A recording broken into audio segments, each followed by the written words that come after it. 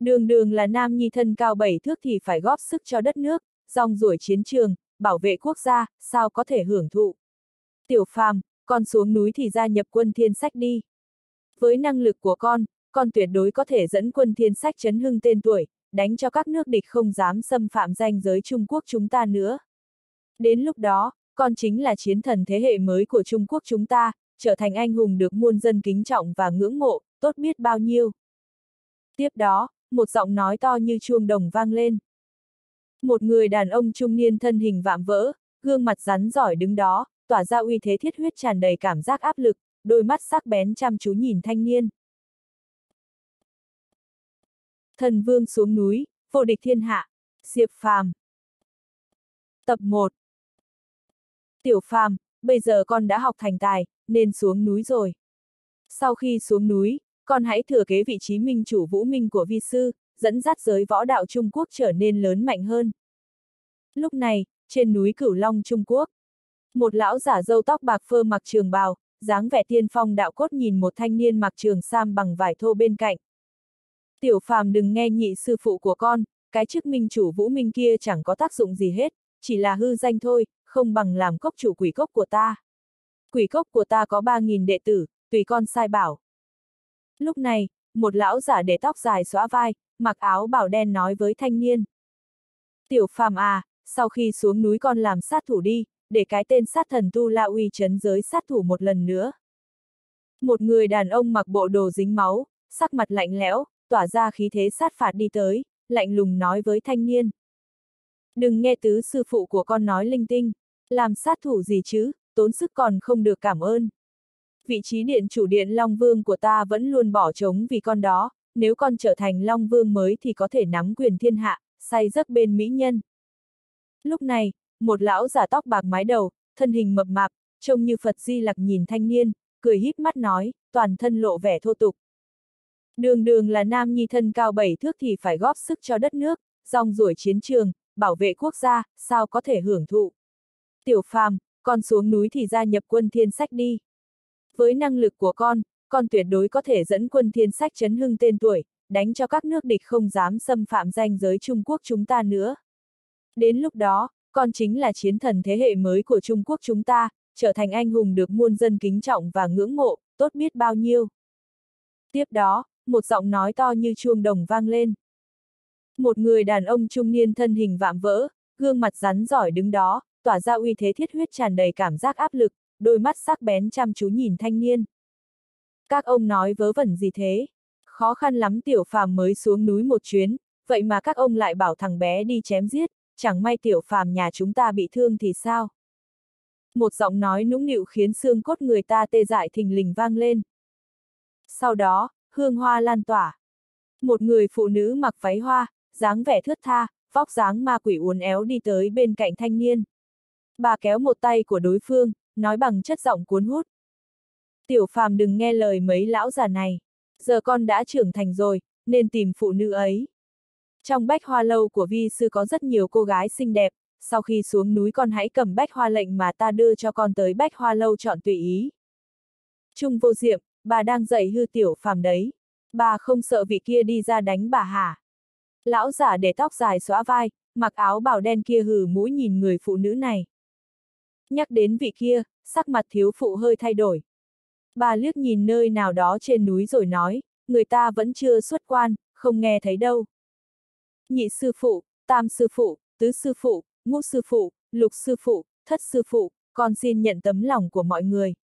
Lần này con xuống núi đã có kế hoạch riêng, mọi người không cần bận tâm về con đâu. Sau này con không ở trên núi, mọi người phải tự chăm sóc bản thân thật tốt đó. Khi nào đại sư phụ xuất quan thì mọi người báo cho bà một tiếng, nói là con xuống núi rồi. Khi nào xong việc con sẽ trở về thăm mọi người. Diệp Phàm nhìn sáu vị sư phụ có mặt ở đây, cúi đầu chào từng người. Con xuống núi đi, nhưng tiểu Phàm à, con phải nhớ con là đồ đệ của chúng ta, ngoại trừ chúng ta không ai có thể bắt nạt con. Ai dám bắt nạt con thì không cần khách khí.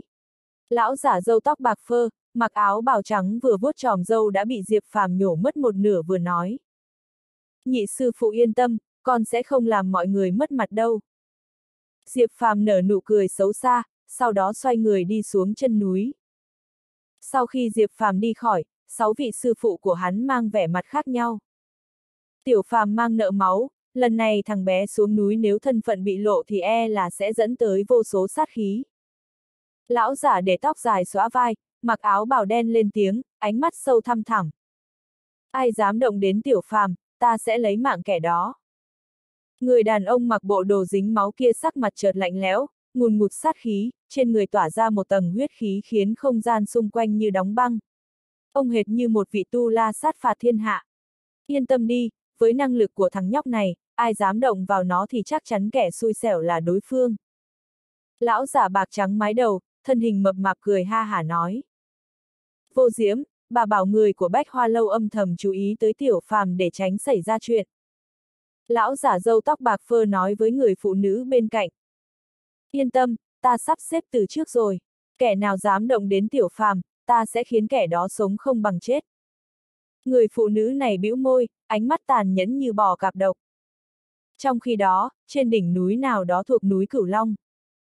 Một cô gái mặc váy cung đình màu trắng, đeo khăn che mặt đứng đó. Mái tóc đen được buộc lại bằng một sợi dây, bay phất phơ theo gió. Cô gái này có khí chất thoát tục, ẩn hiện như tiên, tựa thần tiên hạ phàm, mang lại cảm giác chỉ có thể ngắm nhìn từ xa chứ không thể khinh nhờn. Đôi mắt như là nước mùa thu chăm chú nhìn theo Diệp Phàm đi xuống chân núi, chất chứa bao cảm xúc phức tạp. Chẳng mấy chốc Diệp Phàm đã tới chân núi. Cùng lúc đó, một chiếc xe Mercedes-Benz sang trọng dừng lại dưới chân núi. Một người đàn ông trung niên mặc đồ tôn trung sơn và một cô gái xinh đẹp bước xuống xe. Trên gương mặt cô gái này đượm vẻ âu lo. Chú Cung, y thánh quỷ cốc sống ở đây thật sao? Cô gái nhìn người đàn ông trung niên bên cạnh và hỏi. Thưa tiểu thư, tôi cũng không chắc, dù sao y thánh quỷ cốc đã biến mất mấy chục năm. Mấy năm nay, một đám quan chức quyền quý muốn tìm ông ấy khám bệnh nhưng đều không có kết quả. Người đàn ông mặc đồ tôn trung sơn nhíu mày, trầm giọng nói. Thôi kệ, đây là cách duy nhất có thể cứu mạng ba cháu, dù thế nào cháu cũng phải thử một lần. Vẻ mặt cô gái trở nên nghiêm nghị, sau đó cô chuẩn bị đi lên núi. Hai người muốn tìm y thánh quỷ cốc sao? Diệp Phàm đột nhiên xuất hiện trước mặt hai người. Cậu là ai? Người đàn ông trung niên biến sắc, làm tư thế chiến đấu chắn trước mặt cô gái, nhìn Diệp Phàm đầy cảnh giác. Đừng lo, tôi không phải người xấu. Hai người muốn tìm y thánh quỷ cốc hả? Diệp Phàm hờ hững hỏi. Đúng vậy, anh biết y thánh quỷ cốc sao? Giang Tuyết hỏi Diệp Phàm. Biết chứ, ông ấy là tam sư phụ của tôi. Diệp Phàm thẳng thắn thừa nhận. Anh là đệ tử của y thánh quỷ cốc thật ư. Vậy anh có biết y thánh quỷ cốc đang ở đâu không? Anh có thể dẫn tôi đi gặp sư phụ của anh được không? Giang Tuyết nghe Diệp Phàm nói vậy, lập tức kích động nói. Hai người không cần tìm ông ấy nữa, tam sư phụ của tôi đã cất kim châm từ lâu rồi, không cứu người nữa. Diệp Phàm bĩu môi. Gì cơ? Mặt Giang Tuyết biến sắc, cơ thể yêu kiều bóng run rẩy. Két két két. Đúng lúc này, mấy chiếc xe thương vụ đột nhiên dừng ở đây, hai mươi mấy người đàn ông đô con hung ác cầm dao phay xuống xe. Bọn họ đi thẳng tới chỗ Giang Tuyết. Các người là ai? Muốn làm gì? Người đàn ông trung niên bên cạnh Giang Tuyết lập tức thay đổi sắc mặt, nhìn đám người này quát to. Giang đại tiểu thư, có người không muốn cô trở lại thiên hải, vì vậy xin lỗi nhé. Xông lên. Người đàn ông để đầu đinh trong nhóm người này nhìn Giang Tuyết, lạnh lùng cất lời. Gã vung tay lên, những người khác liền xông tới. Tiểu thư, chạy nhanh đi. Thấy đám đàn ông cầm vũ khí sắp đuổi kịp, người đàn ông trung niên mặc kiểu áo tôn trung sơn hét lên, sau đó lao đến, hai tay ra quyền đối phó với đám người này. ầm ầm ầm, nhưng hổ mạnh không địch nổi bầy sói, mặc dù sức chiến đấu của người đàn ông trung niên này không tồi, nhưng đối mặt với nhiều người cầm theo vũ khí chém như vậy, khó có thể đánh lại tất cả, lập tức có người nhân có hội lao đến chỗ Giang Tuyết. Giang Tuyết thấy cảnh tượng như vậy, sợ đến mức sắc mặt trắng bệch, liên tục lùi về sau, kết quả chật chân ngã thẳng về phía sau. Nhưng Giang Tuyết chưa ngã xuống đất, mà bị Diệp Phàm đỡ được, ngã vào trong lòng ngực hắn. Lúc này, mấy người kia cầm khảm đao chém về phía Giang Tuyết, không chút thương hoa tiếc ngọc. Tiểu thư, người đàn ông trung niên hét lên khi thấy Giang Tuyết gặp nguy hiểm, cũng vì vậy anh ta sơ ý bị chém trúng một đao, máu tươi văng khắp nơi. Vút, vút, vút, Đúng lúc này, Diệp Phàm vung tay, vài vệt sáng bạc bắn ra, trực tiếp đâm thẳng vào trên người mấy người này, lập tức bọn họ không thể cử động. Giang Tuyết thấy vậy, phản ứng đầu tiên là ngẩn người, sau đó vội vàng đứng dậy, cảm ơn Diệp Phàm, cảm ơn anh. Không có gì. Diệp Phàm tùy ý nói, liếc mắt nhìn về phía người đàn ông trung niên đang bị đám kia bao vây tấn công, lại bắn ra mấy chục vệt sáng bạc, dừng trên người nhóm người này. Trong phút chốc, toàn bộ đám người cầm khảm đao này không thể cử động, giống như bị điểm huyệt, trên người bọn họ đều cắm một cây ngân châm. Lúc này, trong ánh mắt của người đàn ông trung niên hiện lên sự khiếp sợ, nhìn về phía Diệp Phàm, trong lòng rất chấn động. Cảm ơn cậu đã ra tay cứu giúp. Người đàn ông lấy lại tinh thần, nhìn Diệp Phàm nói. Vừa rồi anh đã thi triển quân thể quyền của quân thiên sách đúng không? Diệp Phàm nhìn đối phương, nói. Cậu cũng biết chiêu thức quân thiên sách. Người đàn ông nhìn Diệp Phàm, kinh ngạc. Diệp Phàm hơi mỉm cười, không nói gì. Người sáng lập quân thiên sách chính là lục sư phụ của hắn nên tất nhiên hắn biết.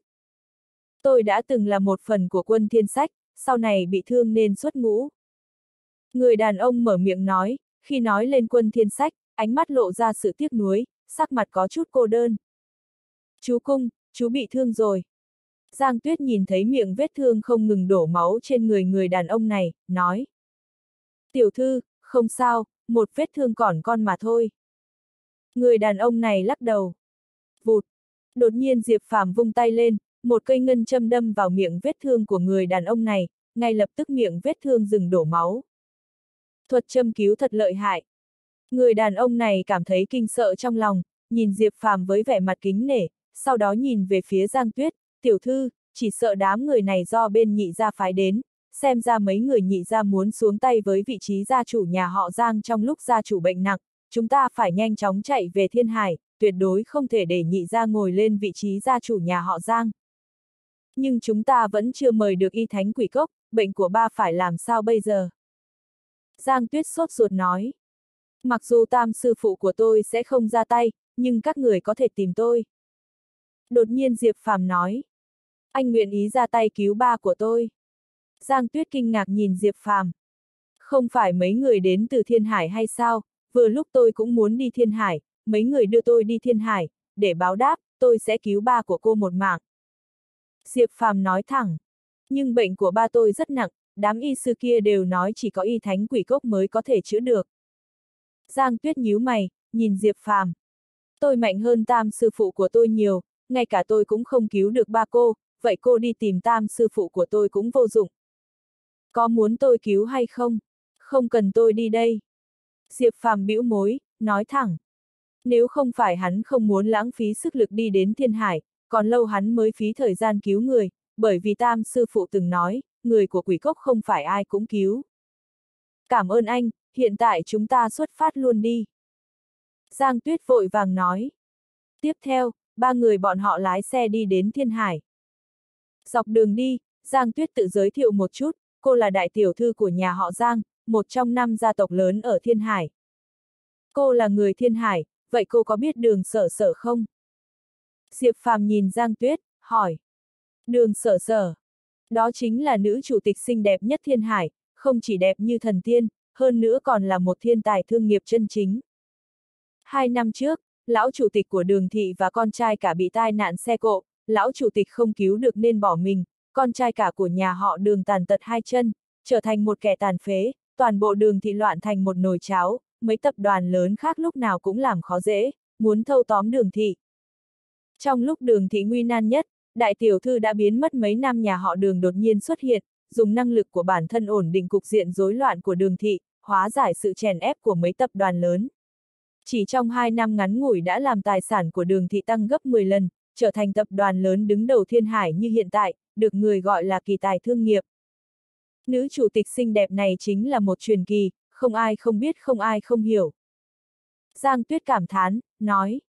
Vợ của tôi ưu tú vậy sao? Diệp Phàm sờ cầm, tự hào nói. Vợ của anh. Ý của anh là. Giang Tuyết sửng sốt khi nghe Diệp Phàm nói vậy.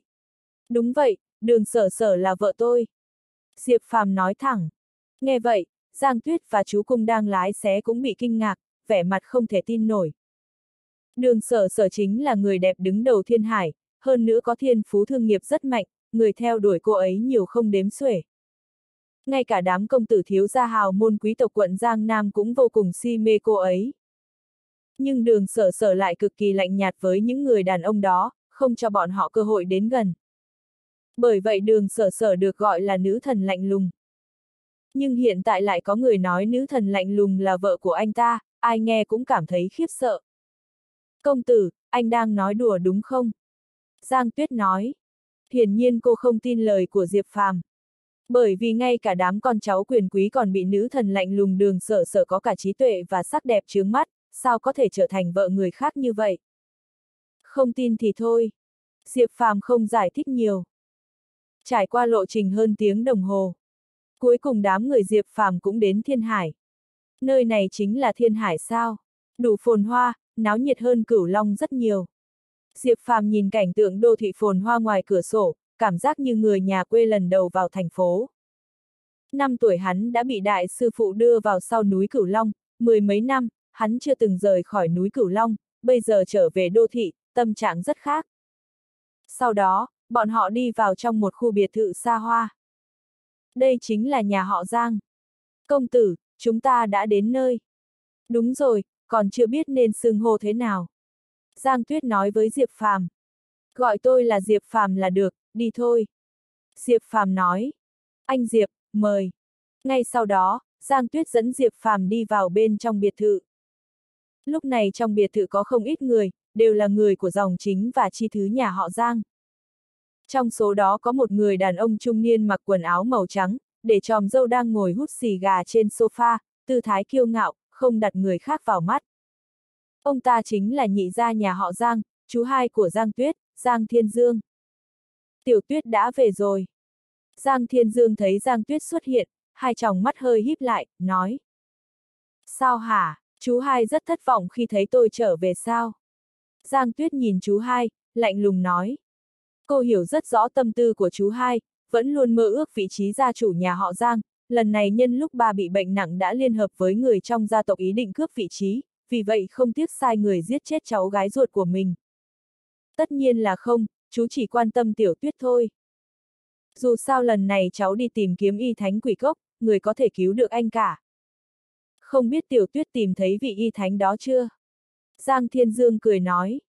Chưa, nhưng tôi mời được đệ tử của y thánh quỷ cốc. Có anh ấy, chắc chắn ba sẽ không sao. Giang Tuyết nói xong, nhìn về phía Diệp Phàm, anh Diệp, ba tôi ở trên tầng, mời. Lúc này người của nhà họ Giang đều sửng sốt khi nhìn thấy Diệp Phàm tuổi còn rất trẻ. Tiểu Tuyết, thằng nhóc này là đệ tử của y thánh quỷ cốc. Không phải cháu bị lừa rồi chứ? Bộ dáng này của nó chính là một tên nhóc nông thôn, sao lại là đệ tử của y thánh quỷ cốc được? Giang Thiên Dương nhìn Diệp Phàm, nở nụ cười lạnh lùng. Đúng vậy, thằng kia, mày từ đâu đến, dám chạy đến nhà họ Giang lừa đảo, lá gan không nhỏ, nhanh chóng cút đi. Giang Phong, con trai của Giang Thiên Dương chỉ vào Diệp Phàm, mắng to. Bốp! Diệp Phàm liếc nhìn Giang Phong, trực tiếp giơ tay tát bay ra ngoài, nằm trên mặt đất nôn ra máu. Ồn ào! Diệp Phàm lạnh lùng nói. Phong Nhi! Phong Thiên Dương thấy con trai bị đánh, sắc mặt thay đổi, trực tiếp đứng lên, sắc mặt lạnh lùng nhìn chằm chằm Diệp Phàm, nhóc con, mày dám động vào con trai tao, người đâu? Ngay lập tức một đoàn vệ sĩ mặc quần áo màu đen lao ra, bao vây Diệp Phàm. Chú hai, chú muốn làm gì? Anh Diệp chính là người tôi mời về khám bệnh cho ba tôi, chú không được phép động vào anh ấy. Giang Tuyết tức giận nhìn Giang Thiên Dương. Chỉ bằng một tên nhóc chưa đủ lông cánh này, nó có thể chữa hết bệnh cho anh cả. Nó chỉ là một tên giang hồ lừa bịp, bắt lại. Giang Thiên Dương lạnh lùng quát to. Ngay lập tức một đám vệ sĩ lao vào Diệp Phàm. Phụt phụt phụt.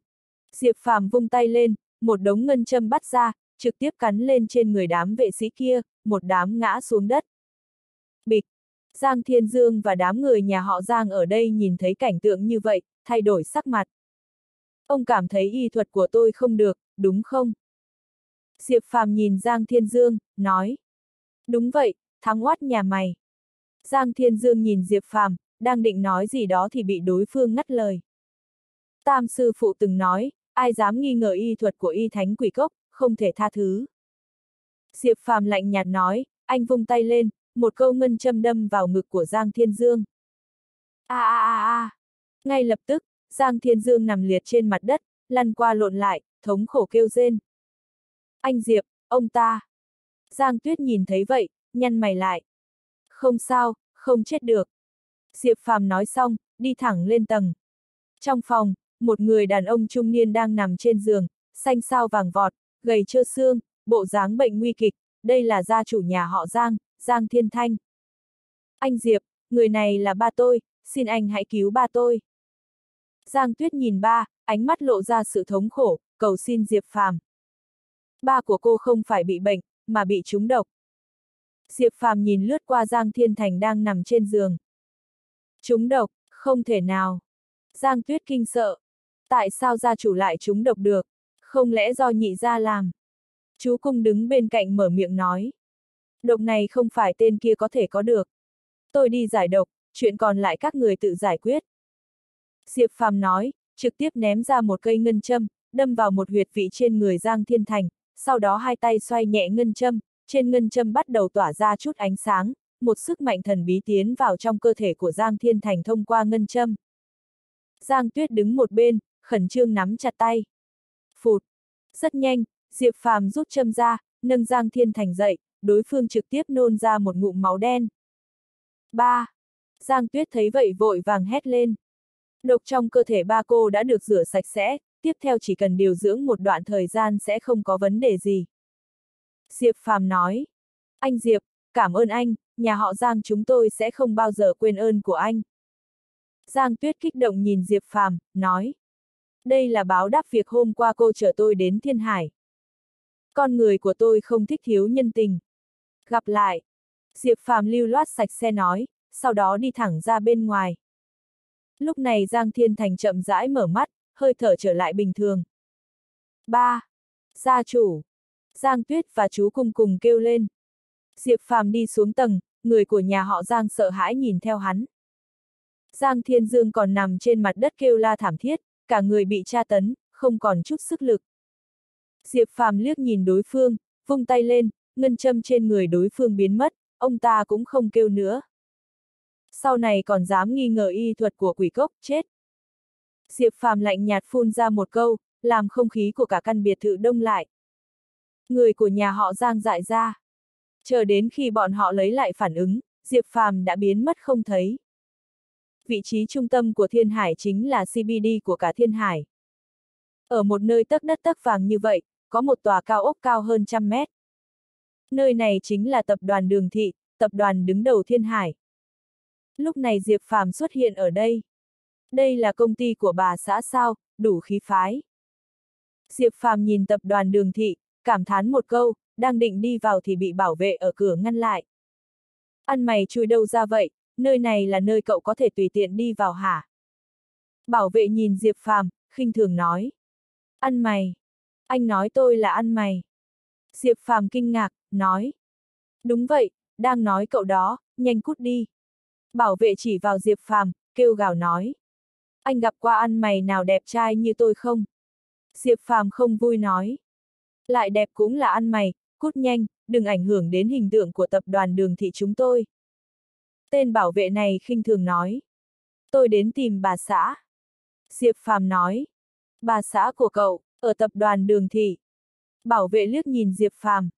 Đúng vậy, cô ấy chính là chủ tịch của tập đoàn đường thị các người, đường sở sở. Diệp Phàm nói thẳng. WTF, cậu nói chủ tịch là vợ cậu. Nhãi danh, tìm đánh đúng không, chỉ bằng cậu cũng dám nói chủ tịch là vợ cậu, nằm mơ chưa tỉnh đúng không? Bảo vệ nhìn Diệp Phàm, sắc mặt đầy sự châm chọc khinh thường. Chủ tịch của bọn họ có tiếng là nữ chủ tịch xinh đẹp đứng đầu thiên hải, nữ thần lạnh lùng tiếng tăm lừng lẫy, sao có thể tìm một thằng ăn mày làm chồng? Thực sự là làm trò cười cho thiên hạ. Nói nhảm với tên đó làm gì, ném văng ra. Một tên bảo vệ khác không kiên nhẫn nói. Bọn họ đang định ra tay với Diệp Phàm, kết quả hai ngân châm bắn ra. Trên người hai tên bảo vệ này, mỗi người bị đâm một cây ngân châm, không thể cử động. Sao cứ phải ép tôi ra tay vậy? Diệp Phàm bĩu môi, trực tiếp bước vào tập đoàn đường thị. Trong một phòng họp của tập đoàn đường thị, Một đám lãnh đạo và thành viên hội đồng quản trị của tập đoàn Đường Thị đang ngồi ở đây, phía trước bọn họ là một người phụ nữ rất trẻ đẹp, mặc bộ trang phục công sở màu đen. Người phụ nữ này mới hơn 20, đôi mắt đen nhánh trong trẻo, đôi môi mềm mại căng mọng, cộng thêm gò má hồng hồng với đường cong tuyệt đẹp, da thịt vô cùng mịn màng, tạo nên một người đẹp quốc sắc thiên hương. Nhưng trên khuôn mặt tuyệt đẹp này lộ ra vài phần lạnh lùng, cả người tản ra khí chất lạnh nhạt, cho người ta cảm giác cao không thể với tới. Lúc này đôi mày đẹp của cô đang nhíu lại, nhìn mọi người ở đây, nói, các vị, ý của mấy người là định bãi miễn chủ tịch là tôi sao? Chủ tịch, chúng tôi bãi miễn cô bởi vì vấn đề của cô, làm cho tập đoàn đường thị chúng tôi xuất hiện tổn thất cực lớn, lợi ích của các vị cổ đông ở đây cũng đều bị tổn thất. Chủ tịch không nên gánh vác trách nhiệm này sao? Lúc này, một người phụ nữ trang điểm quyến rũ ngồi bên cạnh mỉm cười, nhẹ nhàng nói. Đúng vậy, cô cần thiết phụ trách trách nhiệm này, bởi vậy hội đồng quản trị chúng tôi quyết định bãi miễn chức vụ chủ tịch của cô. Một ông già khác nói thẳng. Đúng vậy, cần thiết bãi miễn.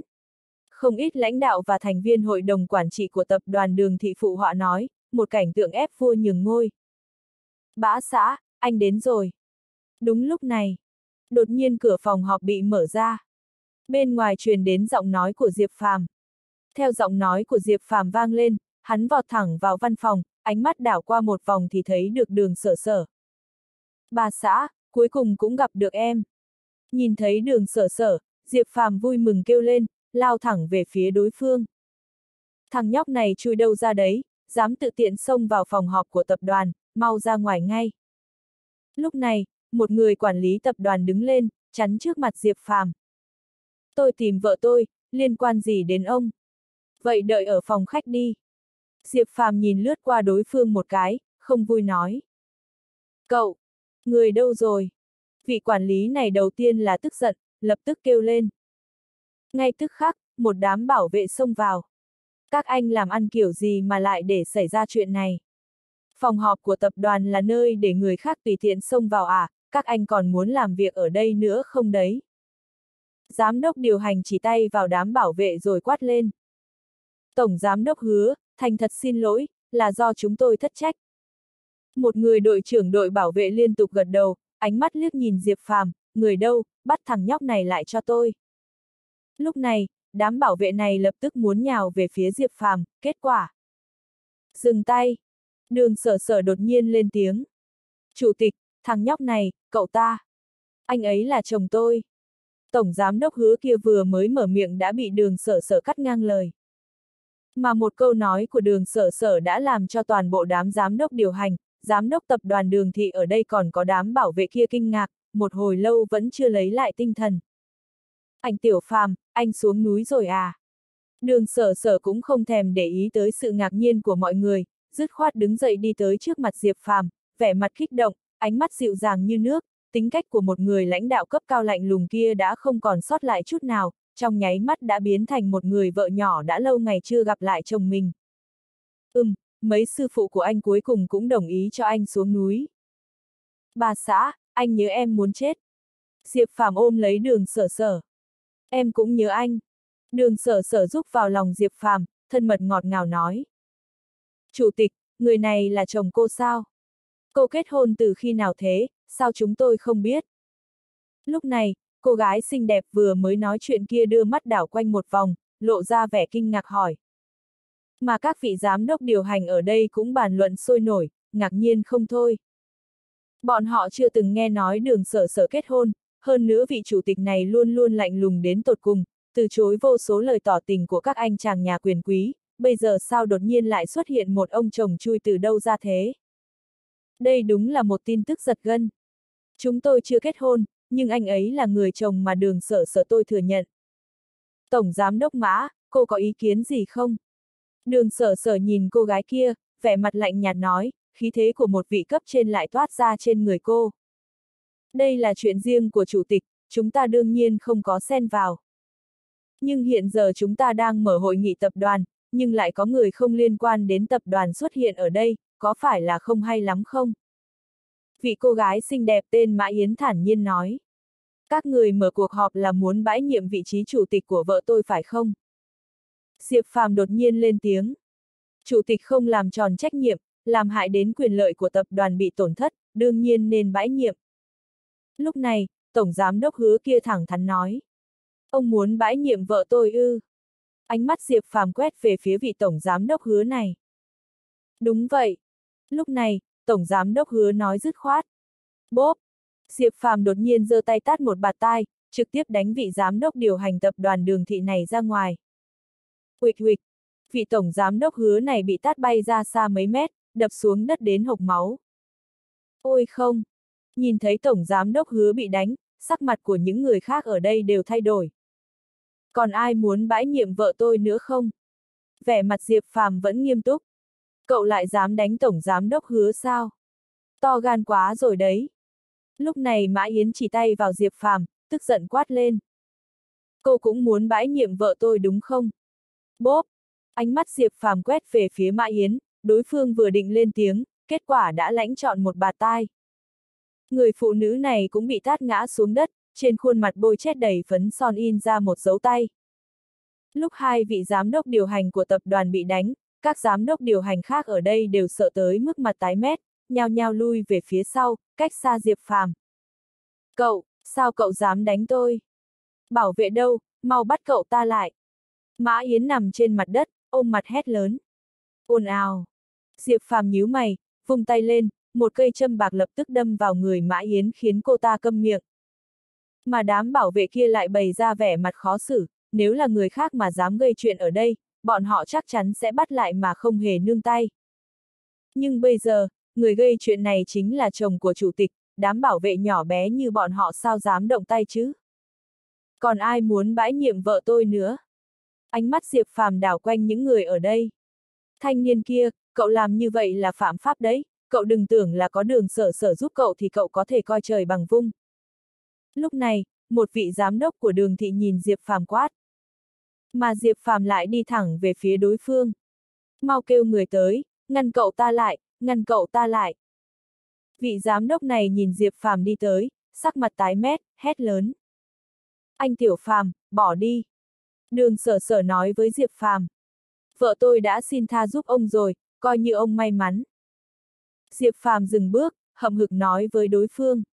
Mọi người, hôm nay mấy người tổ chức hội nghị này là muốn bãi nhiệm tôi, rốt cuộc là thật sự suy nghĩ cho công ty hay là vì ham muốn cá nhân thì ta không quan tâm.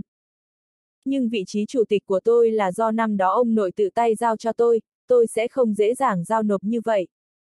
Về phần khó khăn và tổn thất mà hôm nay công ty phải đối mặt, tôi chắc chắn sẽ tìm cách giải quyết từng chuyện một, xin các vị giám đốc tin tưởng tôi, cho tôi thêm một chút thời gian.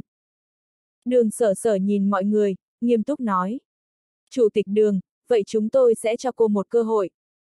Trong vòng 3 ngày, nếu cô không có một giải pháp tốt, vậy chúng tôi đành phải bãi nhiệm vị trí chủ tịch của cô rồi, đến lúc đó, cho dù bà cụ đường có cầu xin giúp cô cũng vô dụng. Một vị giám đốc khác quả quyết nói, mà ông ta vừa nói xong thì Diệp Phàm đã nhìn lướt qua ông ta một cái, khiến ông ta sợ tới mức run lẩy bẩy, lập tức ngậm miệng lại. Được, chỉ cần ba ngày, trong vòng ba ngày, tôi nhất định sẽ cho mọi người một câu trả lời thỏa đáng. Anh Tiểu Phàm, chúng ta đi thôi. Nói xong, đường sở sở lập tức muốn dẫn theo Diệp Phàm rời đi, kết quả lại nhìn thấy Mã Yến không nhúc nhích, cô nói, anh Tiểu Phàm, cô ấy. Diệp Phàm nhìn lướt qua Mã Yến, hắn đi tới, vung tay lên, châm bạc trên người đối phương lập tức biến mất. Lúc này, thân thể Mã Yến khôi phục bình thường, cô ta thở hồng hộc, vừa sợ vừa giận nhìn chằm chằm Diệp Phàm. Tôi nói cho cô biết, nếu lần sau cô còn dám không tôn trọng với vợ tôi, vậy tôi sẽ không chỉ cầm kim đâm ngươi như vậy đâu. Diệp Phàm nhìn Mã Yến hử lạnh, sau đó đi theo đường sở sở rời khỏi phòng họp. Khốn khiếp! Mã Yến tỏ vẻ tức giận quát lên. Mà các giám đốc điều hành khác đều thở hổn hển, bị Diệp Phàm dọa sợ đến nỗi toát mồ hôi lạnh sau lưng. Thằng nhóc này xuất hiện từ đâu ra thế? Tàn ác quá! Những giám đốc điều hành cấp cao có mặt bắt đầu bàn tán về Diệp Phàm. Tại tập đoàn Đường Thị, trong văn phòng chủ tịch, Đường Sở Sở và Diệp Phàm đi vào. Vừa bước vào phòng làm việc, Diệp Phàm đã ôm lấy Đường Sở Sở, thân mật nói, bà xã, anh nhớ em chết đi được. Thật sao, có đại sư phụ ở đấy, anh vẫn còn có thể nhớ tới em sao? Đường Sở Sở hờn dỗi nói. Đương nhiên là nhớ rồi, em là người vợ mà anh đã chọn, không nhớ em thì nhớ ai chứ? Diệp Phàm cười hì hì nói, theo đó ánh mắt cũng nhìn đường sở sở, đúng rồi, bà xã, thân thể huyền âm của em thế nào rồi, không tái phát nữa chứ? Kể từ lần được tam sư phụ trị liệu xong thì không tái phát nữa. Đường sở sở nói, vậy thì tốt rồi, lần này anh xuống núi chính là muốn triệt để trị tận gốc thân thể huyền âm của em, để em không còn bị âm khí này dày vò nữa. Diệp Phàm trầm giọng nói. Trên người đường sở sở mang thân thể huyền âm cực kỳ hiếm thấy, mỗi khi cứ đến lúc trăng rằm, trong cơ thể sẽ bộc phát một lượng lớn khí âm hàn, khiến cho cô sống không bằng chết. Năm năm trước, ông cụ nhà họ đường vì muốn cứu chữa cháu gái mình, cuối cùng đã vận dụng tất cả mối quan hệ, dẫn theo đường sở sở 15 tuổi đến núi Cửu Long, xin tam sư phụ y thánh quỷ cốc của Diệp Phàm cứu chữa. Vốn dĩ y thánh quỷ cốc đã có phương châm là sẽ không ra tay cứu người nữa. Nhưng khi đó Diệp Phàm nhìn thấy đường sở sở tiêu tụy, bị khí âm hàn tra tấn vô cùng đau đớn, trong lòng hắn đã sinh lòng thương hại, lập tức xin tam sư phụ ra tay, vì thế y thánh quỷ cốc mới đồng ý ra tay cứu giúp. Sau đó, đường sở sở đã ở trên núi Cửu Long tiếp nhận trị liệu của y thánh quỷ cốc. Lần này thấm thoát đã 3 năm trôi qua, mãi đến khi đường sở sở 18 tuổi, ông nội lại không may qua đời, cô mới xuống núi trở về nhà họ đường. Mà trong 3 năm này, vẫn luôn là Diệp Phàm chăm sóc đường sở sở, mối quan hệ giữa hai người thiếu nam thiếu nữ cũng ngày càng đi lên, cuối cùng nảy sinh tình cảm với nhau, sinh ra tình yêu. Anh Tiểu Phàm, anh tu thành châm thứ năm của cửu châm quỷ cốc chưa? Đường sở sở kinh ngạc nhìn Diệp Phàm, lúc trước cô ở núi Cửu Long đã biết được muốn diệt trừ tận gốc tai họa ngầm của thân thể huyền âm thì nhất định phải vận dụng y thuật bất truyền trong quỷ cốc là châm thứ năm của cửu châm quỷ cốc mới được. Mà lúc đó, mặc dù y thánh quỷ cốc có thể thi triển châm thứ năm trong cửu châm quỷ cốc nhưng vẫn không giúp đường sở sở triệt để trị tận gốc, mà đã giao phần trị liệu còn lại cho Diệp Phàm, nhưng lúc đó Diệp Phàm mới tu được châm thứ ba trong cửu châm quỷ cốc. Ừm, anh đã tu đến châm thứ năm, nhưng muốn triệt để trị tận gốc thân thể huyền âm của em nhất định phải đợi đến đêm trăng tròn mới được, cho nên chúng ta vẫn phải đợi thêm một thời gian nữa. Diệp Phàm gật đầu. Anh Tiểu Phàm, anh thật lợi hại. Đường sở sở bày ra vẻ sùng bái nói. Đó là đương nhiên, chồng em là người lợi hại nhất. Đúng rồi, hôm nay tại sao những người kia lại muốn bãi nhiệm em, là công ty xảy ra chuyện gì sao? Diệp Phàm hỏi đường sở sở. Ừm, đích thật xảy ra chút chuyện. Sản phẩm kinh doanh chính của tập đoàn đường thị chúng em chính là sản phẩm chăm sóc da làm đẹp, luôn chiếm 70% doanh số của Thiên Hải thậm chí là thị trường quận Giang Nam. Một tuần trước, tập đoàn Cung Thị là tập đoàn lớn thứ hai Thiên Hải đột nhiên phát hành một sản phẩm gọi là Hồi Xuân Sương, chỉ cần bôi một lần là có thể cải thiện làn da trên phạm vi rộng, thậm chí loại bỏ hết tất cả những nếp nhăn và tàn nhang, hiệu quả rất mạnh, vừa phát hành đã gây ra chấn động rất lớn, ảnh hưởng trực tiếp đến lượng tiêu thụ của công ty em, hiện giờ lượng tiêu thụ sản phẩm của đường thị vẫn không ngừng giảm xuống. Mà lúc trước đại thiếu gia của cung thị vẫn luôn theo đuổi em, thậm chí đã từng nói chỉ cần em làm người phụ nữ của anh ta, anh ta sẽ hợp tác với đường thị cùng nhau khai phá Xuân Sương, chỉ là em vẫn chưa đồng ý.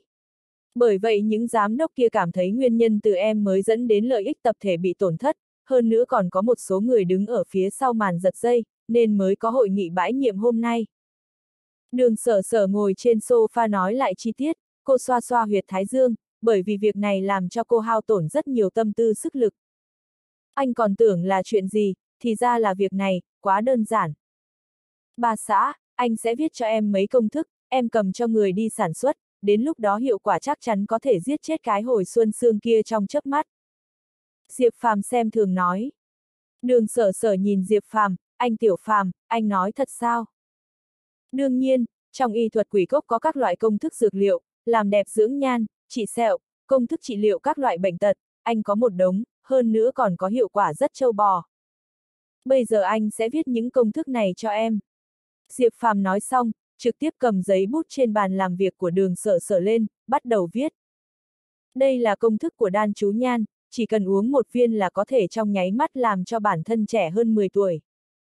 Đây là công thức của kem trị sẹo, chỉ cần bôi một lớp mỏng lên đó thì bất kỳ vết sẹo nào cũng có thể mờ đi trong nháy mắt, sẽ không còn để lại bất kỳ dấu vết nào. Đây là... Diệp Phàm lưu loát viết 10 tờ công thức, đường sở sở nhìn những công thức này, lộ ra ánh mắt rung động không thôi, tùy tiện lấy một trong những công thức này thôi là đã có giá trị liên thành rồi, một khi tiêu thụ sản phẩm được sản xuất ra, chắc chắn tạo ra sức ảnh hưởng còn mạnh hơn cả hồi xuân xương. Anh Tiểu Phàm, anh tuyệt vời quá. Đường sở sở vui mừng ôm Diệp Phàm, hôn một cái. Sau này có anh ở đây, không ai dám bắt nạt em. Diệp Phàm tự tin nói. Anh Tiểu Phàm, anh vừa mới xuống núi, vẫn chưa có chỗ ở đúng không? Đường sở sở hỏi. Ừm, anh đây không phải là tới nương nhờ bà xã sao? Bà xã, em phải thu nhận anh chứ? Diệp Phàm ôm đường sở sở nói. Lúc trước em có mua một căn biệt thự, hay là anh chuyển đến ở cùng em đi? Đường sở sở nói, chỉ là vừa nói xong, trên mặt cô đã ửng đỏ. Được. Diệp Phàm không chút do dự đồng ý. Lúc này tiếng gõ cửa vang lên. Vào đi. Đường sở sở nói với ra ngoài. Cửa văn phòng được mở ra. Một người phụ nữ mặc áo sơ mi trắng kết hợp với áo khoác đen, phía dưới là một chiếc váy bó sát mông cộng thêm đôi giày cao gót màu đen, có diện mạo xinh đẹp đang cầm một tài liệu đi vào. Chủ tịch, người này. Tôn Tiểu Tiểu nhìn đường sở sở kêu lên, ánh mắt liếc mắt nhìn Diệp Phàm, trong lòng thầm nghĩ, chẳng lẽ thằng nhóc này chính là chồng của chủ tịch sao, diện mạo cũng chẳng có gì đặc biệt. Hiện giờ tin tức đường sở sở có chồng đã sớm truyền khắp tập đoàn đường thị. Tiểu tiểu, cô tới đúng lúc lắm, cô cầm hai công thức này đi lập tức thông báo cho người của bộ phận nghiên cứu và phát triển, dựa theo phương pháp trên bắt đầu nghiên cứu và sản xuất ra hai sản phẩm này. Nhưng chuyện này phải giữ bí mật, tuyệt đối không thể để cho người ngoài biết được, cho dù là giám đốc điều hành công ty cũng không thể biết. Đường sở sở giao công thức của đan chú nhan và kem trị sẹo cho tôn tiểu tiểu. Vâng, chủ tịch. Tôn tiểu tiểu gật đầu. Bà xã, bây giờ chúng ta về nhà được chưa? Diệp Phàm lên tiếng hỏi. Chúng ta đến trung tâm thương mại mua cho anh mấy bộ quần áo trước đã, sau đó mới về nhà. Đường sở sở nói. Mua quần áo, bà xã, anh không còn đồng nào trong người đâu. Diệp Phàm xấu hổ nói. Không sao, có em đây. Bà xã, em đối xử với anh tốt quá đi. Vậy chúng ta đi thôi. Diệp Phàm ôm đường sở sở hôn một cái. Tên cặn bã. Trong lòng tôn tiểu tiểu âm thầm khinh bỉ nói. Cô ấy không ngờ chủ tịch lại tìm được người chồng có diện mạo chẳng ra sao như thế, còn là một kẻ ăn bám, quả thực chính là tên cặn bã. Chắc chắn là chủ tịch đã bị hắn lừa gạt, mình nhất định phải giúp chủ tịch đuổi tên cặn bã ăn bám này đi mới được. Tôn Tiểu Tiểu âm thầm liên tưởng, thẳng thắn nhận định Diệp Phàm là một tên cặn bã lừa gạt thiếu nữ hồn nhiên. Trước cửa tập đoàn đường thị, hai bảo vệ gác cửa vẫn đứng bất động ở đó. Đường sở sở đi ra cửa, nhìn hai người này, họ. Bọn họ không tin em là vợ anh, không cho anh vào trong, vì vậy anh đành phải châm kim vào bọn họ. Nói xong Diệp Phàm rút kim bạc trên người bọn họ ra. Kim bạc được rút ra, hai bảo vệ lập tức sụi lơ ra đất, thở hổn hển. Chủ tịch, hai người cuống quýt đứng dậy chào đường sở sở. Anh ấy là chồng tôi, lần sau đừng cản anh ấy nữa.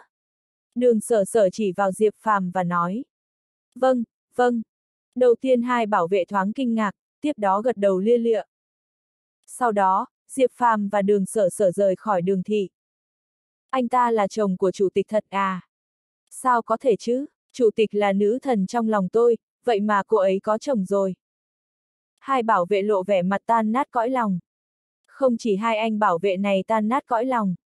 Vô số nhân viên trong tập đoàn đường thì coi đường sở sở là nữ thần trong mộng cũng tan nát cõi lòng sau khi biết tin tức này. Trong một văn phòng khác của tập đoàn đường thị, Mã Yến bị Diệp Phàm làm bẽ mặt đang gọi điện thoại kể khổ. Đường thiếu, anh nhất định phải phân xử cho tôi, mặt tôi bị tát chảy máu đó, tuyệt đối không thể bỏ qua chuyện này như vậy được. Mã Yến gọi điện thoại, nói với vẻ mặt dữ tợn. Sau đó Mã Yến cúp điện thoại, lấy tay che mặt, biểu cảm lạnh lùng, trong mắt lóe lên vẻ lạnh lẽo như rắn độc. Nhà họ đường. Sau khi cúp máy, đường phong tức đại thiếu gia nhà họ đường đi thẳng vào một căn phòng, hét to với người đàn ông trung niên trong phòng, ba ơi xảy ra chuyện lớn rồi. Vội vội vàng vàng còn ra thể thống gì? Người đàn ông trung niên này là đường chính nghĩa nhị ra nhà họ đường. Lúc này ông ta đang thảnh thơi pha trà, thấy bộ dạng nóng nảy của đường phong, ông ta trách mắng. Ba à, giờ là lúc nào rồi mà ba còn tâm trạng pha trà. Đường phong đi tới trước mặt đường chính nghĩa, uống hết tách trà ba mình vừa pha xong. Đã xảy ra chuyện gì? Lẽ nào đường sở sở bị bãi nhiệm rồi? Đường chính nghĩa hờ hững nói. Không phải, là chồng của đường sở sở. Hơn nữa hôm nay tên này còn đại náo cuộc họp của tập đoàn, đánh lão hứa và mã yến trước mặt mọi người. Đường Phong lập tức kể lại đầu đuôi ngọn nguồn chuyện xả ra trong phòng họp đường thị ngày hôm nay. Nghe đường Phong nói xong, đường chính nghĩa nhướng mày, trong mắt lóe lên tia sáng, còn có chuyện này hả? Đúng vậy, con cũng không ngờ đấy. Bình thường đường sở sở có vẻ kiêu ngạo lạnh lùng, không gần gũi với đàn ông, ai dè cô ta đã tặng tiệu với người ta từ lâu rồi, vậy mà còn giả vờ cao quý thuần khiết. Thật nực cười. Đường phong châm chọc. Nhị ra. Lúc này, một người giúp việc của nhà họ đường đi đến gọi đường chính nghĩa. Sao vậy? Đường chính nghĩa nhìn đối phương. Gia chủ nhà họ cung dẫn theo con trai đến cầu thân. Người giúp việc nói. Ha ha ha, xem ra hôm nay có trò hay để xem rồi đây. Đi thôi. Đường chính nghĩa đặt tách trà xuống, cười khẽ. Trong khi đó, ở cửa trung tâm thương mại, đường sở sở vừa mới mua cho Diệp Phàm một bộ quần áo thì nhận được cuộc gọi từ mẹ mình. Cô lập tức nhíu mày. Bà xã sao thế? Diệp Phàm nhìn đường sở sở và hỏi. Đại thiếu gia nhà họ cung tới nhà hỏi cưới em. Đường sở sở trả lời. Hỏi cưới, tên này to gan thật, dám tranh bà xã với anh. Diệp Phàm bĩu môi hừ lạnh. Anh Tiểu Phàm yên tâm đi, em sẽ không đồng ý. Đường sở sở cầm tay Diệp Phàm, kiên định nói. Đồ ngốc, đương nhiên là anh tin tưởng em, nhưng có người tơ tưởng vợ anh, anh không cho phép. Đi nào, tới nhà họ đường. Diệp Phàm vuốt mũi đường sở sở, đi thẳng tới nhà họ đường. Nhà họ đường nằm ở vùng ngoại thành Thiên Hải, diện tích hơn trăm mẫu, là một trang viên bao gồm nhiều biệt thự, cực kỳ xa hoa, phô bày khí thế của nhà họ đường. Lúc này, trong đại sảnh nhà họ đường, bà cụ đường ngồi trên ghế thái sư ở chủ vị, tinh thần quắc thước, rất có khí thế. Bên phải là đường chính nhân lão đại nhà họ đường, cũng là ba của đường sở sở. Nhưng đường chính nhân ngồi trên xe lăn, dáng vẻ tiểu tùy. Tiếp nữa là đường chính nghĩa và con trai đường phong. Bên trái bà cụ đường là một người đàn ông trung niên và một cậu thanh niên. Bọn họ là gia chủ cung thắng của nhà họ cung một trong năm gia tộc lớn nhất thiên hải, và đại thiếu gia nhà họ cung tên cung thanh. Ông chủ cung, hiện nay cung thị các ông đã nghiên cứu ra hồi xuân xương khiến thành tích của đường thị chúng tôi tuột dốc không phanh. Lúc này ông đến nhà họ đường chúng tôi cầu thân, e là không thích hợp. Bà cụ đường nhìn cung thắng và nói.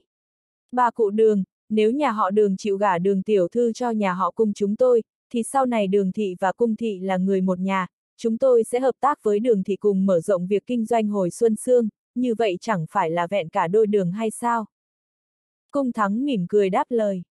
Chuyện này, trong mắt bà cụ đường lóe lên tia sáng.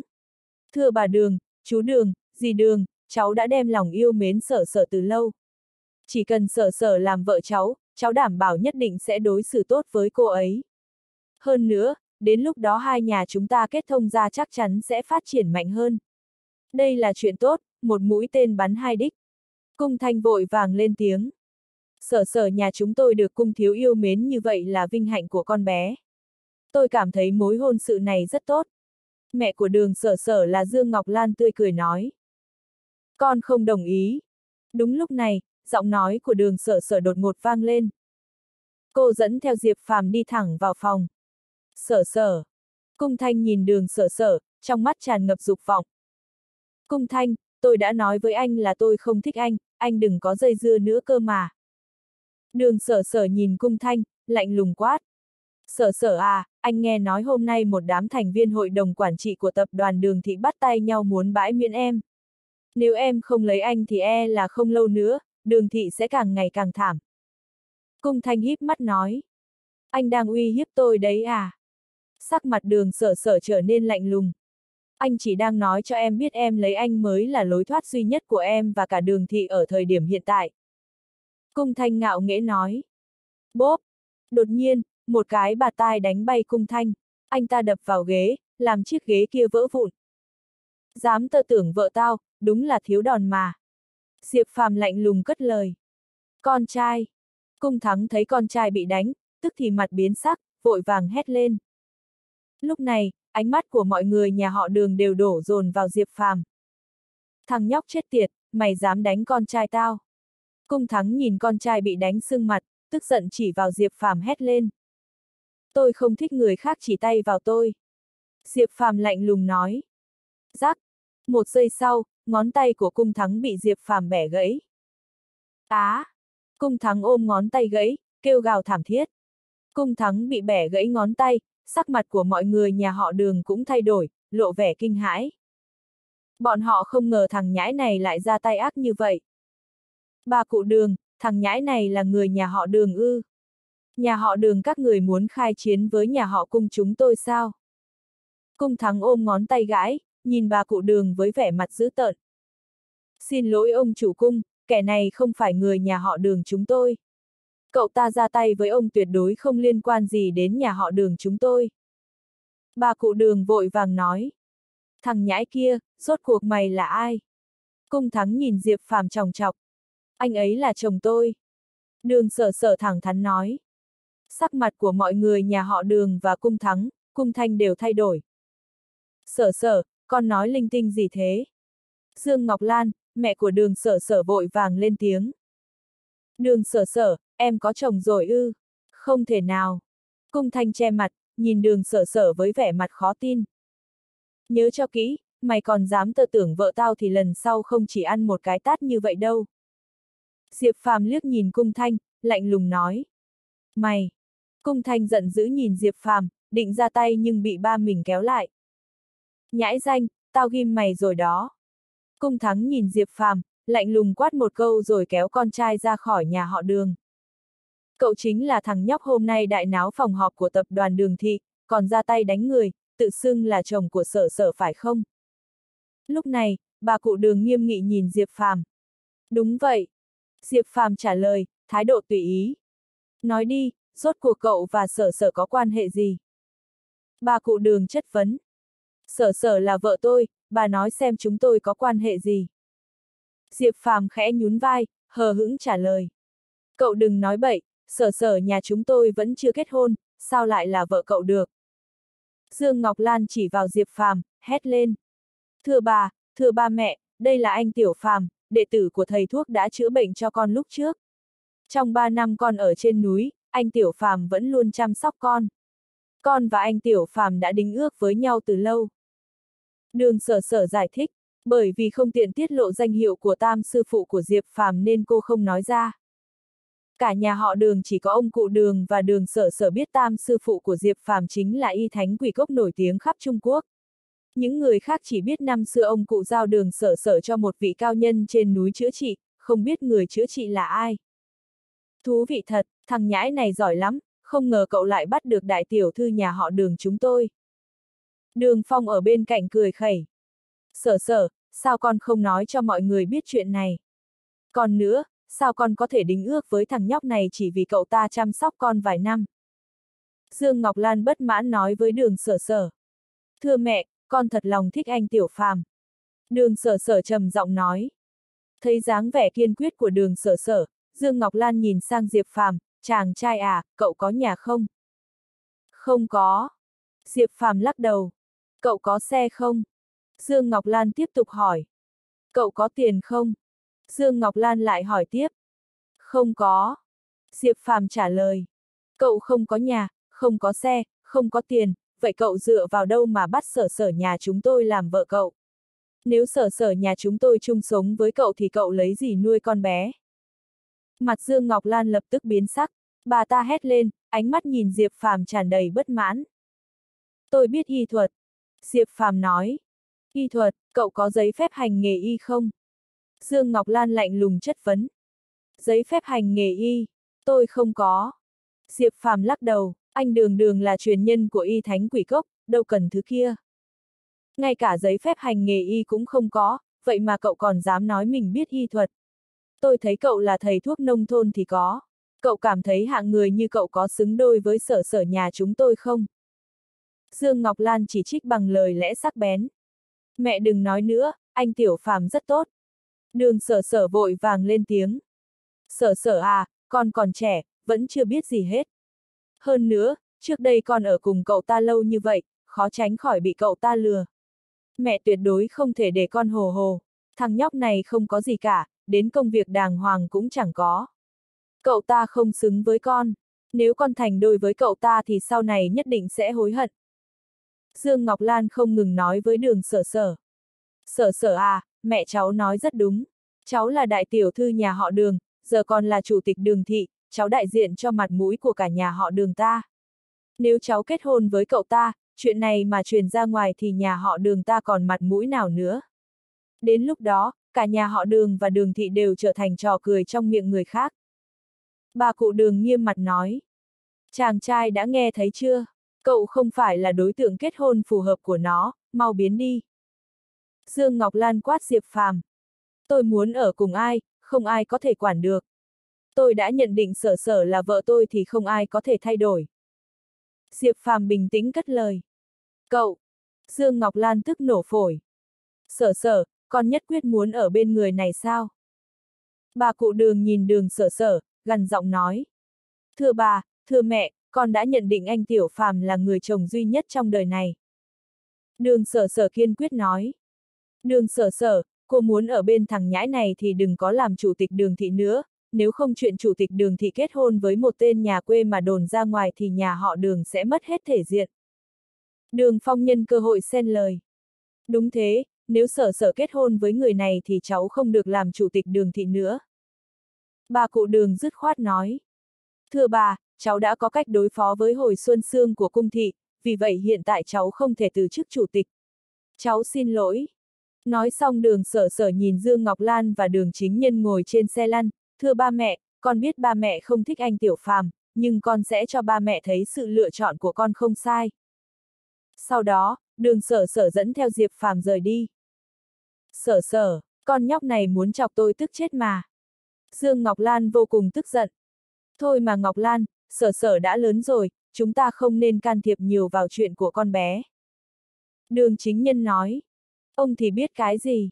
Hôn nhân là chuyện lớn cả đời, nếu sở sở kết hôn với thằng nhà quê kia thì tôi còn mặt mũi nào mà ra ngoài gặp người khác. Đến lúc đó, ông bảo tôi ăn nói với người thân bạn bè thế nào. Nói con rể tôi là một thằng vô dụng không có xe, không có nhà, không có tiền, không có việc làm sao.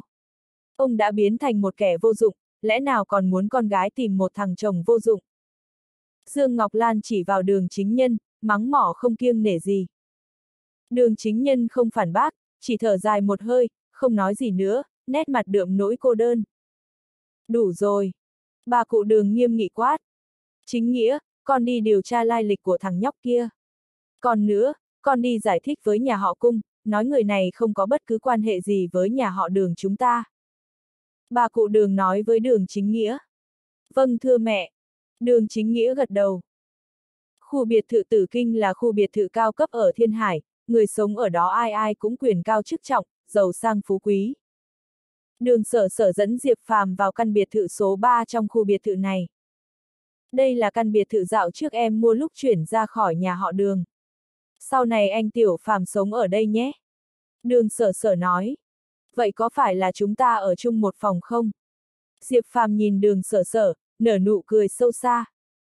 Đường sở sở đỏ mặt, cúi đầu đáp, nếu anh Tiểu Phàm đồng ý thì sở sở. Cô bé ngốc nghếch, anh đùa em thôi, em chuẩn bị một căn phòng khác cho anh đi. Diệp Phàm trêu ghẹo. Ồ, đường sở sở thoáng ngẩn ngơ, sau đó gật đầu, ánh mắt lộ vẻ thất vọng. Anh Tiểu Phàm, đây là phòng của anh, anh cần gì cứ nói với em. Đường sở sở dẫn Diệp Phàm vào một căn phòng.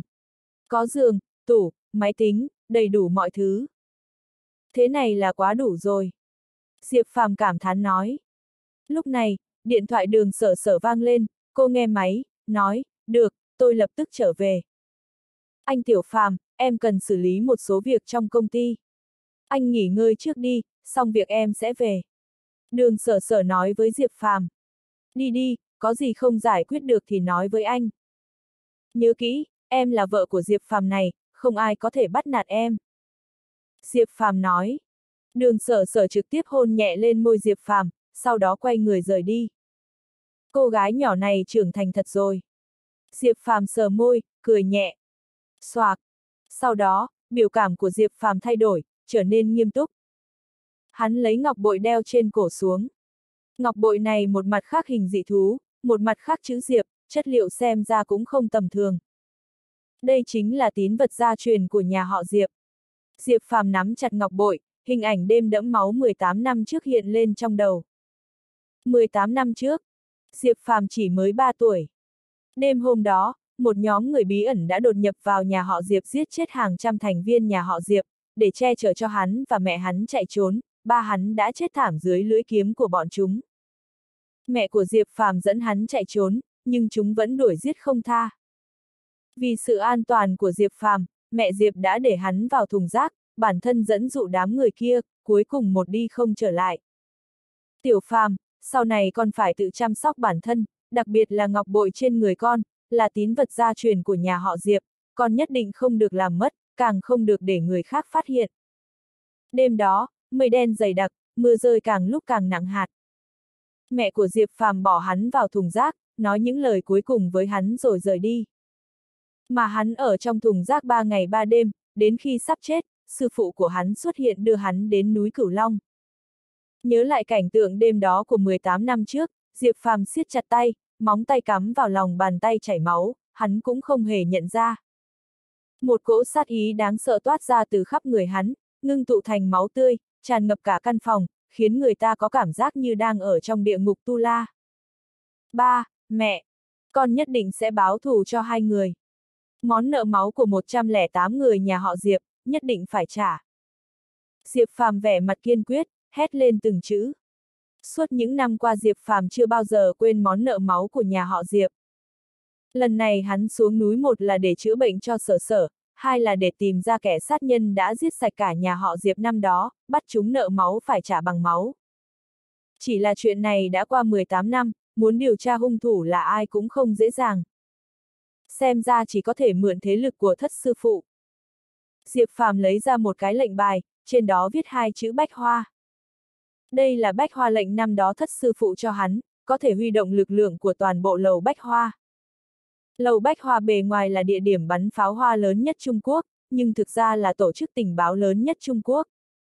Đủ loại tình báo, miễn là có thể trả nổi, Lầu Bách Hoa đều có thể điều tra ra. Khả năng tình báo này thậm chí đến cả phía chính phủ Trung Quốc cũng không sánh bằng. Tuy nhiên, những người biết sự thật về Lầu Bách Hoa đều là những chức sắc hoặc lão đại giang hồ đứng trên đỉnh cao ở Trung Quốc, người bình thường chỉ biết Lầu Bách Hoa là nơi đàn ông thích đi nhất. Diệp Phàm định huy động sức mạnh của Bách Hoa Lâu để điều tra kẻ sát nhân đã giết cả gia đình hắn 18 năm trước. Cùng lúc đó, Thiên Hải, trong nhà họ cung, một trong năm gia tộc lớn.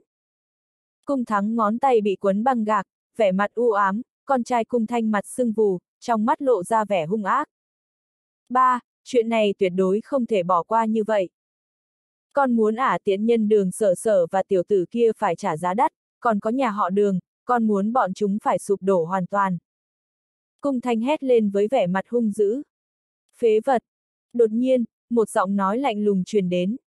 Một người đàn ông tóc rối bù, mặc áo choàng đen đi tới, nhìn cung thanh lạnh lùng nói. Hạ đại sư! Cung thắng và cung thanh vội vàng đứng dậy cung kính chào người đàn ông. Bảo hai người đi cầu hôn, vậy mà lại bị người ta đánh thành như vậy, đúng là phế vật vị hạ đại sư này không chút khách khí của trách. Tuy nhiên, cung thắng và con trai ông ta cung thanh không dám phản bác.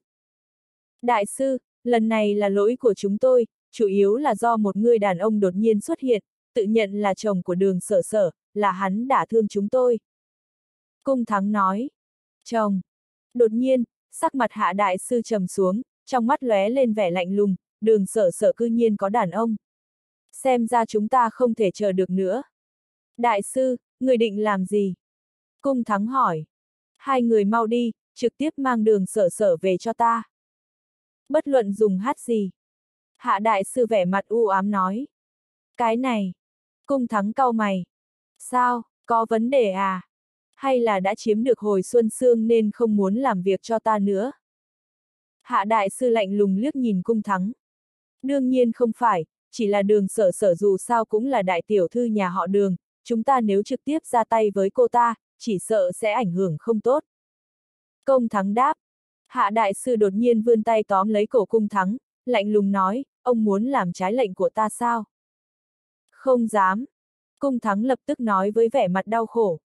Sư phụ, đừng mà, chúng tôi sẽ làm theo lời ngài.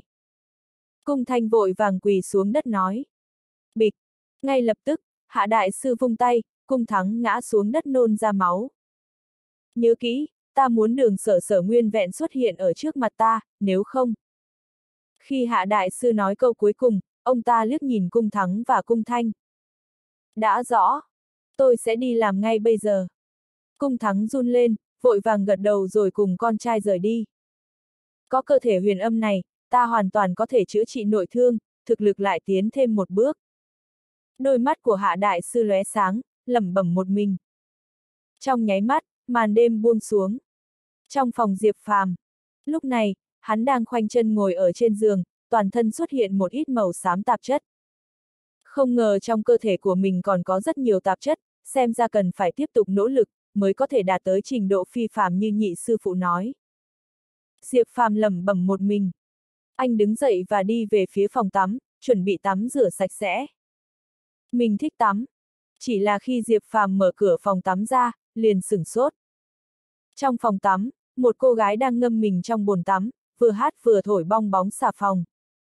Nhưng cô gái này không phải đường sở sở. Lúc này, cô gái liếc nhìn Diệp Phàm, hai người nhìn nhau.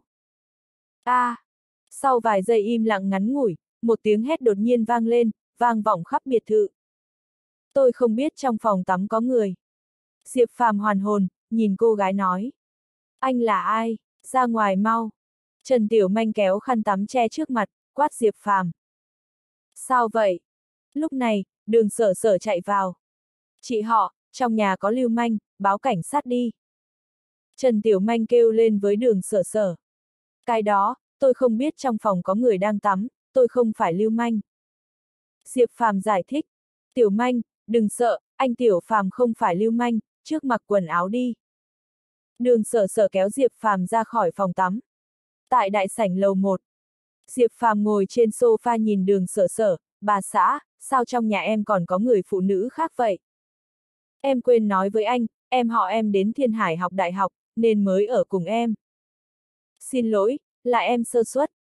Đường sở sở nói. Em họ của em. Ừm, em ấy tên là Trần Tiểu Manh, là em họ xa của em. Đường sở sở gật đầu. Chị họ, sao chị không báo cảnh sát bắt tên lưu manh này đi? Lúc này, Trần Tiểu Manh mặc một bộ đồ ngủ Pikachu đi ra, nhìn Diệp Phàm phẫn nộ nói. Vóc dáng không tệ. Diệp Phàm liếc nhìn Trần Tiểu Manh, cô ấy có một gương mặt trong sáng ngây thơ, chỉ cao 1m65 nhưng chỗ cần phát triển đều đã phát triển đầy đủ. Này, tên lưu manh kia, anh nhìn cái gì? Trần Tiểu Manh che thân, nhìn chằm chằm Diệp Phàm. Tiểu Manh, em hiểu lầm rồi. Anh Tiểu Phàm không phải lưu manh, anh ấy là chồng của chị. Đường sở sở vội vàng nói. Chồng của chị. Cái gì? Chị họ, chỉ có bạn trai lúc nào vậy? Sao em lại không biết? Trần Tiểu Manh sửng sốt một lúc, sau đó hét lên kinh ngạc. Không phải bạn trai, mà là chồng. Sở sở là vợ của anh. Diệp Phàm đính chính. Cái này. Nhất thời, Trần Tiểu Manh ngây ra. Những chuyện này chị sẽ từ từ nói cho người biết.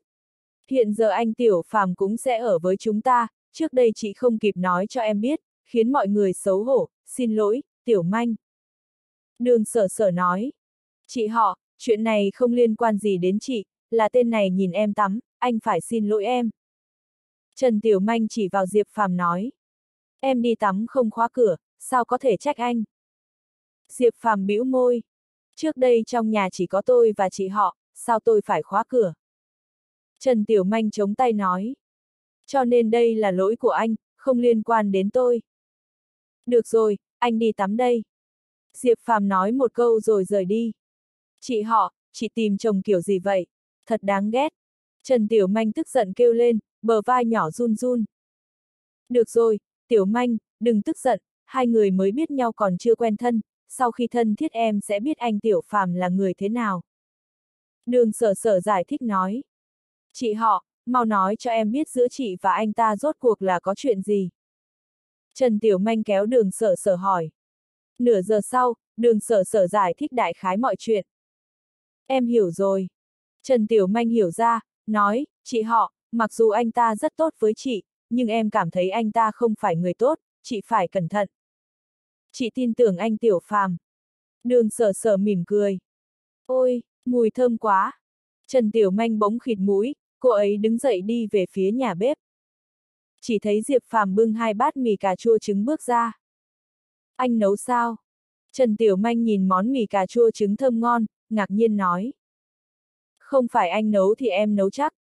Nào, bà xã mau ăn đi, trong tủ lạnh không có gì, anh làm chút mì, ngày mai mua ít nguyên liệu, nấu cho em một bữa thịnh soạn. Diệp Phàm liếc Trần Tiểu Manh một cái rồi nói với đường sở sở. Tôi trước nếm thử một chút. Trần Tiểu Manh cầm đũa lên muốn ăn một miếng, Diệp Phàm lại nói, không phải em nói anh là lưu manh sao? Sao anh dám ăn đồ do lưu manh làm?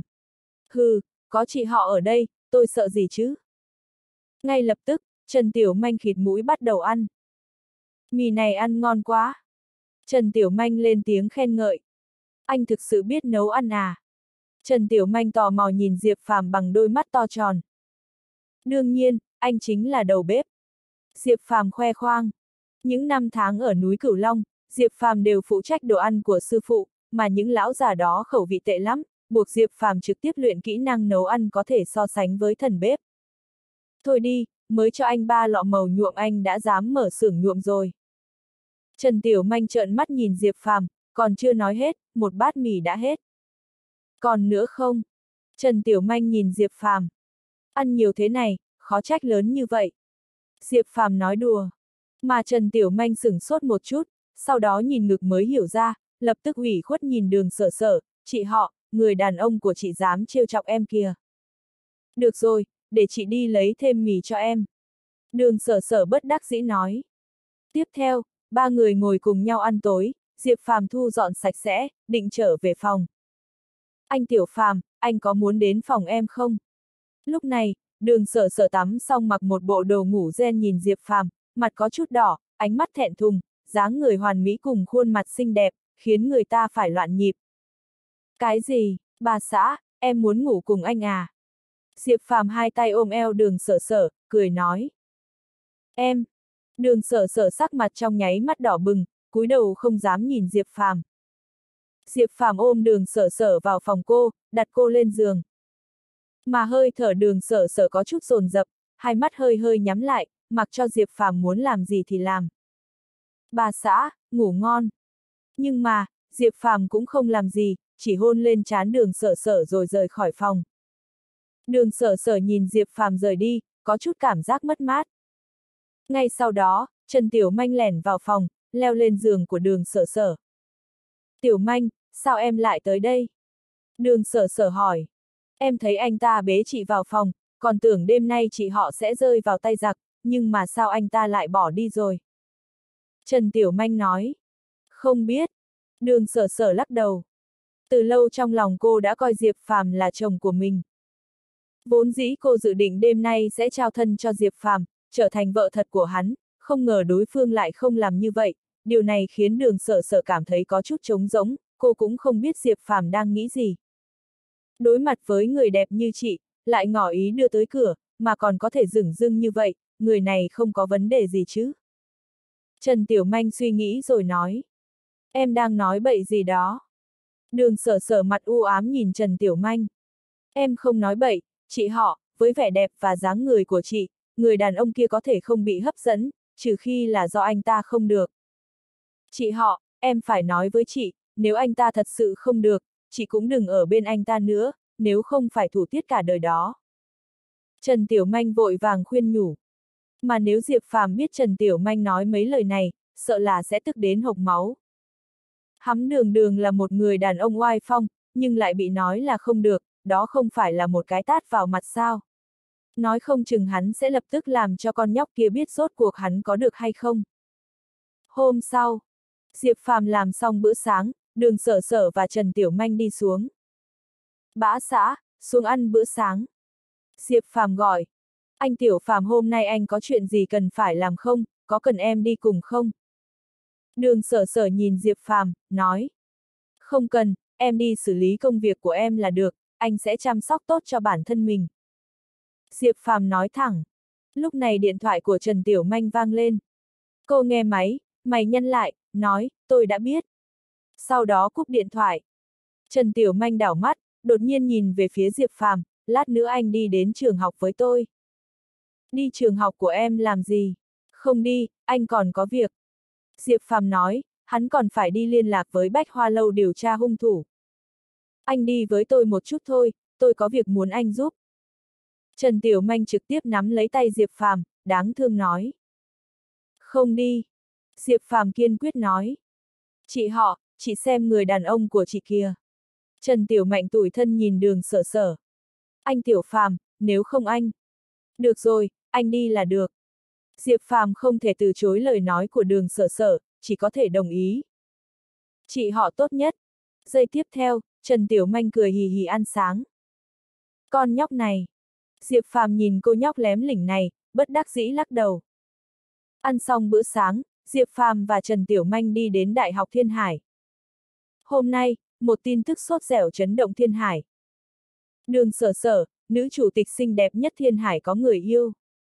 Ngày hôm qua, người đàn ông này còn làm náo loạn hội nghị của tập đoàn đường thị, đường sở sở cũng chính miệng thừa nhận quan hệ với người đàn ông này. Tin tức này vừa truyền ra, trực tiếp khiến Thiên Hải nổ tung nồi. Dù sao đường sở sở cũng là nữ chủ tịch xinh đẹp đứng đầu Thiên Hải, các thiếu gia theo đuổi cô rất đông, nhưng nữ thần lại từ chối tất cả bọn họ, một bộ không gần nam sắc. Hiện giờ đột nhiên người đẹp lạnh lùng này lại truyền ra tin tức có người yêu, hiển nhiên cực kỳ chấn động. Không ít thiếu gia tan nát cõi lòng, bọn họ hận không thể xử lý tên nhãi làm bẩn nữ thần của bọn họ. Rất nhanh, tin tức này nhanh chóng khuếch tán khắp quận Giang Nam. Quận Giang Nam. Bên trong nhà họ Bạch, một trong bốn hào môn lớn. ầm, um, Trong một căn phòng truyền ra tiếng đập vỡ. Một thanh niên mặc quần áo màu trắng đứng ở đó, trước mặt là một đống mảnh nhỏ, sắc mặt nặng nề, trong mắt lóe lên sự lạnh lẽo. Thiếu gia, xin ngài bất giận. Lúc này, một người đàn ông mặc vest đi đến, sợ hãi nhìn người thanh niên này. Người phụ nữ mà Bạch Cảnh Thiên này nhìn chúng lại bị tên đàn ông khác giành trước một bước, thực sự vô cùng nhục nhã. Thanh niên tức giận quát to. Gã chính là Bạch Cảnh Thiên, đại thiếu gia nhà họ Bạch, một trong bốn hào môn lớn của quận Giang Nam, đại thiếu gia đỉnh cấp chân chính của quận Giang Nam. Thiếu gia, ai dám cướp người phụ nữ ngài coi trọng. Khẳng định đầu óc tên kia bị nước vào, hiện tại tôi đi giải quyết tên đó. Người đàn ông mặc vest vội vàng nói. Vốn định chờ đến khi đường thị bị cung thị chèn ép hoàn toàn, tôi sẽ ra tay cứu đường thị, bắt được trái tim của đường sở sở, không ngờ nửa đường lại có một trình rào kim chen vào, nếu đã như vậy, không cần thiết lãng phí thời gian. Thông báo cho các nhà ở Thiên Hải, đêm nay tôi sẽ xuống Thiên Hải, tổ chức một buổi tiệc tối ở đó, bảo bọn họ đến tham gia, đặc biệt là đường sở sở. Tôi muốn bắt lấy đường sở sở trong bữa tiệc tối lần này, làm tất cả mọi người biết đường sở sở là người phụ nữ bị bạch cảnh thiên này coi trọng. Bạch cảnh thiên cường thế bá đạo quát. Thiếu ra, tôi sẽ đi sắp xếp ngay. Người đàn ông mặc vest vội vàng nói. Đường sở sở, cô là con mồi của bạch cảnh thiên này, không ai có thể cướp đi được. Trong mắt bạch cảnh thiên hiện lên tia sáng u ám, vẻ mặt kiêu ngạo nói. Ở cổng đại học Thiên Hải, tụ tập mấy chục chiếc siêu xe hơn trăm vạn. Trên siêu xe lấp đầy hoa hồng, hợp thành hình trái tim. Phía trước chiếc xe thể thao Lamborghini, một thanh niên mặc vest trắng đứng ở đó, tay cầm một bó hoa, phong độ nhẹ nhàng, đẹp trai lắm tiền. Sinh viên thiên hải tụ tập bốn phía, phụ nữ nhìn thanh niên với ánh mắt đầy si mê, còn trong mắt đàn ông thì tràn ngập hâm mộ ghen ghét. Đỗ Thiếu, anh nói hôm nay anh có thể bắt được cô nàng Trần Tiểu Manh này không? Bên cạnh thanh niên vest trắng này đứng vài vị thiếu gia nhà giàu ăn mặc hàng hiệu, một người trong số đó nhìn thanh niên, trêu chọc. Yên tâm, hôm nay chắc chắn tôi sẽ bắt lấy cô ấy. Đỗ Vũ tự tin nói. dáng người của Trần Tiểu Manh cực kỳ hoàn mỹ, Đỗ Thiếu chiếm lời rồi. Mấy thiếu gia khác hâm mộ, nói. Cách đó không xa, một nữ sinh đeo kính đen sốt ruột chờ đợi ai đó. Rất nhanh, một chiếc xe Beetle màu vàng chạy đến. Người lái xe là Trần Tiểu Manh, Diệp Phàm ngồi một bên. Tiểu Manh, cuối cùng cậu cũng đến rồi. Nữ sinh đeo kính đen kia nhìn Trần Tiểu Manh, ánh mắt liếc về phía Diệp Phàm vừa xuống xe, đây là... À, anh ta là... Tôi là chồng chị họ con bé. Diệp Phàm nói thẳng. Chồng chị họ, Tiểu Manh, không phải chị họ cậu. Nữ sinh kính đen biết chị họ của Trần Tiểu Manh chính là nữ chủ tịch đứng đầu thiên hải, nên khi nghe thấy Diệp Phàm nói vậy, vẻ mặt không thể tin được. Sau này sẽ kể cho cậu sau. Trước tiên giải quyết chuyện trước mắt đã. Trần Tiểu Manh lẩm bẩm. Tiểu Manh, cậu định làm gì? Tớ thấy lần này Đỗ Vũ quyết tâm muốn để cậu làm bạn gái cậu ta. Nữ sinh mở miệng nói. Hừ, muốn tớ làm bạn gái cậu ta, nằm mơ. Trần Tiểu Manh kiêu căng nói, nhìn về phía Diệp Phàm, anh rể, đi thôi. Rốt cuộc em bảo anh đến đây làm gì? Diệp Phàm hỏi. Anh đừng hỏi, lát nữa tôi nói gì anh làm theo là được. Trần Tiểu Manh trực tiếp kéo cánh tay của Diệp Phàm đi đến trước cổng trường. Tiểu Manh. Đỗ Vũ nhìn thấy Trần Tiểu Manh xuất hiện, mỉm cười, những người khác cũng nhìn về phía Trần Tiểu Manh, nói thầm cuối cùng nữ chính hôm nay cũng xuất hiện. Nhưng khi bọn hắn nhìn thấy Trần Tiểu Manh lôi kéo cánh tay của một người đàn ông xa lạ, tất cả đều sửng sốt. Đỗ Vũ cũng thay đổi sắc mặt. Đỗ Vũ, anh bày trận to như vậy để làm gì? Trần Tiểu Manh đi đến trước mặt Đỗ Vũ, nói. Tiểu Manh, anh ta là ai? Đỗ Vũ nhìn Diệp Phàm, sắc mặt tối tăm. Anh ấy là bạn trai tôi. Trần Tiểu Manh nói thẳng. Hả? Ngay lập tức Đỗ Vũ và các sinh viên đứng vây xem ở đây đều kinh sợ. Trần Tiểu Manh chính là một trong bốn người đẹp của Đại học Thiên Hải, mặc dù không ít người theo đuổi, nhưng chưa bao giờ gặp cô thân mật với nam sinh nào, sao hiện tại lại nhảy ra một bạn trai? Em có bạn trai, sao có thể, sao tôi lại không biết? Sắc mặt Đỗ Vũ âm u, lớn tiếng nói. Tôi tìm bạn trai còn phải thông báo với anh. Nhưng bây giờ anh biết cũng không muộn, sau này đừng quấn lấy tôi. Trần Tiểu Manh lạnh lùng nói, lôi kéo Diệp Phàm đi vào trường học. Đứng lại. Đỗ Vũ kêu lên. Sắc mặt của Đỗ Vũ âm u, nhìn chằm chằm Diệp Phàm, thằng kia, mày chui ra từ đâu? Dám cướp phụ nữ với tao. Đúng vậy, nhãi danh, lá gan không nhỏ, dám cướp phụ nữ với đại thiếu gia nhà họ Đỗ, biết Đỗ Thiếu là ai không? Đỗ Thiếu chính là đại thiếu gia nhà họ Đỗ, một trong năm gia tộc lớn ở Thiên Hải, dám cướp phụ nữ với Đỗ Thiếu, không muốn sống nữa hả? Vài tên thiếu gia bên cạnh Đỗ Vũ cũng nhìn Diệp Phàm với ánh mắt đầy châm chọc. Diệp Phàm trừng mắt nhìn Trần Tiểu Manh, hóa ra con nhóc này kéo anh làm bia đỡ đạn. Trần Tiểu Manh nhìn Diệp Phàm với ánh mắt đáng thương, giống như đang cầu xin đối phương giúp đỡ cô lần này. Tao chui ra từ đâu liên quan gì đến mày? Chó ngoan không cản đường. Cút! Diệp Phàm nhìn Đỗ Vũ, lạnh nhạt nói. Mày dám mắng tao là chó. Đỗ Vũ tức giận gầm lên, giơ tay tung một đấm về phía Diệp Phàm. Cẩn thận! Trần Tiểu Manh hoảng sợ, hét lên. Bốp! Diệp Phàm phủi tay tát một cái, trực tiếp tát Đỗ Vũ bay ra ngoài, nện lên chiếc xe thể thao Lamborghini. Đồng thời một âm thanh vang dội truyền đến. Mặt trước của chiếc xe thể thao bị Đỗ Vũ nện vào hõm xuống, bốn cái lốp xe nổ tung, có thể thấy được dùng lực rất mạnh. Đỗ Vũ phát ra tiếng kêu thống khổ thảm thiết, nửa hàm răng bị đánh bay. Lúc này cả trường yên tĩnh. Tao không muốn ra tay, sao cứ phải ép tao nhỉ? Diệp Phàm lắc đầu, bộ dáng đánh người còn rất vô tội. Phụt! Trần Tiểu Manh không nhịn được cười. Ngay cả nữ sinh đeo kính đen bên cạnh cũng thay đổi sắc mặt, nhìn Diệp Phàm với ánh mắt kỳ lạ. Đám sinh viên vây xem thấy vậy đều giật mình, liếc nhìn Diệp Phàm, thầm nghĩ sao sức lực của tên này lại lớn vậy. Một cái tát có thể phế bỏ một chiếc xe thể thao hơn trăm vạn, quá mạnh. Đỗ Thiếu! Đỗ Thiếu, anh có làm sao không? Lúc này, mấy tên thiếu gia kia lấy lại phản ứng, vội vàng đi đến trước mặt Đỗ Vũ. Chó chết, đánh nó cho tao. Đỗ Vũ che lại cái mồm lọt gió, giữ tợn gầm lên. Lập tức vài vị thiếu gia nhìn về phía Diệp Phàm, lạnh lùng nói, nhãi danh, dám đánh Đỗ Thiếu, mày chết chắc rồi, các anh em, xông lên. Đám thiếu gia này trực tiếp vén tay áo lao về phía Diệp Phàm. Bốp, bốp, bốp. Diệp Phàm vứt ra mười mấy cái tát, tát bay đám thiếu gia ra ngoài, còn nện lên mấy chiếc xe thể thao kia, đồng thời những chiếc xe đó cũng bị báo hỏng. Là bọn mày ra tay trước, đừng trách tao. Diệp Phàm đánh xong, còn cố ý nói một câu. Đỗ Vũ, sau này đừng chọc tôi, nếu không tôi sẽ bảo bạn trai tôi dạy dỗ anh. Trần Tiểu Manh hưng phấn nói, lôi kéo Diệp Phàm đi vào trong trường học. Lúc này, nhìn thấy đám thiếu gia này kêu la thảm thiết, mọi người đều rất thổn thức. Trong Đại học Thiên Hải, Trần Tiểu Manh hưng phấn nhìn Diệp Phàm, không nhìn ra anh còn có chút bản lĩnh. Con nhóc này, sáng sớm kéo anh đến đây làm bia đỡ đạn cho em, anh còn chưa tính sổ với em đâu. Diệp Phàm trừng mắt nhìn Trần Tiểu Manh. Thôi mà, anh là anh rể của tôi, chúng ta đều là người một nhà, không lẽ không nên hỗ trợ nhau sao? Nếu anh tìm tôi tính sổ, tôi sẽ đi mách với chị họ. Trần Tiểu Manh chống eo, kiêu căng nói. Tiểu Manh, Đỗ Vũ kia là đại thiếu gia nhà họ Đỗ, anh rể cậu đánh cậu ta, liệu có việc gì hay không? Hơn nữa đám thiếu gia kia cũng không phải dễ chọc. Lúc này, nữ sinh đeo kính đen lo lắng nói. Hừ, nếu bọn họ dám sằng bậy, xem tớ dạy dỗ bọn họ thế nào.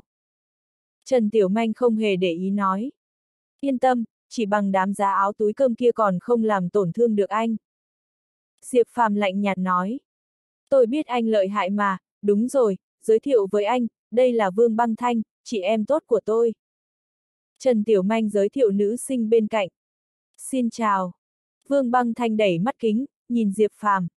Xin chào, Diệp Phàm. Được, không có chuyện gì nữa, anh đi trước. Diệp Phàm nói xong chuẩn bị rời đi. Đến cũng đến rồi, đi nhanh như vậy làm gì? Đại học của chúng tôi có rất nhiều người đẹp đấy. Trần Tiểu Manh lẩm bẩm. Đẹp bằng chị họ em không? Diệp Phàm nói. Chị họ chính là người đẹp nhất thiên hải. Trần Tiểu Manh nói. Vậy còn nhìn làm gì, còn không bằng về nhà ngắm bà xã. Diệp Phàm bĩu môi, rời đi. Tiểu Manh, anh ta thật sự là anh rể cậu. Chủ tịch đường thật sự kết hôn. Vương Băng Thanh tò mò nhìn Trần Tiểu Manh. Chuyện này nói ra rất phức tạp, từ từ tớ kể cho. Trần Tiểu Manh mở miệng nói. Một bên khác, Diệp Phàm đi trong Đại học Thiên Hải, nhìn các sinh viên tản ra hơi thở thanh xuân, ánh mắt hiện lên sự hâm mộ. Nếu không phải tai ương diệt môn năm đó, chỉ sợ hiện tại anh cũng là một phần trong những người này, sau đó học xong đại học, đi vào xã hội, công tác, cưới vợ, sinh con, trải qua cả đời người thường. Nhưng tất cả những chuyện này đã không còn quan hệ đến anh nữa. Phế vật, cho mày làm chó săn là bọn họ coi trọng mày, mày còn dám từ chối. Tao sẽ không bao giờ làm chó săn cho người lưu ly. Hừ, đàn ông Long Quốc vô năng bọn mày chỉ xứng làm chó săn cho người lưu ly bọn tao. Đúng vậy, bọn tao muốn biến đàn ông Long Quốc bọn mày thành nô lệ chó săn cho chúng tao, sau đó đàn bà Long Quốc sẽ trở thành món hàng của chúng tao. Ha ha ha!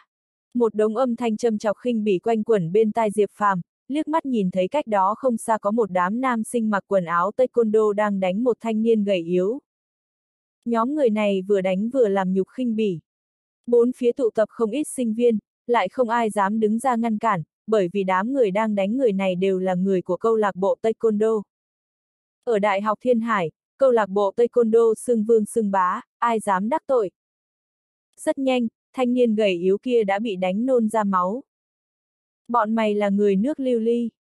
Lúc này một âm thanh lạnh nhạt quanh quẩn bên tai đám người câu lạc bộ Taekwondo. Bọn họ quay đầu nhìn lại, nhìn thấy một thanh niên đứng trước mặt bọn họ, đây chính là Diệp Phàm. Nhãi danh, mày muốn xen vào việc người khác. Một người trong câu lạc bộ Taekwondo nói tiếng Long Quốc sứt sẹo, nhìn Diệp Phàm với ánh mắt đầy miệt thị. Bọn mày là người nước lưu ly. Diệp Phàm tiếp tục hỏi. Đúng vậy, bọn tao là người lưu ly cao quý, không muốn bị đánh thì nhanh cút đi. Người này hung ác chừng mắt nhìn Diệp Phàm. Nếu thừa nhận thì tiện hơn rồi. Diệp Phàm nói. Nói xong, hắn giơ tay tát một tên bay ra ngoài. Bịch! Người này trực tiếp bị một cái tát của Diệp Phàm tát bay ra ngoài, nện vào thềm đá cách đó không xa, nôn ra máu kêu thảm thiết. Mày! Mấy người còn lại của câu lạc bộ Taekwondo thấy vậy đều rất tức giận chừng mắt nhìn Diệp Phàm, nhưng bọn hắn còn chưa kịp nói gì đã bị Diệp Phàm đánh bay ra ngoài, nằm tán loạn kêu la thảm thiết trên mặt đất. Mày dám đánh bọn tao? Lúc này, một người trong đám người nằm trên mặt đất kia hét lên. Đánh bọn mày thì sao? Lục sư phụ nói ông ấy hận nhất nước lưu ly, năm đó nước lưu ly xông vào biên giới Long Quốc, giết nhiều chiến sĩ của Long Quốc, nghiệp chướng nặng nề. Vì vậy lục sư phụ nói sau này gặp được người nước lưu ly thì không cần nương tay, trực tiếp đánh.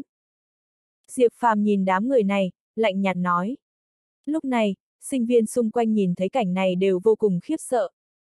Bọn họ không ngờ lại có người dám ra tay với người của câu lạc bộ Taekwondo, hơn nữa thoáng cái đã đánh nhiều thành viên của câu lạc bộ Taekwondo như thế, chuyện này còn lợi hại hơn những người của câu lạc bộ võ đạo kia. Cậu không sao chứ?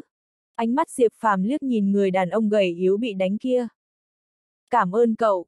Người đàn ông này khúm núm nhìn Diệp Phàm.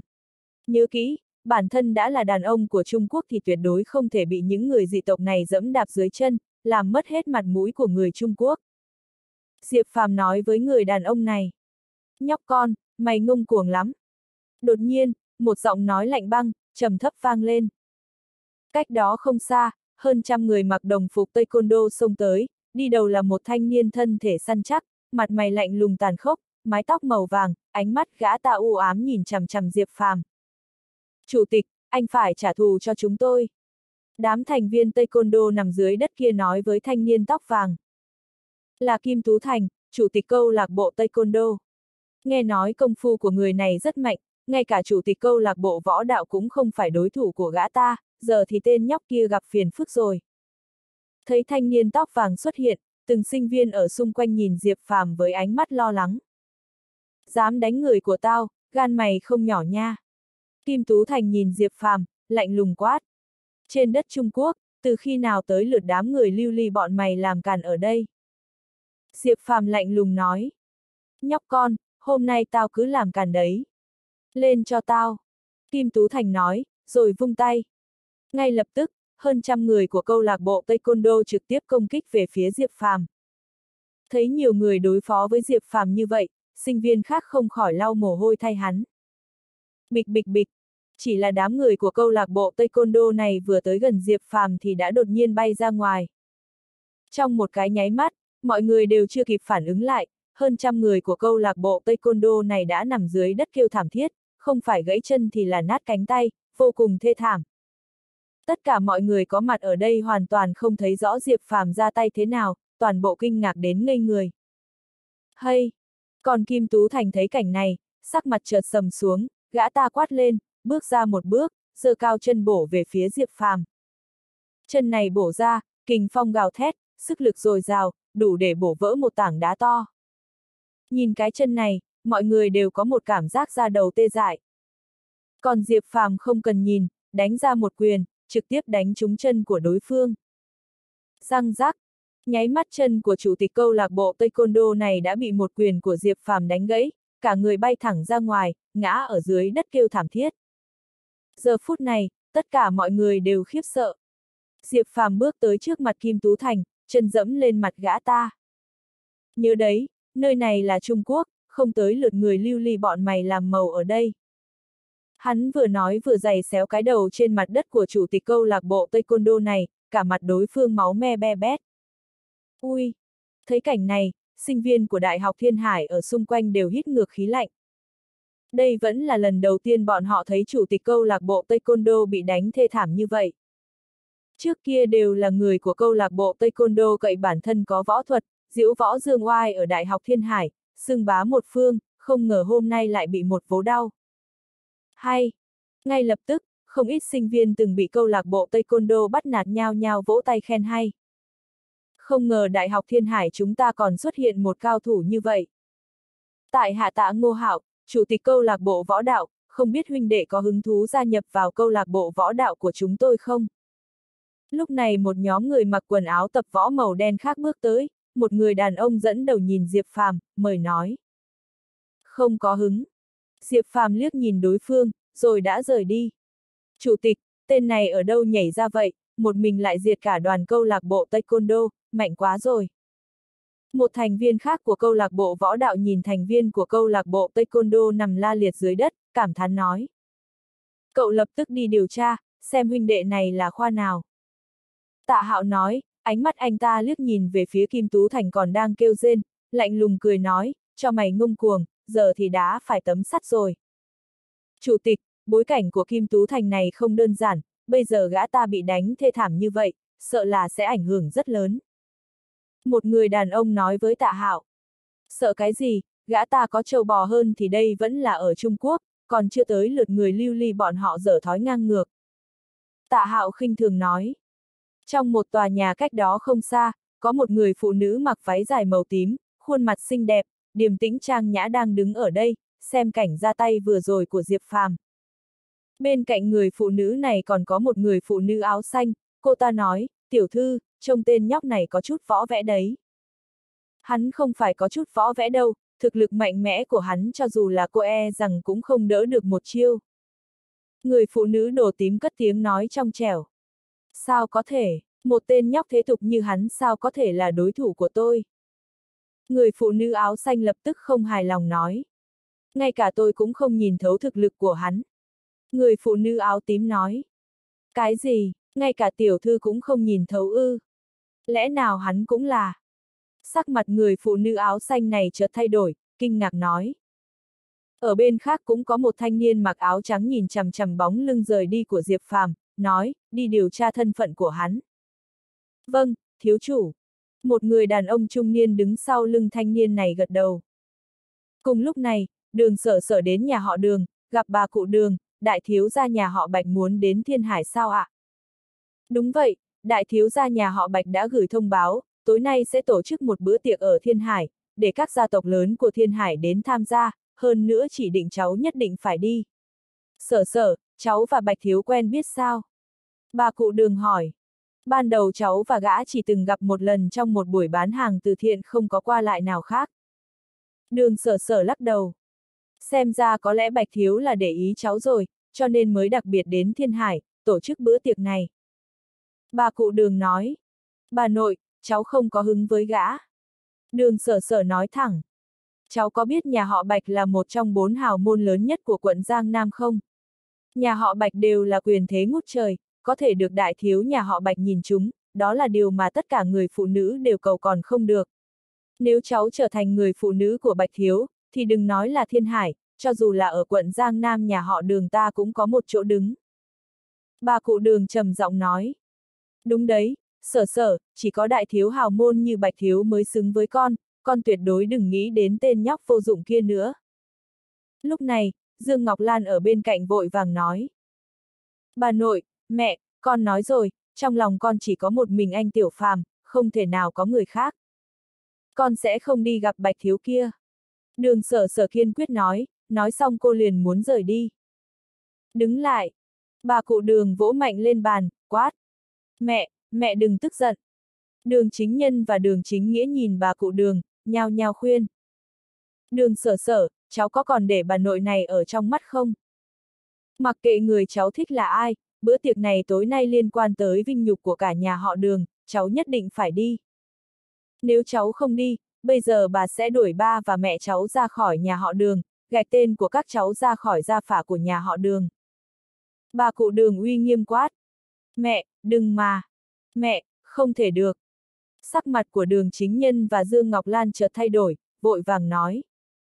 Vẻ mặt đường sở sở cũng thay đổi, cô nhìn bà cụ đường, bà nội, chuyện này không liên quan tới ba mẹ cháu. Không liên quan, nếu tối nay cháu không đi tham gia bữa tiệc này, Bạch Thiếu chắc chắn sẽ giận lây nhà họ đường. Đến lúc đó nếu như nhà họ đường không còn tồn tại, cha mẹ cháu chính là tội nhân của nhà họ đường, bọn họ còn có tư cách gì xưng là người nhà họ đường. Xuống dưới suối vàng, các cháu càng không còn mặt mũi gặp ông nội cháu và liệt tổ liệt tông nhà họ đường. Cháu muốn để ba mẹ cháu trở thành tội nhân của nhà họ đường, lúc chết cũng không có mặt mũi gặp liệt tổ liệt tông, hay là đi tham gia bữa tiệc này, tự mình chọn đi. Bà cụ đường lạnh lùng quát. Sở sở, con đi đi mà, con thật sự muốn để ba mẹ con bị đuổi khỏi gia tộc, trở thành người không có nhà để về sao. Dương Ngọc Lan khuyên đường sở sở. Con sẽ đi tham gia bữa tiệc. Nhưng con tuyệt đối sẽ không làm người phụ nữ của Bạch Thiếu. Ánh mắt đường sở sở lấp lóe, dứt lời cô đã rời đi. Mẹ, nếu tối nay Bạch Thiếu thật sự nhìn chúng sở sở thì phải làm sao mới tốt? Đường chính nghĩa hỏi. Nếu Bạch Thiếu thật sự nhìn chúng nó, vậy mọi chuyện không tới lượt nó làm chủ rồi. Con đi làm việc này. Bà cụ đường nói, sau đó ghé tai đường chính nghĩa dặn dò. Mà Diệp Phàm không hề biết những điều này, lúc này hắn đến một nơi đàn ông thiên hải thích đến nhất Bách Hoa Lâu. Bách Hoa Lâu, nơi trăng hoa nổi tiếng nhất Trung Quốc, được rất nhiều nam giới ưa thích, trong này có vô số danh cơ hoa đán như hoa như ngọc. Những danh cơ hoa đán này không chỉ có tướng mạo tuyệt mỹ, hơn nữa còn giỏi các loại kỹ năng, đánh đàn, nhảy múa, diễn tấu, thậm chí còn giỏi cả thư pháp và hội họa, có thể nói là cầm kỳ thư họa, ca hát nhạc cụ tất cả đều thông thạo. Có điều Bách Hoa Lâu lại có một quy củ đặc biệt, đó chính là bán nghệ không bán thân. Hễ là khách của Bách Hoa Lâu, tuyệt đối không thể ép buộc con gái của Bách Hoa Lâu làm ra bất cứ chuyện gì bán đứng thân thể, trừ khi người con gái này tự nguyện. Nếu không mặc kệ thân phận của khách lớn thế nào, chỉ cần dám làm loạn, thì sẽ bị Bách Hoa Lâu đuổi cổ, những người khách này về sau còn không thể trả thù Bách Hoa Lâu. Nhưng dù là như vậy, Bách Hoa Lâu vẫn trở thành nơi xa hoa đổi trụy, tha hồ hưởng lạc của vô số đàn ông, rất được quyền quý, người nổi tiếng, đại thiếu nhà giàu ưa thích. Trong mấy năm ngắn ngủi, Bách Hoa Lâu đã mở khắp các thành phố lớn ở chín quận của Trung Quốc, trở thành một đặc sắc lớn của Trung Quốc. Thiên Hải cũng có một Bách Hoa Lâu, nằm ở một nơi sầm uất của Thiên Hải. Lúc này, Diệp Phàm đã đến bên ngoài Bách Hoa Lâu của Thiên Hải. Bách Hoa Lâu này là một tòa lầu các cao tới mấy chục mét, hơn nữa là xây dựng theo lầu các cổ đại, có thể nói là phong cách cổ kính. Ngoài cửa có bốn người phụ nữ mặc sườn xám, tướng mạo vô cùng xinh đẹp đang tiếp đón khách, xung quanh còn đỗ đầy các loại xe sang. Diệp Phàm liếc nhìn Bách Hoa Lâu, rồi bước vào bên trong. Mời công tử vào trong. Bốn tiểu thư mặc áo sườn xám kia khom người nói với Diệp Phàm. Diệp Phàm vừa bước vào trong Bách Hoa Lâu đã nghe thấy một tiếng đàn nhẹ nhàng du dương, xen lẫn với một tiếng hát vui tai. Ánh mắt hắn liếc qua, thấy ở giữa Bách Hoa Lâu này có một sân khấu, trên sân khấu này có bốn người phụ nữ tuyệt đẹp mặc trang phục thời đường cổ đại. Bốn người, một người gảy đàn, một người thổi thiêu, một người nhảy múa, một người ca hát, có thể nói là phối hợp hoàn mỹ, vô cùng ăn ý, mang lại một cảm giác vui tai vui mắt cho người ta. Trên lầu xung quanh ngồi đầy người, về cơ bản đều là nam giới. Bọn họ nhìn bốn người phụ nữ trên sân khấu, đều là dáng vẻ si mê. Một đàn một tiêu một múa một hát diễn tấu xong, hiện trường vang lên tiếng vỗ tay như sấm rền, không ngừng có người gieo hò khen hay. Xuân Lan, Hạ Trúc, Thu Cúc, Đông Mai, cảm ơn các vị khách đã thưởng thức. Bốn cô gái mặc trang phục thời đường trên sân khấu đứng dậy cúi người nói. Xuân Hạ Thu Đông này không hổ là tứ đại hoa đán của Bách Hoa Lâu, đúng là tuyệt vời. Đáng tiếc bốn người này vẫn chỉ bán nghệ không bán thân, khiến vô số người chỉ có thể thấy bắt thèm.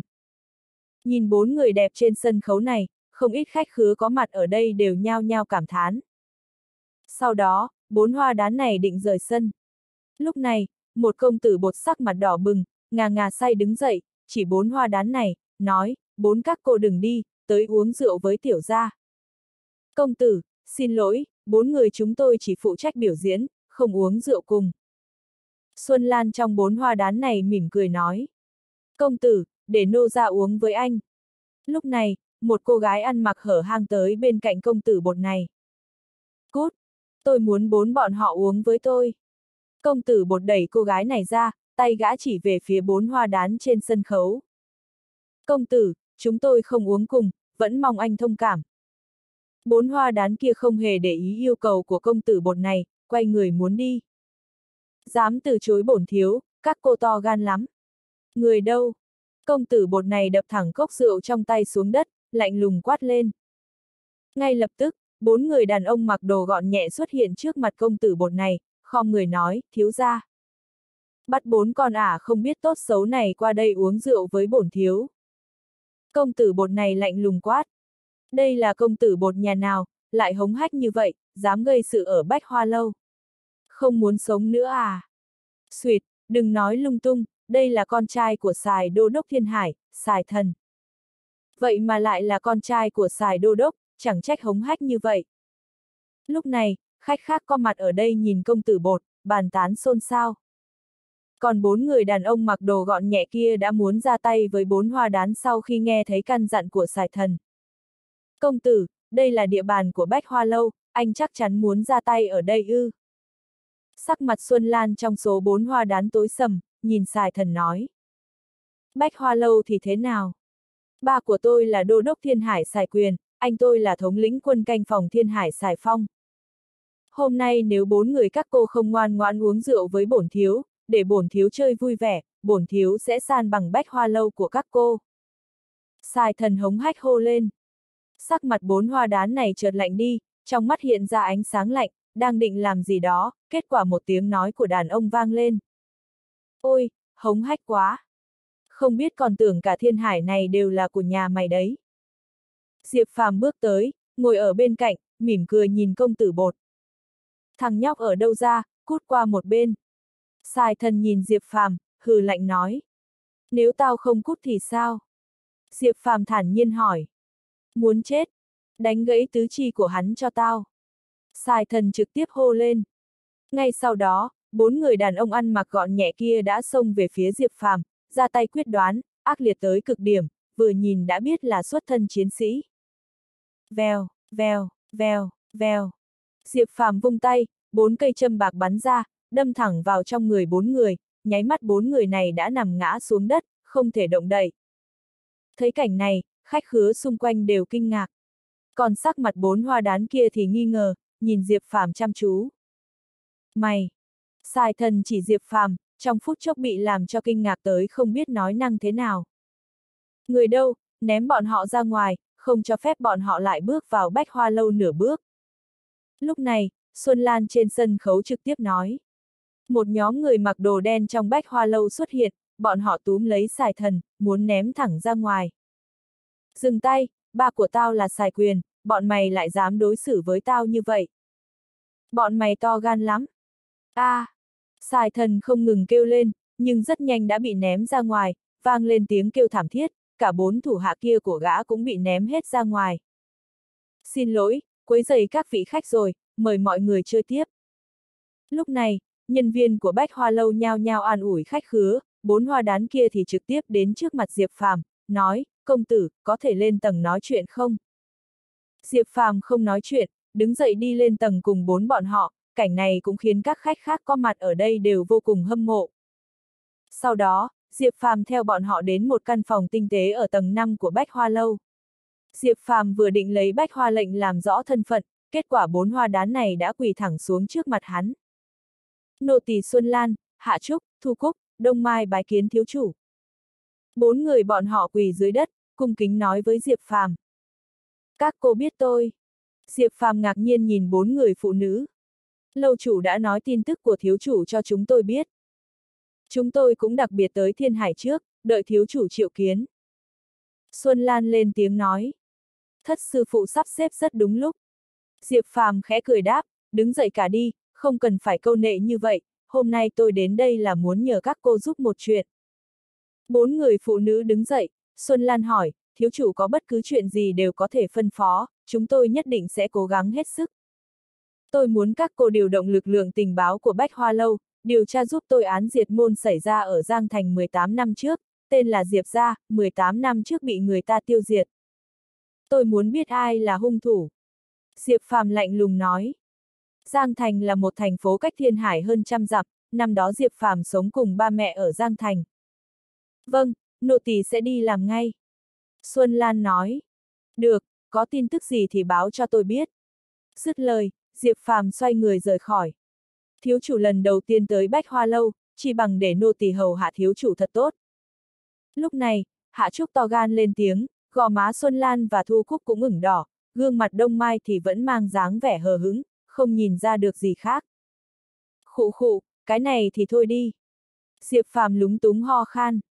Thiếu chủ, thân thể của bốn chị em chúng ta đều còn nguyên vẹn, chưa từng có để cho bất kỳ nam nhân khác chạm vào, xin thiếu chủ cứ yên tâm.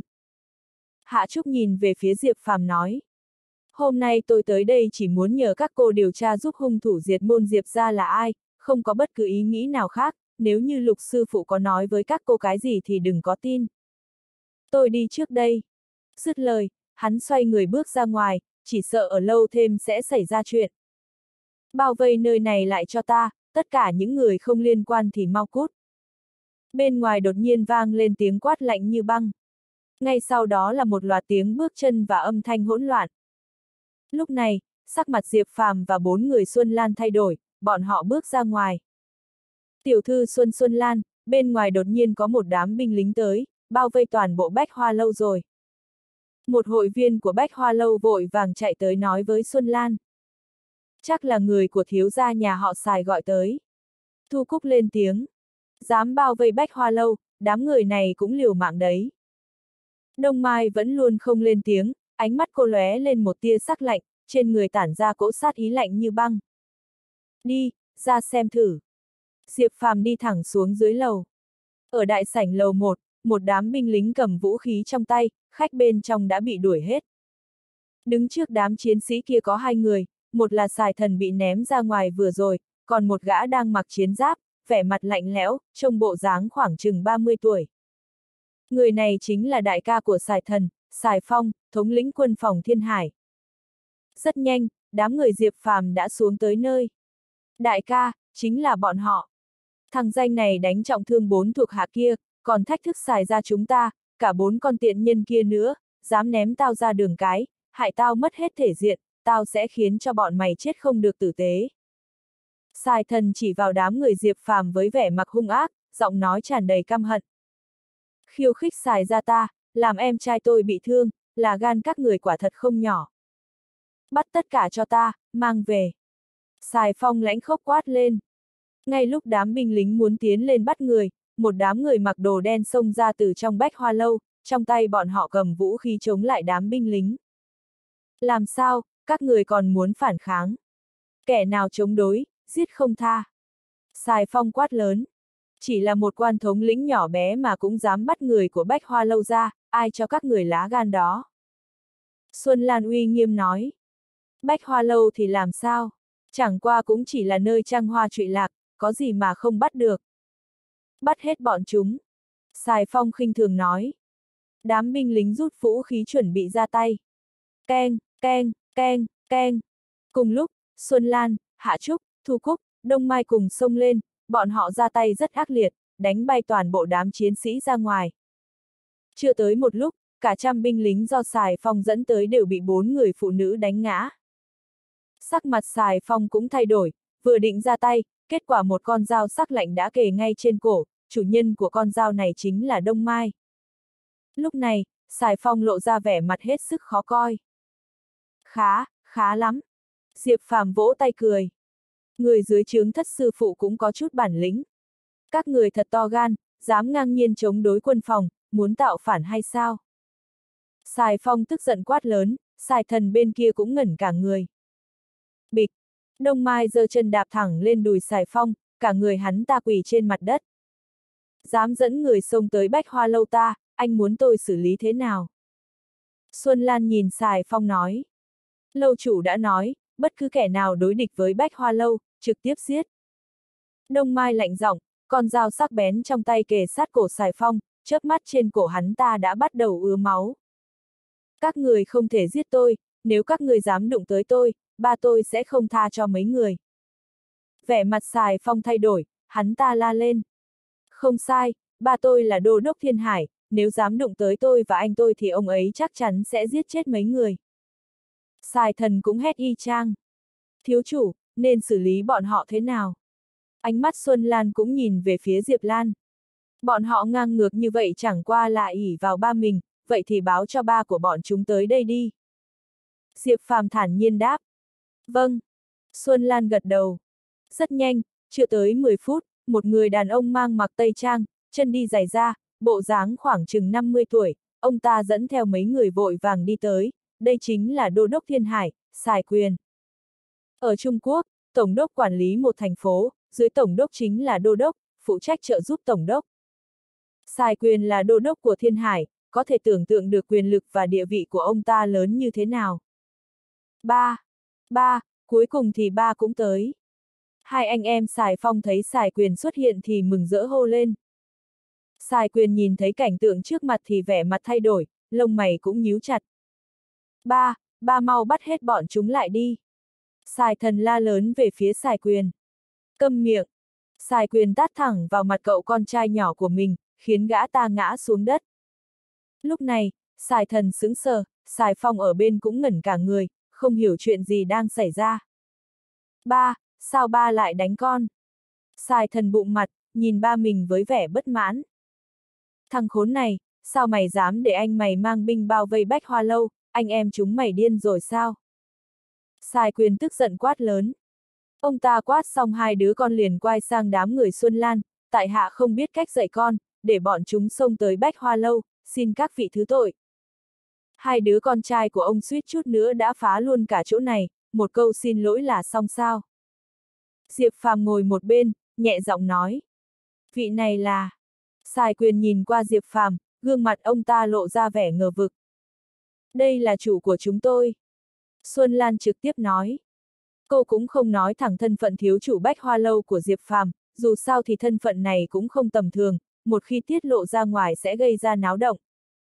Nghe Xuân Lan nói vậy, xài quyền cung kính nhìn Diệp Phàm, không biết công tử đây muốn thế nào, chỉ cần có thể bỏ qua cho hai đứa con trai của tôi một mạng, tại hạ sẵn sàng làm bất cứ điều gì. Tội chết miễn bàn, tội sống khó tha. Tội chết miễn bàn, tội sống khó tha. Diệp Phàm nhìn xài quyền phun ra tám chữ. Sắc mặt của xài quyền thay đổi, ánh mắt lóe lên nói, không biết công tử định xử lý thế nào. Chặt một chân đi. Diệp Phàm lạnh giọng nói. Xoạt. Sắc mặt của cả xài quyền và hai đứa con trai cùng thay đổi. Mày dám. Xài phong gầm lên về phía Diệp Phàm. Câm miệng. Xài quyền quát xài phong, ông ta quay sang nhìn Diệp Phàm, là do tôi dạy dỗ không nghiêm, vậy liền để đích thân tôi xử lý. Nói xong, xài quyền sai thuộc hạ tìm một cây gậy rồi đi về phía hai đứa con trai. Không, ba, con không muốn bị đánh gãy chân. Xài thần thấy ba mình đang đi tới, gương mặt hắn bị dọa tới trắng xanh, liên tục cầu xin. Nhiệt tử. Xài quyền giận dữ quát lên, cây gậy trong tay đập thẳng xuống chấn xài thần. Răng rắc. a à. Ngay lập tức, một chân của vị nhị thiếu nhà họ xài đã bị đánh gãy, hắn kêu gào thảm thiết, quỳ dạp trên mặt đất. Mà xài phong thấy cảnh tượng này thì sắc mặt khẽ thay đổi, cũng không lên tiếng. Răng rắc. Tiếp đó, cây gậy trong tay xài quyền đập tới hướng cậu con trai cả, một chân hắn ta cũng bị đánh gãy, xài phong chỉ hừ lên một tiếng, cắn răng, cũng không kêu la. Công tử, không biết như vậy đã làm cậu hài lòng hay chưa? Xài quyền ném cây gậy, ánh mắt nhìn về phía Diệp Phàm. Cút! Nhớ kỹ, nếu còn xảy ra lần nữa thì không chỉ đơn giản là đánh gãy một chân thôi đâu. Diệp Phàm hờ hững nói. Lời này truyền vào tai vị đô đốc của thiên hải khiến ông ta có một loại cảm giác như vong hồn người chết. Vâng, vâng. Sai quyền gật đầu lia lịa, ông ta vội vàng gọi người đưa hai đứa con trai rời đi, đám binh lính bị đánh cũng được dìu nhau rời khỏi bách hoa lâu. Thiếu chủ, cứ như vậy mà tha cho bọn họ, có phải lợi cho họ quá không? Đông Mai nhìn Diệp Phàm nói. Đây chỉ là cảnh cáo, nếu còn thêm lần nữa thì không cần phải nể tình. Diệp Phàm thản nhiên đáp. Vâng. Bốn người Xuân Lan gật đầu. Trên một chiếc xe bên ngoài Bách Hoa Lâu, Sài Phong và Sài Thần được đỡ lên xe, Sài Quyền ngồi ở một bên. Ba, cũng chỉ là một cái Bách Hoa Lâu, sao ba phải sợ bọn họ như vậy? Ba đường đường là đốc đô dưới một người trên vạn người của thiên hải. Vẻ mặt xài Thần trắng bệch, hắn nhìn xài Quyền với vẻ thống khổ phức tạp, đan xen với không cam lòng. Nghiệp chướng, mày thì biết cái gì?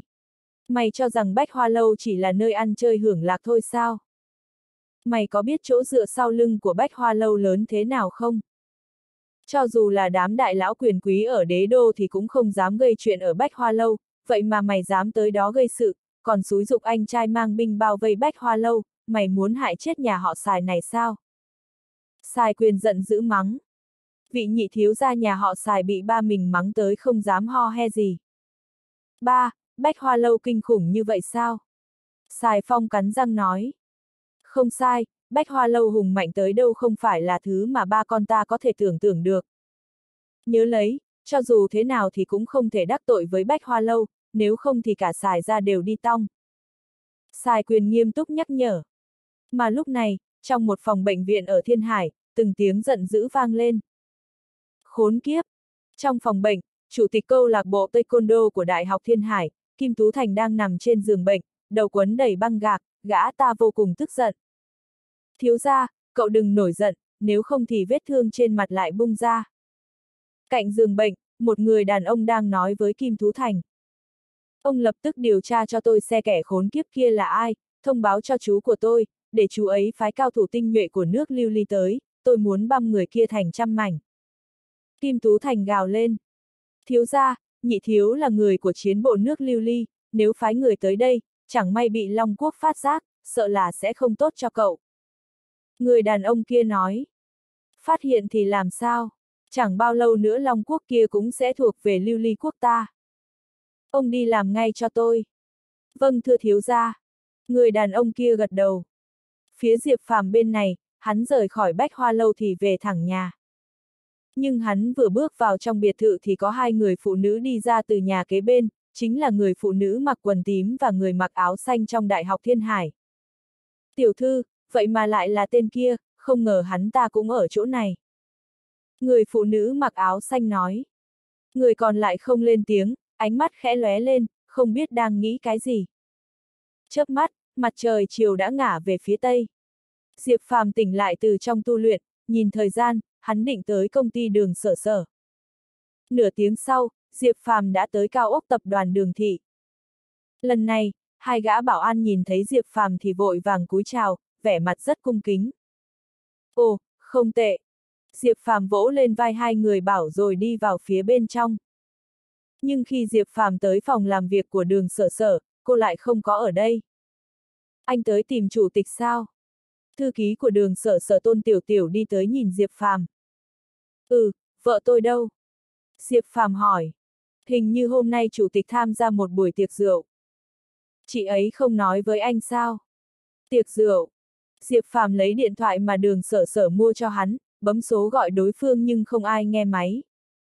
Cô có biết hiến hội ở đâu không? Diệp Phàm hỏi Tôn Tiểu Tiểu. Hình như là khách sạn lớn Thiên Hải. Tôn Tiểu Tiểu đáp. Nghe vậy, Diệp Phàm xoay người đi ra ngoài. Này, anh! Tôn Tiểu Tiểu còn đang định nói gì với Diệp Phàm thì đối phương đã không thấy đâu. Không lễ phép. Tôn Tiểu Tiểu lẩm bẩm. Khách sạn lớn Thiên Hải. Đây là khách sạn sang trọng nhất ở Thiên Hải. Người có thể tới đây ăn bữa cơm đều là những nhân vật có tiền có thế. Hôm nay, cả khách sạn Thiên Hải đã được người ta bao chọn. Chủ nhân của bữa tiệc ngày hôm nay chính là thiếu gia nhà họ Bạch, một trong tứ đại thế gia huyện Giang Nam. Bữa tiệc đêm nay được phái quyền quý ở Thiên Hải coi là bữa tiệc cao cấp nhất. Lúc này, trong phòng khách quý sang trọng nhất của khách sạn Thiên Hải có hơn chục chiếc bàn, ngồi ở đây đều là những người đứng đầu của các gia tộc lớn và những nhân vật giàu có nổi tiếng. Năm gia tộc lớn của Thiên Hải, nhà họ Đỗ, Cung, Giang, Đường, Yến. Tất cả những người nắm quyền đều đã tới. Mà người có thể khiến cho năm bọn họ cùng xuất hiện, cũng đủ chứng minh thân phận và địa vị của đại thiếu nhà họ Bạch. Trước một chiếc bàn, đường lão phu nhân, đường chính nghĩa, Dương Ngọc Lan, đường sở sở, còn có đường phong. Năm người bọn họ ngồi chung với nhau. Hôm nay, tất cả gia tộc lớn đứng đầu thiên hải đều tụ tập ở đây, nếu ai được Bạch Thiếu xem trọng thì sẽ ngồi vững cái ghế đệ nhất gia tộc ở thiên hải. Đường lão phu nhân trầm giọng nói, vừa nói bà vừa liếc về phía đường sở sở, ý gì thì không cần nói cũng biết. Đường sở sở nghe đường lão phu nhân nói vậy thì nhíu mày, tay nhỏ siết chặt.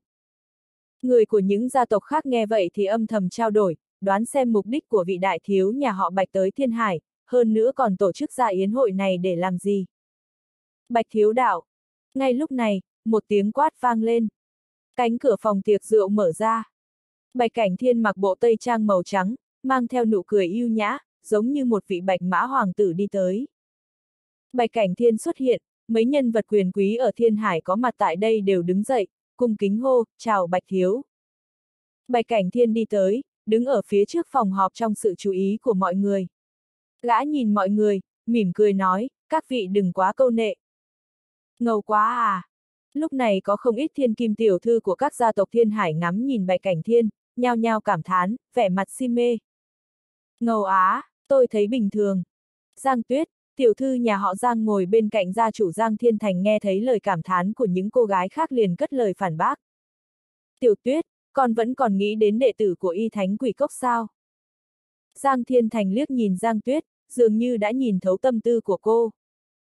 Giang Tuyết lập tức đỏ mặt, ba đừng nói lung tung, con không hề. Con không lừa được ba đâu. Giang Thiên Thành cười khẽ. Đôi mắt Giang Tuyết sáng lấp lánh, trong đầu hiện ra bóng dáng của Diệp Phàm. Chắc hẳn mọi người rất tò mò hôm nay tôi đến Thiên Hải, còn mời các vị đến đây để làm gì đúng không? Lúc này, Bạch Cảnh Thiên nhìn mọi người và nói. Lần này tôi đến Thiên Hải là vì một người. Bạch Cảnh Thiên nói thẳng. Đến vì một người. Nghe gã nói vậy, người của các gia tộc lớn bắt đầu bàn tán xôn xao, đoán giả đoán non ai có thể khiến đại thiếu gia của gia tộc đứng đầu quận Giang Nam đích thân tới thiên hải. Bà cụ Đường và Dương Ngọc Lan đều lộ vẻ kích động, âm thầm cầu nguyện người đối phương nói tới chính là đường sở sở. Người này là đại tiểu thư nhà họ đường. Bạch Cảnh Thiên vừa nói vừa nhìn thẳng vào đường sở sở, ánh mắt nóng hừng hực, tôi thích đường tiểu thư đã lâu, vì vậy hôm nay tôi đến đây với hy vọng đường tiểu thư làm bạn gái của tôi. Sắc mặt của những người ở đây đều thay đổi. Bọn họ nhìn đường sở sở bằng ánh mắt kinh ngạc. Người của các gia tộc lớn thiên hải đều không ngờ người được Bạch Cảnh Thiên ưng ý lại là vị chủ tịch xinh đẹp nhất thiên hải. Nhất thời có rất nhiều thiên kim tiểu thư nhìn đường sở sở đầy hâm mộ, còn gia chủ của các gia tộc lớn thì lại tiếc nuối thấy rõ. Không ngờ cô ta lại được Bạch Thiếu để mắt, may mà chúng ta cầu thân bị phá rối, nếu không chúng ta sẽ trở thành kẻ địch của nhà họ Bạch. Bên này, gia chủ nhà họ cung cung thắng thấy vậy, mặt chợt biến sắc. Ba à, bây giờ đường sở sở được bạch thiếu để mắt, làm sao chúng ta ra tay với cô ta được? Cung thanh lên tiếng. Chuyện này. Cung thắng nhướng mày, trầm tư. Bên kia, bà cụ đường và Dương Ngọc Lan nghe Bạch Cảnh Thiên nói xong đều kích động đến nỗi nói năng lắp bắp. Ngược lại, đường sở sở lập tức biến sắc, cô nhìn Bạch Cảnh Thiên, nói thẳng, cảm ơn Bạch Thiếu đã thích tôi, nhưng tôi có chồng rồi, xin lỗi, tôi không thể làm bạn gái của anh sắc mặt của bà cụ Đường và Dương Ngọc Lan đều thay đổi. Sở sở, con nói linh tinh cái gì thế? Dương Ngọc Lan vội vàng kéo đường sở sở trách mắng. Bạch thiếu đừng hiểu lầm, sở sở nhà chúng tôi chưa có chồng, vừa rồi con bé nói nhảm thôi. Bà cụ đường cuống quyết giải thích với Bạch Cảnh Thiên. Tôi đã nghe tin đường tiểu thư có bạn trai, nhưng tôi cảm thấy đối phương không xứng với đường tiểu thư. Bà đường thấy sao? Bạch Cảnh Thiên nhếch môi nhìn bà cụ đường. Đúng vậy, Bạch Thiếu và Sở Sở mới là một đôi trời đất tạo nên. Sở Sở được cậu yêu mến là vinh hạnh của con bé và cả nhà họ đường. Bà cụ đường gật đầu như dã tỏi. Thanh niên tài tuấn như Bạch Thiếu mới là đối tượng thích hợp nhất làm chồng của Sở Sở nhà chúng tôi. Những người khác hoàn toàn không có tư cách. Dương Ngọc Lan cũng vội vàng phụ họa. Ba, mẹ, đủ rồi đó, ngoại trừ anh Tiểu Phàm, con sẽ không kết hôn với bất kỳ ai khác. Đường sở sở kiên quyết nói. Nói xong cô muốn rời đi, nhưng bị Dương Ngọc Lan kéo lại. Đường sở sở, kết hôn phải nghe theo lời ba mẹ và bà mối, cháu là người nhà họ đường, chuyện cưới xin không phải do cháu quyết định. Nếu cháu dám đi, bà sẽ đuổi cháu và ba mẹ cháu ra khỏi nhà họ đường. Bà cụ đường lạnh lùng quát đường sở sở. Mẹ đừng kích động. Đường chính nghĩa vỗ về bà cụ đường. Đường sở sở, Bạch Thiếu thích cô là nể mặt cô, chỗ đừng có mà không biết điều. Đến lúc đó chọc giận Bạch Thiếu thì cả nhà họ đường chúng ta sẽ gặp họa theo cô đấy. Đường Phong cũng mắng đường sở sở. Đường tiểu thư, nếu không nay em bước ra khỏi nơi này thì e là bố cục năm gia tộc lớn thiên hải phải thay đổi. Bạch Cảnh Thiên nhìn đường sở sở, buông lời đe dọa. Đường sở sở biến sắc, nhìn Bạch Cảnh Thiên tròng chọc, Bạch Thiếu đang lấy nhà họ đường ra uy hiếp tôi sao? Tôi chỉ đang nhắc nhở đường tiểu thư mà thôi. Hơn nữa, tôi có một đặc điểm là thứ tôi thích thì nhất định phải có được bằng bất cứ giá nào. Nếu không chiếm được thì chỉ có thể phá hủy, ai cũng đừng mong có được. Bạch Cảnh Thiên nói đầy ẩn ý. Gã nói xong, sắc mặt bà cụ đường lập tức thay đổi, hết sức khó coi. Người của các gia tộc lớn có mặt tại đây đều sợ hãi, cõi lòng ớn lạnh. Bạch Thiếu đừng giận, hiện tại tôi lấy thân phận gia chủ nhà họ đường tuyên bố giao sở sở cho cậu, sau này con bé là người của cậu. Bà cụ đường dứt khoát nói với Bạch Cảnh Thiên. Bà đường rất thông minh, nói không chừng sau này nhà họ đường sẽ là gia tộc đứng đầu thiên hải đó. Bạch Cảnh Thiên tươi cười nói. Bạch thiếu khách khí, đây là việc chúng tôi nên làm. Bà cụ đường cười làm lành. Đường tiểu thư đã nghe thấy chưa? Sau này em chính là người phụ nữ của Bạch Cảnh Thiên này. Bạch Cảnh Thiên liếc nhìn đường sở sở, nở nụ cười xấu xa. Đường sở sở tái mét mặt mày, trong lòng tràn đầy nỗi tủi thân và bất lực. Cô rất muốn bỏ đi, nhưng không thể làm vậy. Bởi vì cô biết một khi mình rời đi, Bạch Cảnh Thiên chắc chắn sẽ giận lây sang nhà họ đường.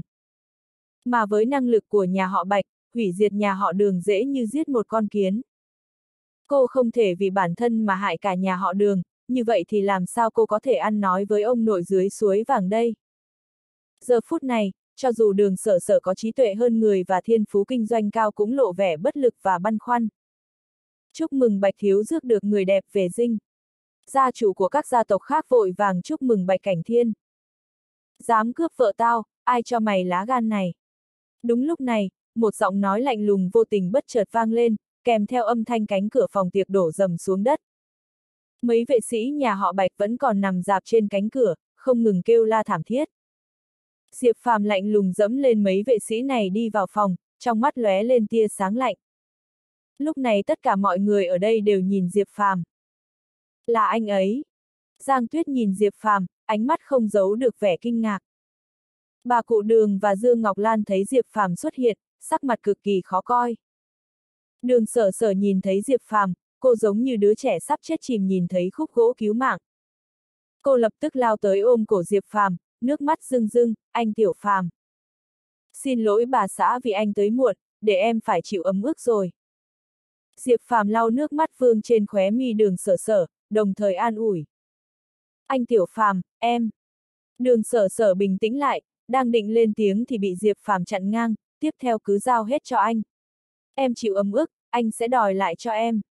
Sau đó, Diệp Phàm đưa mắt nhìn Bạch Cảnh Thiên, cất bước đi tới. Bạch Cảnh Thiên thấy Diệp Phàm đi tới, trong mắt lộ rõ vẻ lạnh lùng. Mày! Bốp! Thấy Diệp Phàm đi tới trước mặt mình, Bạch Cảnh Thiên định nói gì đó nhưng đột nhiên bị đối phương tát một phát. Vì không đề phòng nên gã bị tát bay, ngã xuống đất, hộc máu. Động đến vợ tao, đáng chết. Diệp Phàm lạnh lùng quát. Diệp Phàm tát Bạch Cảnh Thiên ngã ra đất, mọi người có mặt ở đó đều sững sờ. Lúc này bầu không khí như đóng băng, người của các gia tộc lớn ở Thiên Hải đều trợn tròn mắt, vẻ mặt khó tin. Tất cả mọi người đều không ngờ có kẻ dám đánh vào mặt đại thiếu gia nhà họ Bạch. To gan quá nhỉ. Nhà họ Bạch là một trong bốn gia tộc giàu có nhất quận Giang Nam, truyền thừa trăm năm, ở quận Giang Nam đã thâm căn cố đế, thế lực khổng lồ, ai dám chọc vào chứ? Nhưng hôm nay lại có người làm như vậy, còn là một thanh niên. Thiếu gia. Lúc này, thuộc hạ của Bạch Cảnh Thiên đã biến sắc, vội vàng đi đến nâng gã dậy. Mày, mày dám đánh tao? Bạch Cảnh Thiên xa sầm sắc mặt, nhìn Diệp Phàm đăm đăm, trong mắt lóe lên sát ý mãnh liệt. Gã đường đường là đại thiếu gia nhà họ Bạch, vậy mà lại bị người ta làm bẽ mặt trước đám đông, thật sự là vô cùng nhục nhã. Mày nhòm ngó vợ tao, hại vợ tao buồn bã rơi nước mắt, có chết cũng đáng đời. Diệp Phàm nhìn Bạch Cảnh Thiên, gần ra từng câu từng chữ. Giờ phút này, gương mặt vốn luôn treo nụ cười của Diệp Phàm đã trở nên lạnh như băng, trên người tỏa ra khí thế khiến người ta nghẹt thở. Điều này chứng tỏ hắn đã nổi giận. Vừa rồi lúc Diệp Phàm nhìn thấy dáng vẻ rưng rưng nước mắt, tuổi thân bất lực của đường sở sở, hắn cực kỳ đau lòng, không chỉ đau lòng mà còn có lửa giận vô tận. Ngoài bảy vị sư phụ ra, từ lâu Diệp Phàm đã coi đường sở sở là người thân thiết nhất. Bây giờ sở sở bị bắt nạt, tất nhiên Diệp Phàm nổi giận. Rồng có vảy ngược, chạm vào ắt phải chết. Mà đường sở sở chính là vảy ngược của Diệp Phàm. Nghe thấy Diệp Phàm nói năng ngông cuồng như vậy, mọi người đều giật mình. Lẽ nào tên này điên rồi? Hắn dám nói với Bạch Thiếu những lời này, chẳng lẽ hắn còn muốn giết Bạch Thiếu? To gan, ai cho phép cậu nói năng như vậy? Mau quỳ xuống xin lỗi Bạch Thiếu đi. Bà cụ đường chỉ vào Diệp Phàm và hét lên. Lúc này bà ta đang thầm mắng chửi Diệp Phàm trong lòng. Sao tên khốn này lại xuất hiện ở đây, lại còn đánh Bạch Thiếu? Cậu ta muốn hại chết nhà họ đường sao? Nếu không phải tôi nể tình bà là bà nội của sở sở, thì tôi đã xử bà từ lâu rồi. Diệp Phàm liếc nhìn bà cụ đường. Cậu! Bà cụ đường giận tái mặt. Chàng trai, cậu nói linh tinh gì thế? Đây không phải là nơi cậu nên đến, cậu mau đi đi. Dương Ngọc Lan cũng vội vàng la Diệp Phàm. Anh ta không được đi. Bạch Cảnh Thiên cất lời. Vèo vèo vèo. Thoát cái xung quanh xuất hiện một đám người mặc kình trang cầm vũ khí, lập tức bao vây Diệp Phàm. Có khoảng mấy chục người. Kình trang, trang phục gọn nhẹ, dùng để tập võ, chiến đấu. Những người này đều mang vẻ mặt lạnh lùng, ánh mắt sắc bén, xem ra là những võ sĩ tinh nhuệ đã trải qua huấn luyện chuyên nghiệp. Mày là người đầu tiên dám đánh tao, tao sẽ cho mày biết đắc tội tao thì sẽ có kết cục như thế nào. Về phần đường sở sở, tao nhất định phải có được. Tối nay tao sẽ bắt cô ta thần phục dưới háng của tao. Hơn nữa, tao còn muốn cho mày tận mắt nhìn thấy người phụ nữ của mày bị tao chơi như thế nào. Nghĩ đến hình ảnh ấy, nhất định là đặc sắc lắm đây. Bạch Cảnh Thiên nhìn Diệp Phàm với vẻ mặt lạnh lẽo, đồng thời cất tiếng cười to. Hôm nay mày nhất định phải chết. Diệp Phàm nhìn Bạch Cảnh Thiên, thốt ra bảy chữ. Bảy chữ này vừa được thốt ra, một luồng khí lạnh đáng sợ lan tỏa, mọi người không nhìn được dùng mình. Không ai dám uy hiếp tao. Bắt lại cho tôi. Bạch Cảnh Thiên xem thường. Mấy vệ sĩ được nhà họ Bạch dày công huấn luyện tức khắc xông về phía Diệp Phàm. Đám vệ sĩ nhà họ Bạch ra tay như mãnh hổ sổng chuồng, cực kỳ mạnh mẽ, khó mà chống đỡ. Vèo. Diệp Phàm lập tức vung tay, mấy chục cây kim bạc bắn ra, đâm vào người vệ sĩ nhà họ Bạch. Lần này hắn không nương tay, mấy chục cây kim bạc đều đâm vào tử huyệt. Chỉ trong nháy mắt toàn bộ vệ sĩ nhà họ Bạch đều ngã lăn ra đất, tắt thở ngay tức thì, chết không nhắm mắt. Ôi trời! Thấy vậy mọi người đều hít sâu một hơi, ngây ra như phỗng. Bọn họ không nhìn thấy Diệp Phàm phóng ra cái gì, chỉ thấy ánh sáng lóe lên, cuối cùng đám vệ sĩ nhà họ Bạch đều đi đời nhà ma. Thủ đoạn thần kỳ này khiến các nhân vật quyền quý ở thiên hải đều chấn động. Bạch Cảnh Thiên nhìn thấy cảnh này, trong mắt lộ cảm xúc kinh hoàng. Sau đó gã nhướng mày, lạnh lùng nhìn Diệp Phàm, nhãi danh, tao coi thường mày rồi, không ngờ mày cũng có chút thủ đoạn, hèn chi dám. Kiêu ngạo như vậy, nhưng chút thủ đoạn ấy vẫn chưa đủ đâu. Hắc ưng. Dứt lời bạch cảnh thiên lập tức gọi to. Vèo. Một cơn gió lạnh ập tới. Một người đàn ông mặc đồ đen thình lình xuất hiện trước mặt bạch cảnh thiên. Sắc mặt u ám, hốc mắt trúng sâu, ánh mắt sắc bén như ưng khiến người ta có cảm giác bị diều hâu theo dõi, toàn thân nổi gai ốc. Có thuộc hạ. Người đàn ông này cung kính nói với Bạch Cảnh Thiên. Giao tên nhãi này cho anh đấy. Phế bỏ tay chân của anh ta, đừng giết chết. Bạch Cảnh Thiên lạnh lùng ra lệnh. Vâng. Người đàn ông gật đầu, đôi mắt như ưng nhìn sang Diệp Phàm, cộng thêm nụ cười lạnh lùng khiến người ta hồn lìa khỏi xác. Hắc ưng. Lẽ nào là tên sát nhân điên cuồng Hắc ưng đã giết hàng trăm người vào một năm trước? Nghe nói người này cực kỳ hung ác, người bị gã giết không có một thi thể nào nguyên vẹn, khiến người ta vừa nghe danh đã sợ mất mật. Lúc trước có tin đồn gã bị cảnh sát phát lệnh truy nã nên nương nhờ một gia tộc nào đó để được che chở. Không ngờ gã lại theo nhà họ Bạch. Tên hắc ưng này mà ra tay thì e là thằng nhóc này thảm rồi. Lúc này, mấy nhân vật quyền quý ở thiên hải đều bàn tán về hắc ưng. Những người khác cũng nghe thấy, ai nấy đều sợ hãi nhìn tên sát nhân điên cuồng hắc ưng này.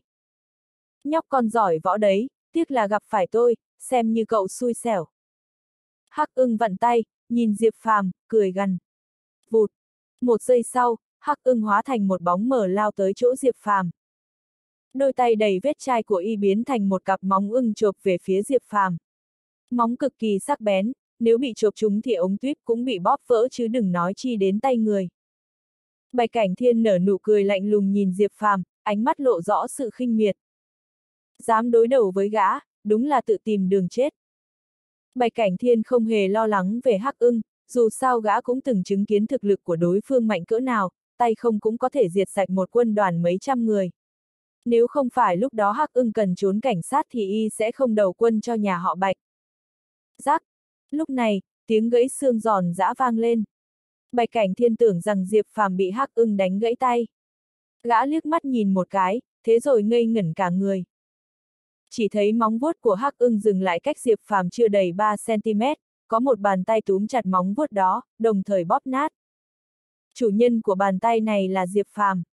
Móng vuốt của Hắc ưng chẳng những không bẻ gãy tay của Diệp Phàm, mà trái lại còn bị bóp nát. Cơn đau dữ dội do móng vuốt vỡ nát khiến gương mặt Hắc ưng méo sạch, đôi mắt hung ác nhìn chằm chằm vào Diệp Phàm, bàn tay còn lại của y chộp về phía trái tim của Diệp Phàm.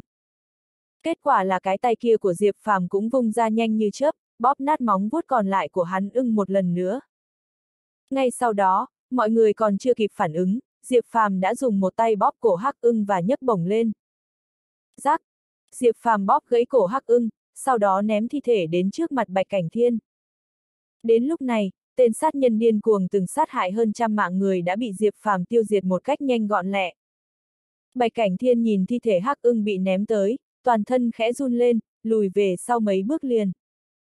Hiện tại sắc mặt của Bạch Cảnh Thiên hết sức khó coi. Gã không ngờ đến Hắc ưng cũng không phải là đối thủ của Diệp Phàm, hơn nữa còn bị giết trong nháy mắt. Rốt cuộc thằng nhãi này có lai lịch thế nào? Những nhân vật quyền quý ở đây nhìn thấy Diệp Phàm giết chết tên sát nhân điên cuồng Hắc ưng, trong lòng vô cùng chấn động. Bà cụ Đường và Dương Ngọc Lan đều sợ hết hồn. Diệp Phàm lại đưa mắt nhìn Bạch Cảnh Thiên rồi đi về phía đối phương. Người anh em dám gây sự ở khách sạn Thiên Hải chúng tôi, to gan đấy.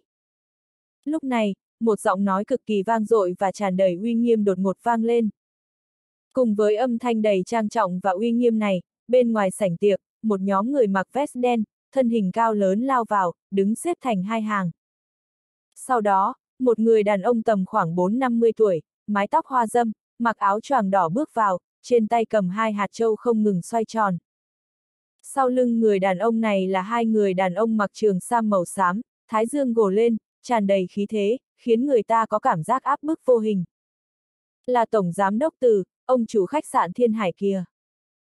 Không ngờ đến cả Tổng Giám Đốc Từ cũng bị kinh động đến đây.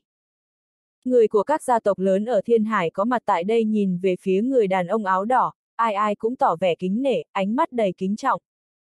Có thể khiến cho các tộc trưởng các gia tộc lớn ở Thiên Hải kính nể như vậy, chứng tỏ người đàn ông áo đỏ này không hề đơn giản.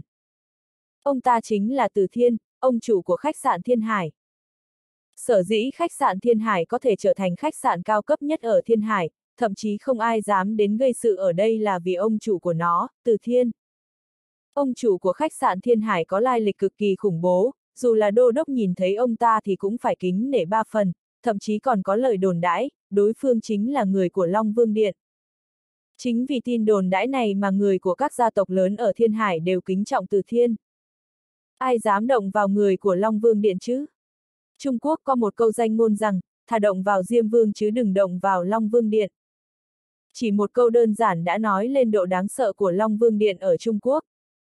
Lúc này, Từ Thiên trực tiếp đi tới, híp mắt nhìn Diệp Phàm, nói, người anh em, cậu còn trẻ tuổi mà đã tài giỏi như vậy, là một nhân tài, chỉ là cậu không biết nếu đến khách sạn Thiên Hải gây chuyện thì sẽ có hậu quả thế nào à?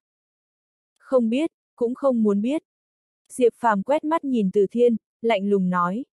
Tất cả những kẻ tới đây gây chuyện đều bị dìm xuống sông hết rồi. Từ Thiên bình tĩnh hỏi. Ông muốn dìm tôi xuống sông Hà. Diệp Phàm nhìn Từ Thiên. Đây là luật của khách sạn Thiên Hải, không ai có thể phá vỡ. Từ Thiên lạnh lùng nói. Khi mọi người nghe những lời Từ Thiên nói, trong lòng thầm than Diệp Phàm xui ghê. Đắc tội nhà họ Bạch còn chưa tính, hiện giờ ngay cả ông chủ của khách sạn Thiên Hải cũng đắc tội rồi. Lần này thì đúng là chết chắc rồi. Từ Thiên vừa dứt lời, một trong hai người mặc trường sam màu xám phía sau liền vọt về phía Diệp Phàm. Người đàn ông này ra đòn còn nhanh hơn, dữ dội hơn cả hắc ưng, anh ta ra đòn có sức mạnh đá nứt vàng bể. ầm, um. Tuy nhiên, Diệp Phàm chỉ tiện tay ra một đòn đã đánh người này bay ra ngoài. Phụt! Người đàn ông mặc trường sa màu xám ngã xuống đất phun ra máu, ánh mắt lộ vẻ kinh hãi nhìn Diệp Phàm. Nhưng Từ Thiên không quan tâm đến vết thương của thuộc hạ, mà nhìn chằm chằm vào bàn tay phải vừa ra đòn của Diệp Phàm, nói chính xác là nhìn chiếc nhẫn ban chỉ, nhẫn ngón cái bằng ngọc bích trên tay phải của Diệp Phàm. Chiếc nhẫn ngọc này được chạm khắc một con rồng vàng, trông cực kỳ quý phái. Đây, đây là nhẫn ban chỉ của Long Vương. Từ thiên nhìn chiếc nhẫn ngọc trên ngón trỏ tay phải của Diệp Phàm thì biến sắc, trong mắt lộ ra vẻ không thể tin nổi, toàn thân run lên, hai hạt châu trong tay rơi thẳng xuống đất. Mà những người khác nhìn vẻ mặt của Từ Thiên thì không hiểu ra làm sao, ngay cả thuộc hạ của ông ta cũng không biết ông chủ nhà mình bị làm sao. Nhưng Diệp Phàm lại phát hiện đối phương vẫn luôn nhìn chằm chằm nhẫn ban chỉ trên tay mình, cho nên anh cũng đoán được là chuyện gì. Chiếc nhẫn ban chỉ này là do ngũ sư phụ của hắn đưa cho hắn, nghe nói là tín vật của điện chủ Long Vương Điện. Theo lời ngũ sư phụ của hắn nói, người có thể nhận ra chiếc nhẫn ban chỉ này chỉ có người đến từ Long Vương Điện. Mà vẻ mặt của người đàn ông trước mặt hình như đã nhận ra chiếc nhẫn ban chỉ này, vậy rất có thể ông ta chính là người của Long Vương Điện. Ông còn muốn muốn dìm tôi xuống sông nữa không? Ngay sau đó, Diệp Phàm xoay chiếc nhẫn ban chỉ trên tay phải, nhìn về phía Từ Thiên. Soạt! Lúc này Từ Thiên mới tỉnh táo lại, nhìn Diệp Phàm bằng ánh mắt kinh hãi. Tên này có nhẫn ban chỉ của Long Vương, vậy chẳng phải cậu ta là. Nghĩ đến đây, Từ Thiên toát mồ hôi hột, sắc mặt trở nên tái nhợt, cả người không ngừng run rẩy. Giờ phút này, Từ Thiên chỉ muốn quỳ xuống trước mặt Diệp Phàm, nhưng lại bị ánh mắt của đối phương ngăn lại. Từ Thiên nhanh chóng hiểu ra, ông ta lên tiếng, chuyện hôm nay chỉ là ân oán cá nhân giữa hai người, họ từ tôi sẽ không can dự vào. Đi thôi. Ngay lập tức, Từ Thiên dẫn thuộc hạ của mình rời khỏi đây. Thấy Từ Thiên đột nhiên thay đổi ý định rồi cứ vậy mà rời đi, tất cả những người có mặt ở đây đều sửng sốt, họ không biết sốt cuộc đã đã xảy ra chuyện gì trong vài giây ngắn ngủi vừa rồi, tại sao ông chủ của khách sạn Thiên Hải lại có thể dễ dàng bỏ qua cho Diệp Phàm như vậy. Mà Diệp Phàm thì liếc mắt nhìn về phía Bạch Cảnh Thiên, hôm nay không có ai cứu được mày đâu. Tao là cậu cả nhà họ Bạch đấy, mày dám đụng vào tao hả? Bạch Cảnh Thiên mặt mũi u ám nhìn chằm chằm Diệp Phàm. Tao nói, hôm nay mày chết chắc rồi. Trước giờ tao nói được là làm được. Diệp Phàm hờ hững nói, từng bước đi về phía đối phương. Cậu chủ đừng sợ, tôi đã liên hệ với đô đốc của Thiên Hải rồi, ông ta sẽ nhanh chóng dẫn người tới đây thôi. Lúc này, một thuộc hạ bên người Bạch Cảnh Thiên lên tiếng. Cộp cộp cộp, nhắc đến Tào Tháo là Tào Tháo đến ngay. Đô đốc xài quyền của Thiên Hải dẫn một số lượng lớn binh lính phòng hộ của Thiên Hải chạy vào, vội đến mức trên trán đổ đầy mồ hôi. Sau khi nhận được tin có người muốn giết cậu cả nhà họ Bạch, xài quyền không dám chậm trễ, lập tức huy động người chạy tới đây. Hôm nay Tổng đốc không có ở đây, nếu cậu cả nhà họ Bạch mà xảy ra chuyện gì ở đất Thiên Hải, chắc chắn nhà họ Bạch sẽ không bỏ qua cho đô đốc như ông ta đâu. Mặc dù ông ta là đô đốc của Thiên Hải, nhưng trước mặt nhà họ Bạch giàu có nhất quận Giang Nam, ông ta chẳng là cái thá gì hết. Lúc này, Sài Quyền đang thở hổn hển. Cậu chủ, là đô đốc của Thiên Hải đấy, chúng ta an toàn rồi. Tên thuộc hạ nhìn đám người xài Quyền đến thì vội kêu lên với Bạch Cảnh Thiên. Các người mau bắt thằng danh này lại cho tôi. Bạch Cảnh Thiên nhìn xài Quyền, trực tiếp quát lớn.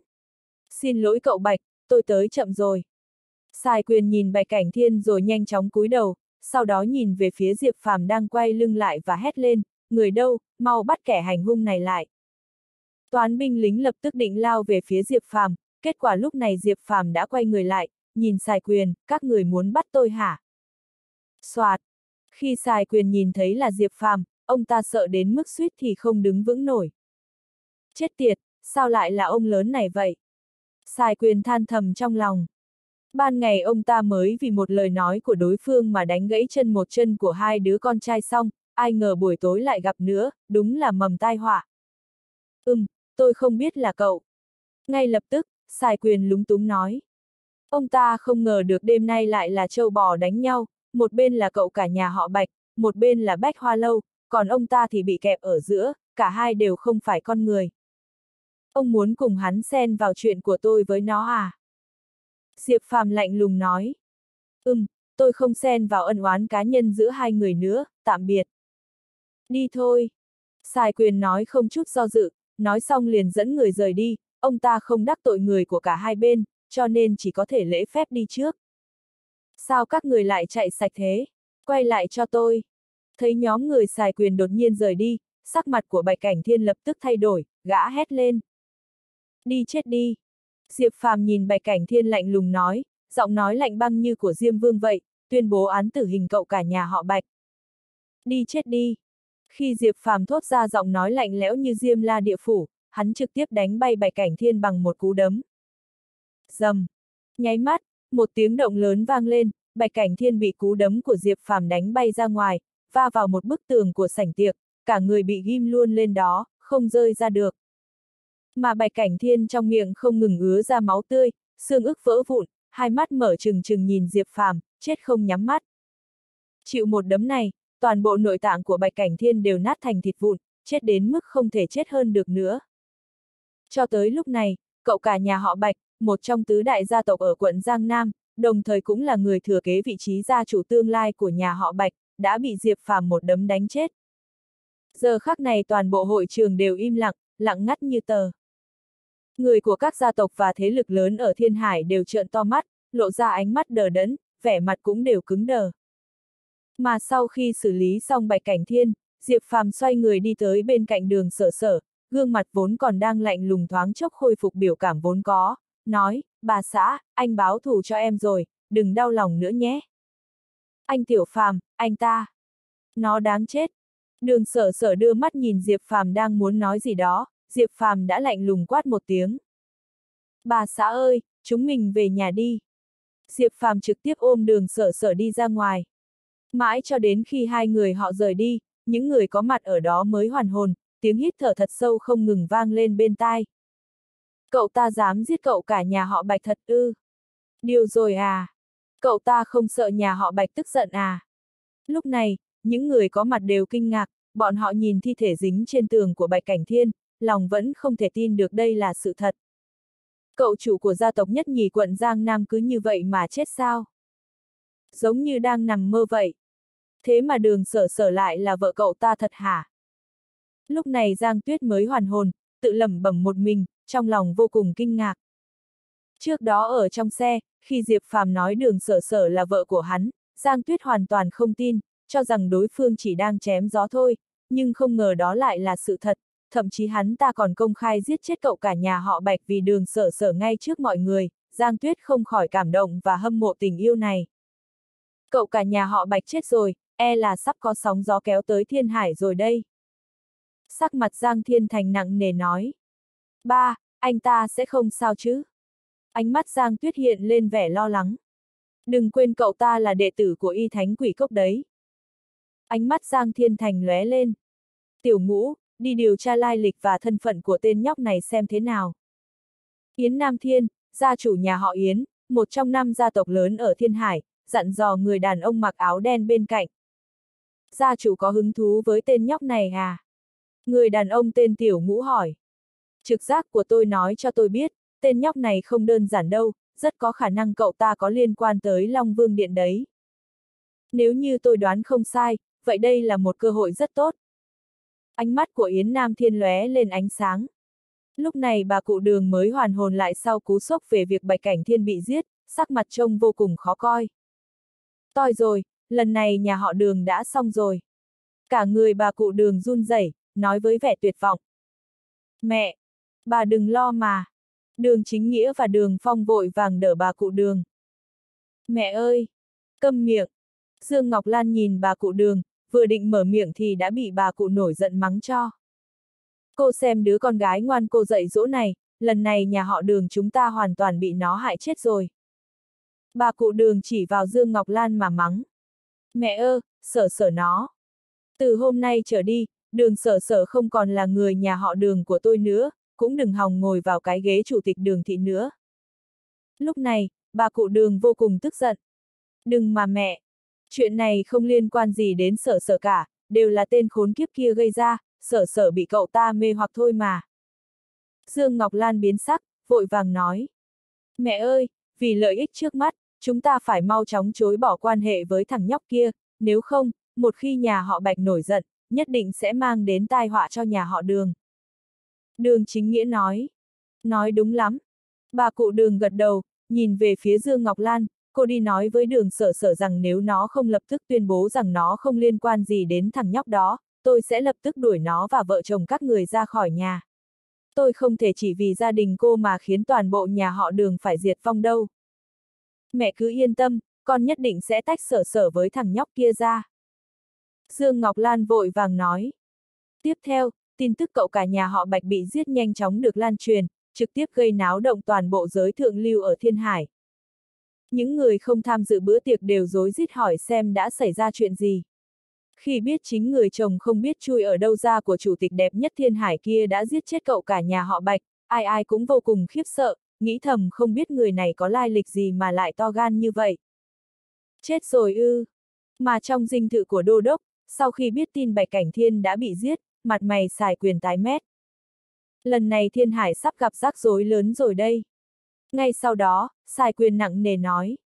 Bạch Cảnh Thiên đã chết, nhà họ Bạch tuyệt đối sẽ không bỏ qua, hơn nữa Diệp Phàm là người của Bách Hoa Lâu, sao có thể dễ dàng đối phó được, một khi hai quái vật khổng lồ này đấu đá nhau, toàn bộ thiên hải đều phải rúng động theo. Không được, phải liên lạc với Tổng đốc ngay. xài quyền chợt kêu lên. Tình hình hiện tại đã vượt quá tầm kiểm soát của ông ta, ông ta chỉ có thể thông báo cho Tổng đốc thôi. Về phần Diệp Phàm, hắn đưa đường sở sở trở lại biệt thự. Chị họ, sao chị về muộn thế? Chị họ, sao trông chị giống như vừa khóc xong vậy? Có phải anh bắt nạt chị họ không? Trần Tiểu Manh ngồi trên ghế sofa, nhìn đường sở sở hai mắt đỏ hoe, chợt quay sang quát Diệp Phàm. Không liên quan gì đến anh Tiểu Phàm đâu. Đường sở sở lắc đầu. Rốt cuộc đã xảy ra chuyện gì? Trần Tiểu Manh liếc nhìn Diệp Phàm. Diệp Phàm kể tóm tắt lại toàn bộ câu chuyện cho Trần Tiểu Manh nghe. Cái gì, cái cậu cả nhà họ Bạch này thật đúng là vô liêm sỉ, đúng là một tên cặn bã, chết là đáng lắm. Đấy là do tôi không có ở đó, nếu tôi mà có ở đó, chắc chắn sẽ đánh chết gã. Trần Tiểu Manh phẫn nộ hừ một tiếng. Với cái chân tay yếu nhất kia của em, cẩn thận còn bị người ta đánh cho ấy chứ, lại còn đòi đánh ai. Diệp Phàm trêu ghẹo. Tôi không đánh được, nhưng tôi có thể gọi. Trần Tiểu Manh kích động nói, chỉ là cô ấy cũng không nói tiếp nửa câu sau nữa, mà đảo mắt nói, chị họ, xảy ra chuyện lớn như vậy, để em đưa chị lên trên nghỉ ngơi nhé. Anh Tiểu Phàm, lần này anh giết Bạch Cảnh Thiên, nhà họ Bạch nhất định sẽ không bỏ qua đâu, anh có chắc là không sao không? Đường sở sở lo lắng nhìn Diệp Phàm.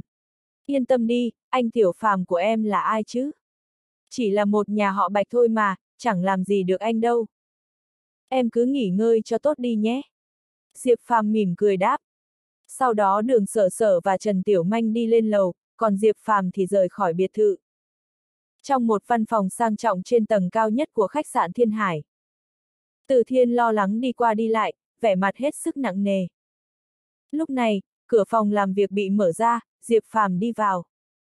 Người phụ trách phân đà Thiên Hải của Long Vương Điện Từ Thiên tham kiến điện chủ. Vừa rồi đã vô lễ với điện chủ, xin điện chủ trách phạt. Từ Thiên nhìn Diệp Phàm, quỳ xuống nói. Xem ra ông đúng là người của Long Vương Điện, nhưng tôi không phải là điện chủ, ông mau đứng lên đi. Diệp Phàm nói. Công tử, trong tay cậu chính là nhẫn ban chỉ của Long Vương Điện, đây là tín vật của điện chủ Long Vương Điện. Từ Thiên nhìn chiếc nhẫn trên tay phải của Diệp Phàm rồi nói. Đây là do ngũ sư phụ của tôi đưa cho tôi. Diệp Phàm nhàn nhạt nói. Cậu là đệ tử của lão điện chủ ư. Thì ra là thiếu chủ. Từ thiên bái kiến thiếu chủ. Từ thiên đã hiểu, dán mắt vào Diệp Phàm, nhưng mà thiếu chủ, nếu lão điện chủ đã giao nhẫn ban chỉ của Long Vương cho thiếu chủ, thì điều đó có nghĩa là thiếu chủ chính là điện chủ mới của Long Vương Điện. Vậy tôi sẽ lập tức thông báo cho Tổng điện Long Vương Điện để bọn họ tới gặp mặt thiếu chủ. Từ thiên trực tiếp nói. Không cần đâu, tôi cũng không có ý định làm cái chức điện chủ này, càng không muốn người khác biết tôi có quan hệ gì với Long Vương Điện. Ông hiểu chưa? Diệp Phàm nhìn từ thiên, nói. Thuộc hạ hiểu rồi ạ. À. Nhưng mà thiếu chủ này, bởi vì lão điện chủ biến mất nhiều năm, Long Vương Điện đã sớm tan đàn sẻ nghé thành nhiều phe phái. Hiện giờ Long Vương Điện rất cần một điện chủ mới đoạt lại quyền hành của Long Vương Điện, nếu không e rằng Long Vương Điện. Từ thiên nghiêm mặt nói. Có chuyện này nữa hả? Diệp Phàm nhướng mày. Đúng vậy, từ sau khi lão điện chủ rời đi, Long Vương Điện do tứ đại Long quân, bát đại Long thủ đồng quản lý, nhưng đã nhiều năm như vậy rồi, lão điện chủ vẫn chưa từng xuất hiện. Tứ đại Long quân, bát đại Long thủ không thống nhất được ý kiến, còn nhăm nhe vị trí điện chủ của Long Vương Điện nữa, cho nên sinh ra đấu đá nội bộ. Cuối cùng, Long Vương Điện chia làm nhiều phe phái, mỗi phe đều âm thầm hoặc công khai kèn cựa nhau, khiến thực lực của Long Vương Điện hiện tại bị tổn hại rất lớn, thậm chí còn bị rất nhiều thế lực của Trung Quốc âm thầm tập kích. Thậm chí còn có tin đồn rằng có một vài thế lực bí ẩn đang muốn thôn tính Long Vương Điện lúc này đang như rắn mất đầu. Từ thiên nói từng cái một. Muốn thâu tóm Long Vương Điện cơ đấy, cũng mạnh miệng gớm. Sắc mặt Diệp Phàm trở nên lạnh lùng. Long Vương Điện là tâm huyết cả đời của ngũ sư phụ của hắn, mặc dù Diệp Phàm không muốn làm điện chủ, nhưng hắn không thể trơ mắt nhìn Long Vương Điện chia năm xẻ bảy rồi suy vong, hoặc là bị người ta thôn tính được. Vì vậy thuộc hạ hy vọng thiếu chủ có thể đảm nhiệm chức vụ điện chủ mới của Long Vương Điện, để Long Vương Điện được chấn hưng lần nữa. Từ thiên trầm giọng nói. Tôi sẽ cân nhắc chuyện này. Tạm thời ông cứ giữ bí mật về sự tồn tại của tôi trước đã, không được tiết lộ cho bất cứ người nào đấy. Diệp Phàm lạnh lùng nói. Vâng. Từ thiên gật đầu, nhìn về phía Diệp Phàm, đúng rồi, thiếu chủ, cậu giết cậu chủ nhà họ Bạch như thế, e rằng nhà họ Bạch sẽ không bỏ qua đâu, cậu có muốn tôi tập hợp nhân viên tiêu diệt hết bọn họ không? Nhưng thế lực nhà họ Bạch lớn, muốn nhổ cỏ tận gốc thì e là cần phải liên hệ với điện chủ phân điện của Long Vương Điện ở quận Giang Nam. Không cần, chuyện này ông không cần phải nhúng tay vào đâu. Nếu nhà họ Bạch có động tính gì tiếp theo thì có thể thông báo cho tôi biết. Diệp Phàm hờ hững nói. Thuộc hạ đã rõ. Thiếu chủ, đây là thẻ VIP tối cao của khách sạn Thiên Hải, nếu cậu cần ăn uống gì, cứ đưa tấm thẻ này ra là có thể hưởng đãi ngộ cao nhất, trên đó còn có số điện thoại của thuộc hạ, nếu thiếu chủ có cần gì thì có thể liên hệ với tôi bất cứ lúc nào. Lúc này, từ Thiên lấy ra một tấm thẻ đen đưa cho Diệp Phàm, trên đó có một con rồng vàng bay lên. Cảm ơn nhé. Diệp Phàm cũng không khách sáo mà nhận lấy tấm thẻ, sau đó xoay người đi ra ngoài. Còn Từ Thiên thì đích thân tiễn Diệp Phàm ra ngoài. Khi Diệp Phàm rời khỏi khách sạn Thiên Hải, Từ Thiên mới dám thở phào nhẹ nhõm. Thiếu chủ đã trở lại, xem ra Long Vương Điện sắp có một trận cải tổ lớn rồi, lần này lấy lòng thiếu chủ, nói không chừng có thể nhờ đó mà tiến thêm một bước. Trong mắt Từ Thiên hiện lên vẻ phấn khích. Sáng sớm hôm sau, tại thành phố Tô, quận lỵ của quận Giang Nam. Ở vùng ngoại ô, có một trang viên lớn theo phong cách cổ điển. Trang viên này có diện tích hơn nghìn mẫu, vô cùng xa hoa. Mà đây cũng là nơi nhà họ Bạch, một trong bốn gia tộc lớn ở quận Giang Nam sinh sống. Nhà họ Bạch có truyền thống mấy trăm năm, thâm căn cố đế, quan hệ rộng khắp toàn bộ quận Giang Nam, ngay cả quận trưởng quận Giang Nam khi đến nhà họ Bạch cũng phải cung kính. Đây chính là sức mạnh của nhà họ Bạch. Nhưng giờ phút này, trong trang viên rộng lớn của nhà họ Bạch lại có vẻ vô cùng u uất, không khí như đông cứng lại, tất cả con cháu nhà họ Bạch cũng người làm, hộ vệ đều không dám thở mạnh một hơi. Bởi vì cậu cả nhà bọn họ đã chết. Đối với nhà họ Bạch mà nói, tin tức này không khác nào xét đánh ngang tai, khiến cả nhà họ Bạch chấn động. Lấy địa vị của nhà họ Bạch ở quận Giang Nam, kẻ nào dám giết cậu cả nhà họ Bạch. Vậy chắc chắn đó là kẻ thù của cả nhà họ Bạch. Ai mà dám cả gan như thế? Vì vậy, khi người nhà họ Bạch nghe tin này, họ còn cho rằng đó chỉ là một trò đùa, nhưng sau khi thi thể của Bạch Cảnh Thiên được đưa đến nhà họ Bạch, tất cả mọi người mới không thể không tin đó là sự thật. Cậu cả nhà họ Bạch, người thừa kế duy nhất của nhà họ Bạch, Bạch Cảnh Thiên đã thực sự bị giết. Nhà họ Bạch người đều biết tiếp theo đây nhà họ Bạch sẽ phát sinh chuyện gì, cho nên lúc này không ai dám nói bậy bạ. Lúc này, trong đại sảnh nhà họ Bạch, tất cả thành viên cấp cao của nhà họ Bạch đều tập trung ở đây, thi thể của Bạch Cảnh Thiên nằm trên mặt đất, hai mắt trợn trừng, chết không nhắm mắt. Mà Bạch Trần gia chủ nhà họ Bạch nhìn trong mắt trợn trừng của con trai thì hai mắt đỏ ngầu, nắm đấm siết chặt, toàn thân dâng lên ngọn lửa giận và sát ý vô tận. A! À, bất chợt, Bạch Trần gầm lên một tiếng. Lúc này, một ông lão tóc bạc phơ mặc áo khoác trắng chống một cây ba tong đầu rồng đi vào. Ba! Bạch Trần gọi ông lão. Lão gia chủ. Những thành viên cao cấp còn lại của nhà họ Bạch cũng nhìn ông lão, cúi đầu hô lên. Ông lão này là Bạch Khôn Sơn, cựu gia trưởng của nhà họ Bạch, cũng là trụ cột của cả nhà họ Bạch. Lúc này, Bạch Khôn Sơn nhìn thi thể cháu trai Bạch Cảnh Thiên, run rẩy ngồi xổm xuống, duỗi ra bàn tay già nua nhăn nheo, nhẹ nhàng vuốt ve khuôn mặt gã, vuốt mắt cho Bạch Cảnh Thiên. Ba, con xin lỗi, là do vô dụng, không bảo vệ được Cảnh Thiên. Bạch Trần nói với ba. Tôi không muốn nghe anh nói nhảm. Hung thủ là kẻ nào? Bạch Khôn Sơn lạnh lùng nói, giọng nói lạnh lẽo đến mức khiến người ta phải dùng mình. Kẻ đó là người đàn ông của đường sở sở, chủ tịch tập đoàn đường thị của Thiên Hải.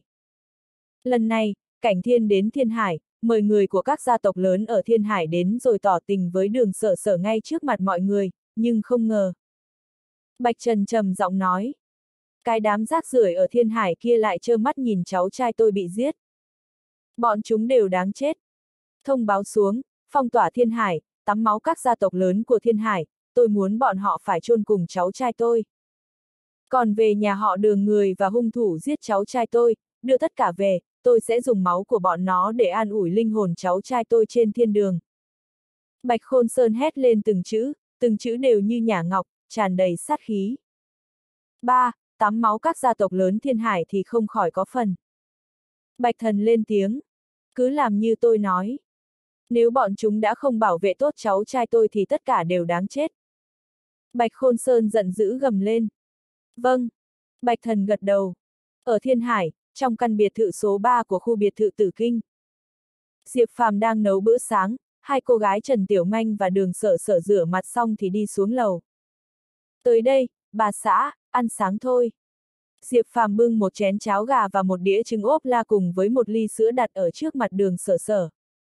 Anh Tiểu Phàm, cảm ơn. Đường sở sở nói. Trải qua một đêm nghỉ ngơi, cả người đường sở sở rõ ràng được đi ra khỏi bóng tối hôm qua, trạng thái đã hồi phục hơn rất nhiều. Không được nói cảm ơn với anh. Diệp Phàm lên tiếng. Anh này, anh không chỉ biết nấu cơm mà còn có thể bảo vệ chị họ, ngoại trừ không có chuyện gì đứng đắn ra thì trông cũng tạm được. Trần Tiểu Manh nhìn Diệp Phàm, bình luận. Ô hay cô nhóc này, ăn phần của em đi, nói nhảm nhiều thế. Diệp Phàm trừng mắt nhìn Trần Tiểu Manh, người đứng sau kiêu ngạo hậm hực, cầm lấy một ly sữa rồi uống ửng ực. Đúng là ăn gì bổ đấy nha. Diệp Phàm trêu ghẹo nói. Chị họ, chồng của chị lại trêu em kìa. Lúc này, Trần Tiểu Manh nũng nịu nói với đường sở sở. Đúng lúc này, tiếng chuông cửa vang lên một hồi.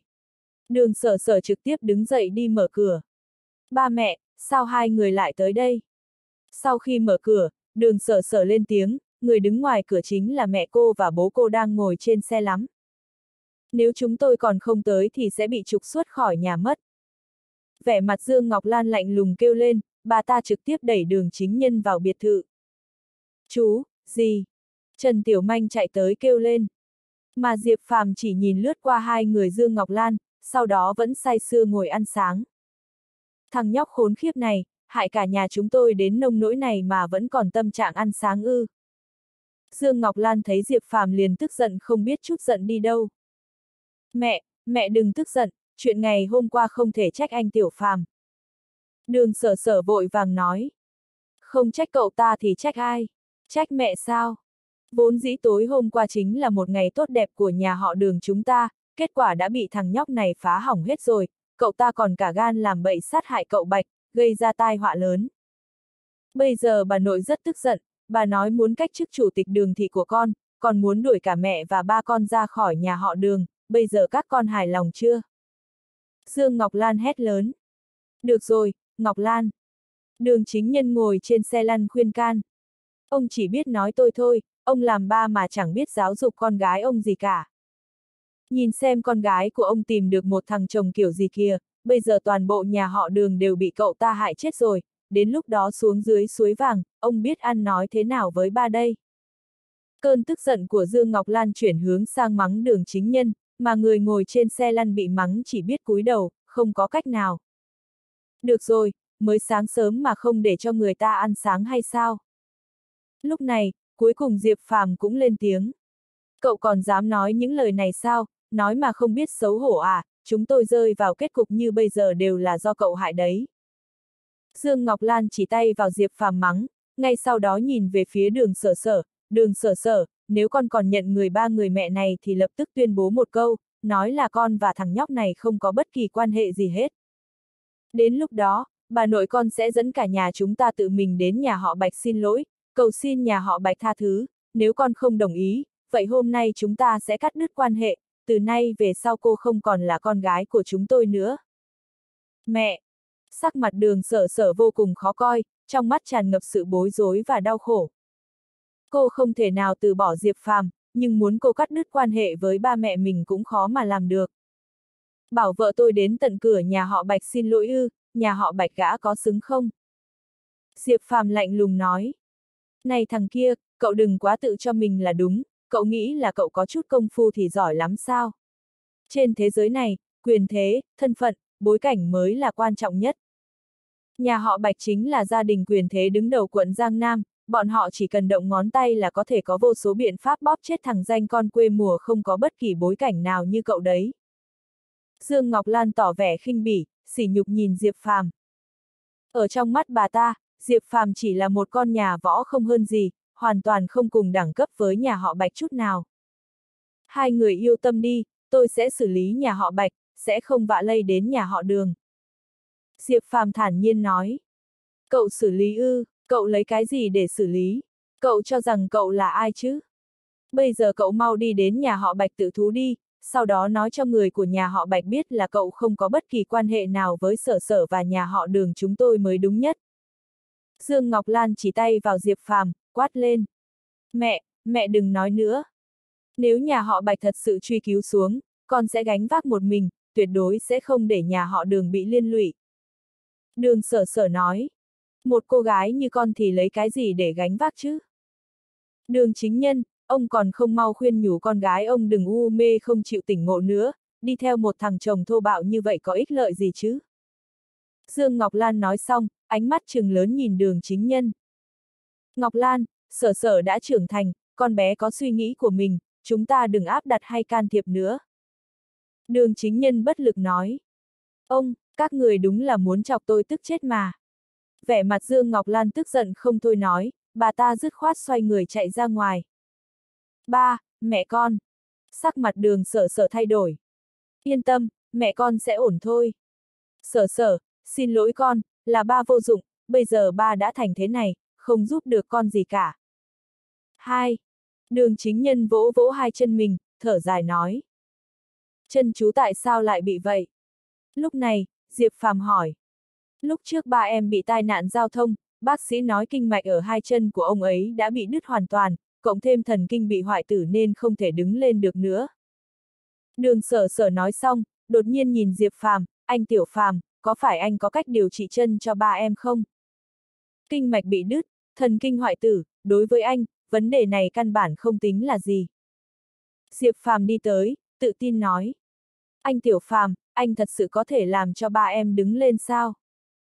Tâm trạng đường sở sở kích động nhìn Diệp Phàm. Đương nhiên. Diệp Phàm đi tới trước mặt đường chính nhân, nói, không biết chú có bằng lòng để cháu chữa trị không? Cậu thực sự có thể làm cho hai chân của tôi trở lại bình thường sao? Trước đây tôi đã tìm rất nhiều bậc thầy y học nhưng bọn họ đều nói là chân của tôi không thể chữa khỏi. Đường chính nhân khó tin nói. Những người đó chẳng qua chỉ là một đám mua danh trục lợi, căn bản không hiểu cái gì gọi là y thuật thật sự. Diệp Phàm khinh thường nói. Ba, ba phải tin tưởng anh Tiểu Phàm. Đường sở sở nói với đường chính nhân. Vậy thì thử xem đi, dù sao không được cũng không sao. Đường chính nhân nói. Sau đó, Diệp Phàm sắn ống quần ở hai chân đường chính nhân lên, bởi vì thần kinh của hai chân bị hoại tử, đã bắt đầu dần dần khô queo. Phập. Diệp Phàm vung tay lên, lần lượt đâm hai cây châm bạc vào một huyệt vị ở chân trái và chân phải của đường chính nhân. Ngay sau đó, hai tay Diệp Phàm nhẹ nhàng vuốt ve hai cây châm bạc này. Hai cây châm bạc này rung động với một tần suất đặc biệt, trên châm bạc lại phát ra ánh sáng lờ mờ, có vẻ kỳ diệu tột cùng. 10 phút sau, Diệp Phàm nhổ hai cây châm bạc này ra, nhìn đường chính nhân, chú, bây giờ chú có cảm giác gì không? Tôi cảm thấy hình như hai chân của tôi đang nóng lên. Đường chính nhân nói. Ba, chân của ba có cảm giác rồi sao? Đường sở sở kinh ngạc nói. Lúc này, Diệp Phàm cầm kim đâm nhẹ vào chân đường chính nhân, nói, chú, thế nào rồi? Đau. Đường chính nhân nói thẳng. Tốt quá đi, ba, hai chân của ba thật sự khôi phục rồi. Đường sở sở vui mừng nói. Chân chú vẫn chưa hồi phục hoàn toàn, bây giờ mới chỉ là dần dần hồi phục cảm giác, nhưng nếu muốn đứng lên đi lại được thì vẫn còn châm cứu thêm một lần nữa, bây giờ cháu sẽ kê đơn thuốc cho chú. Chú, chú chuẩn bị đầy đủ những dược liệu này rồi nấu thành nước thuốc, mỗi ngày ngâm 3 tiếng, 3 ngày sau cháu sẽ tiếp tục châm cứu cho chú. Đến lúc đó, chú sẽ có thể đứng lên giống như người bình thường vậy. Diệp Phàm nói. Tiểu Phàm, thật sự là cảm ơn cậu, không ngờ đường chính nhân tôi còn có thể đứng lên được, thật sự rất cảm ơn cậu. Đường chính nhân nhìn Diệp Phàm, kích động nói. Chú đừng khách sáo quá, chú là ba của sở sở, chính là ba vợ của cháu, cháu làm thế cũng là chuyện nên làm. Diệp Phàm cười nói. Tốt, đường chính nhân tôi nhận người con rể như cậu. Đường chính nhân thoải mái cười to. Ba, ba tốt quá. Đường sở sở cũng nở nụ cười. Sở sở, con không cần lo lắng, về mẹ con, để ba cố gắng khuyên nhủ bà ấy. Đường chính nhân nói. Sau đó, đường chính nhân ở lại đây thêm một lát rồi trở về. Mà đường sở sở và Trần Tiểu Manh thì một người đến công ty, một người đi học. Chỉ còn lại Diệp Phàm không có việc gì làm. Ở trong biệt thự mấy tiếng đồng hồ, Diệp Phàm hơi buồn chán, hắn định ra ngoài đi dạo một lát. Nhưng hắn vừa ra khỏi cửa biệt thự, trong sân biệt thự nhà bên cạnh lại truyền đến một giọng nói lạnh lùng trong trẻo. Mộ dung Vân Thiên, tôi đã nói rồi, tôi không muốn nhìn thấy anh, xin anh sau này đừng xuất hiện trước mặt tôi nữa. Trong sân nhà bên cạnh có một cô gái mặc váy tím, vẻ mặt lạnh lùng nhìn một người đàn ông mặc đồ trắng trước mặt. Mà người đàn ông này lại có gương mặt rất đẹp trai, cả người toát lên khí chất phóng khoáng, nhưng cặp mắt lại lộ ra vài phần không đứng đắn. Lưu Ly, em thật sự ghét anh đến thế sao? Chỉ vì trốn tránh anh mà lại rời khỏi gia tộc, chạy đến một chỗ thế này. Người đàn ông mặc đồ trắng nói với cô gái mặc váy tím. Đúng vậy, tôi đã nói tôi không thích anh. Mời anh lập tức rời khỏi đây ngay. Cô gái mặc váy tím lạnh lùng nói. Mộ dung Vân Thiên, cô chủ nhà tôi đã nói là không thích anh rồi, anh còn quấn lấy cô chủ nhà chúng tôi làm gì? Cô gái mặc đồ xanh đứng bên cạnh cô gái mặc váy tím nới với người đàn ông mặc đồ trắng. Tôi đang nói chuyện với cô chủ nhà cô, một người giúp việc như cô có chỗ để chen miệng vào à? Vả miệng. Người đàn ông mặc đồ trắng hử lạnh. Ngay sau đó, phía sau anh ta có một người đàn ông trung niên lập tức đi lên tát vào mặt cô gái mặc đồ xanh. Bốp! Vẻ mặt cô gái mặc váy tím lạnh lùng, bàn tay ngọc ngà mảnh khảnh của cô ta vung lên, một luồng sức lực bắn ra ngăn cản người đàn ông này. Mộ dung vân thiên, người hầu của tôi là người anh nói đánh là đánh sao? Cô gái mặc váy tím nhìn người đàn ông mặc đồ trắng, lạnh lùng nói. Lưu Ly, anh chỉ thay em dạy dỗ lại người hầu không biết chừng mực thôi. Người đàn ông mặc đồ trắng khinh thường nói, tiếp tục nói, nhưng Lưu Ly à, em yên tâm, chỉ cần em không thích những người khác, anh vẫn sẽ theo đuổi em, anh tin là em nhất định sẽ thích anh. Có phải chỉ cần tôi có người mình thích, anh sẽ không xuất hiện trước mặt tôi nữa không? Cô gái mặc váy tím nói. Đúng vậy. Người đàn ông mặc đồ trắng gật đầu. Người tôi thích chính là anh ấy. Cô gái mặc váy tím chỉ tay thẳng về phía Diệp Phàm trong sân biệt thự bên cạnh. Hả? Lúc này, Diệp Phàm đang xem kịch lại ngây ngẩn cả người. Hắn chẳng qua chỉ là đang xem kịch thôi mà, sao tự nhiên lại kéo theo hắn vào rồi. Này! Lúc này, ánh mắt người đàn ông mặc đồ trắng quét về phía Diệp Phàm, trong mắt lóe ra ánh sáng sắc lạnh. Mà cô gái mặc đồ xanh kia nghe được cô chủ nói vậy, cũng lập tức ngạc nhiên. Tôi chỉ là một người xem kịch, tôi không biết cô ấy. Diệp Phàm giải thích, hắn đã làm lá chắn cho cô nhóc Trần Tiểu Manh một lần rồi, cũng không muốn làm thêm một lần nữa, hơn nữa hắn lại không biết đối phương.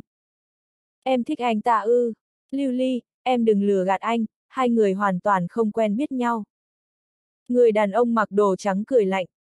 Mặc kệ chúng tôi có quen biết nhau hay không, người tôi thích chính là anh ấy, cho nên bây giờ anh có thể đi được rồi. Cô gái mặc váy tím lạnh lùng nói. Nếu đã như vậy, anh sẽ lập tức đi giết anh ta. Vẻ mặt người đàn ông mặc đồ trắng lạnh lùng, nói. Bộp bộp. Người đàn ông này vừa nói vậy, người đàn ông trung niên bên cạnh anh ta đã xông về phía Diệp Phàm. Người đàn ông trung niên này nhảy vọt qua hàng rào trong sân, đánh một trưởng về phía Diệp Phàm. Một trưởng này đánh ra, kình phong gào thét, có 10 phần sức mạnh. Tôi đã nói rồi, tôi chỉ là người xem kịch. Diệp Phàm bất lực nói. Xem một vở kịch cũng có thể gặp họa chết người, hắn đang gặp xui xẻo gì đây? ầm, um, mà Diệp Phàm vừa chửi bới, đồng thời cũng bắn ra một luồng ngân quang, đâm thẳng vào trong cơ thể người đàn ông trung niên này. Trong nháy mắt, người đàn ông trung niên này lập tức ngã xuống đất, không nhúc nhích nữa, chỉ có thể mở to hai mắt. Ôi!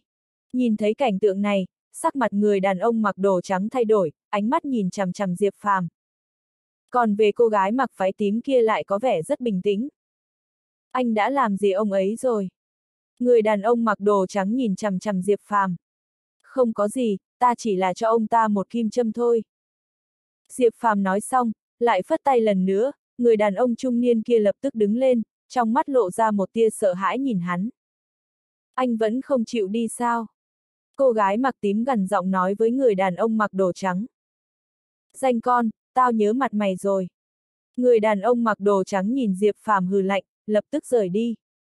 Ôi, xem náo nhiệt cũng có thể đắc tội với người khác ư, xem ra hôm nay vận may của mình không tốt lắm. Diệp Phàm cảm thán nói.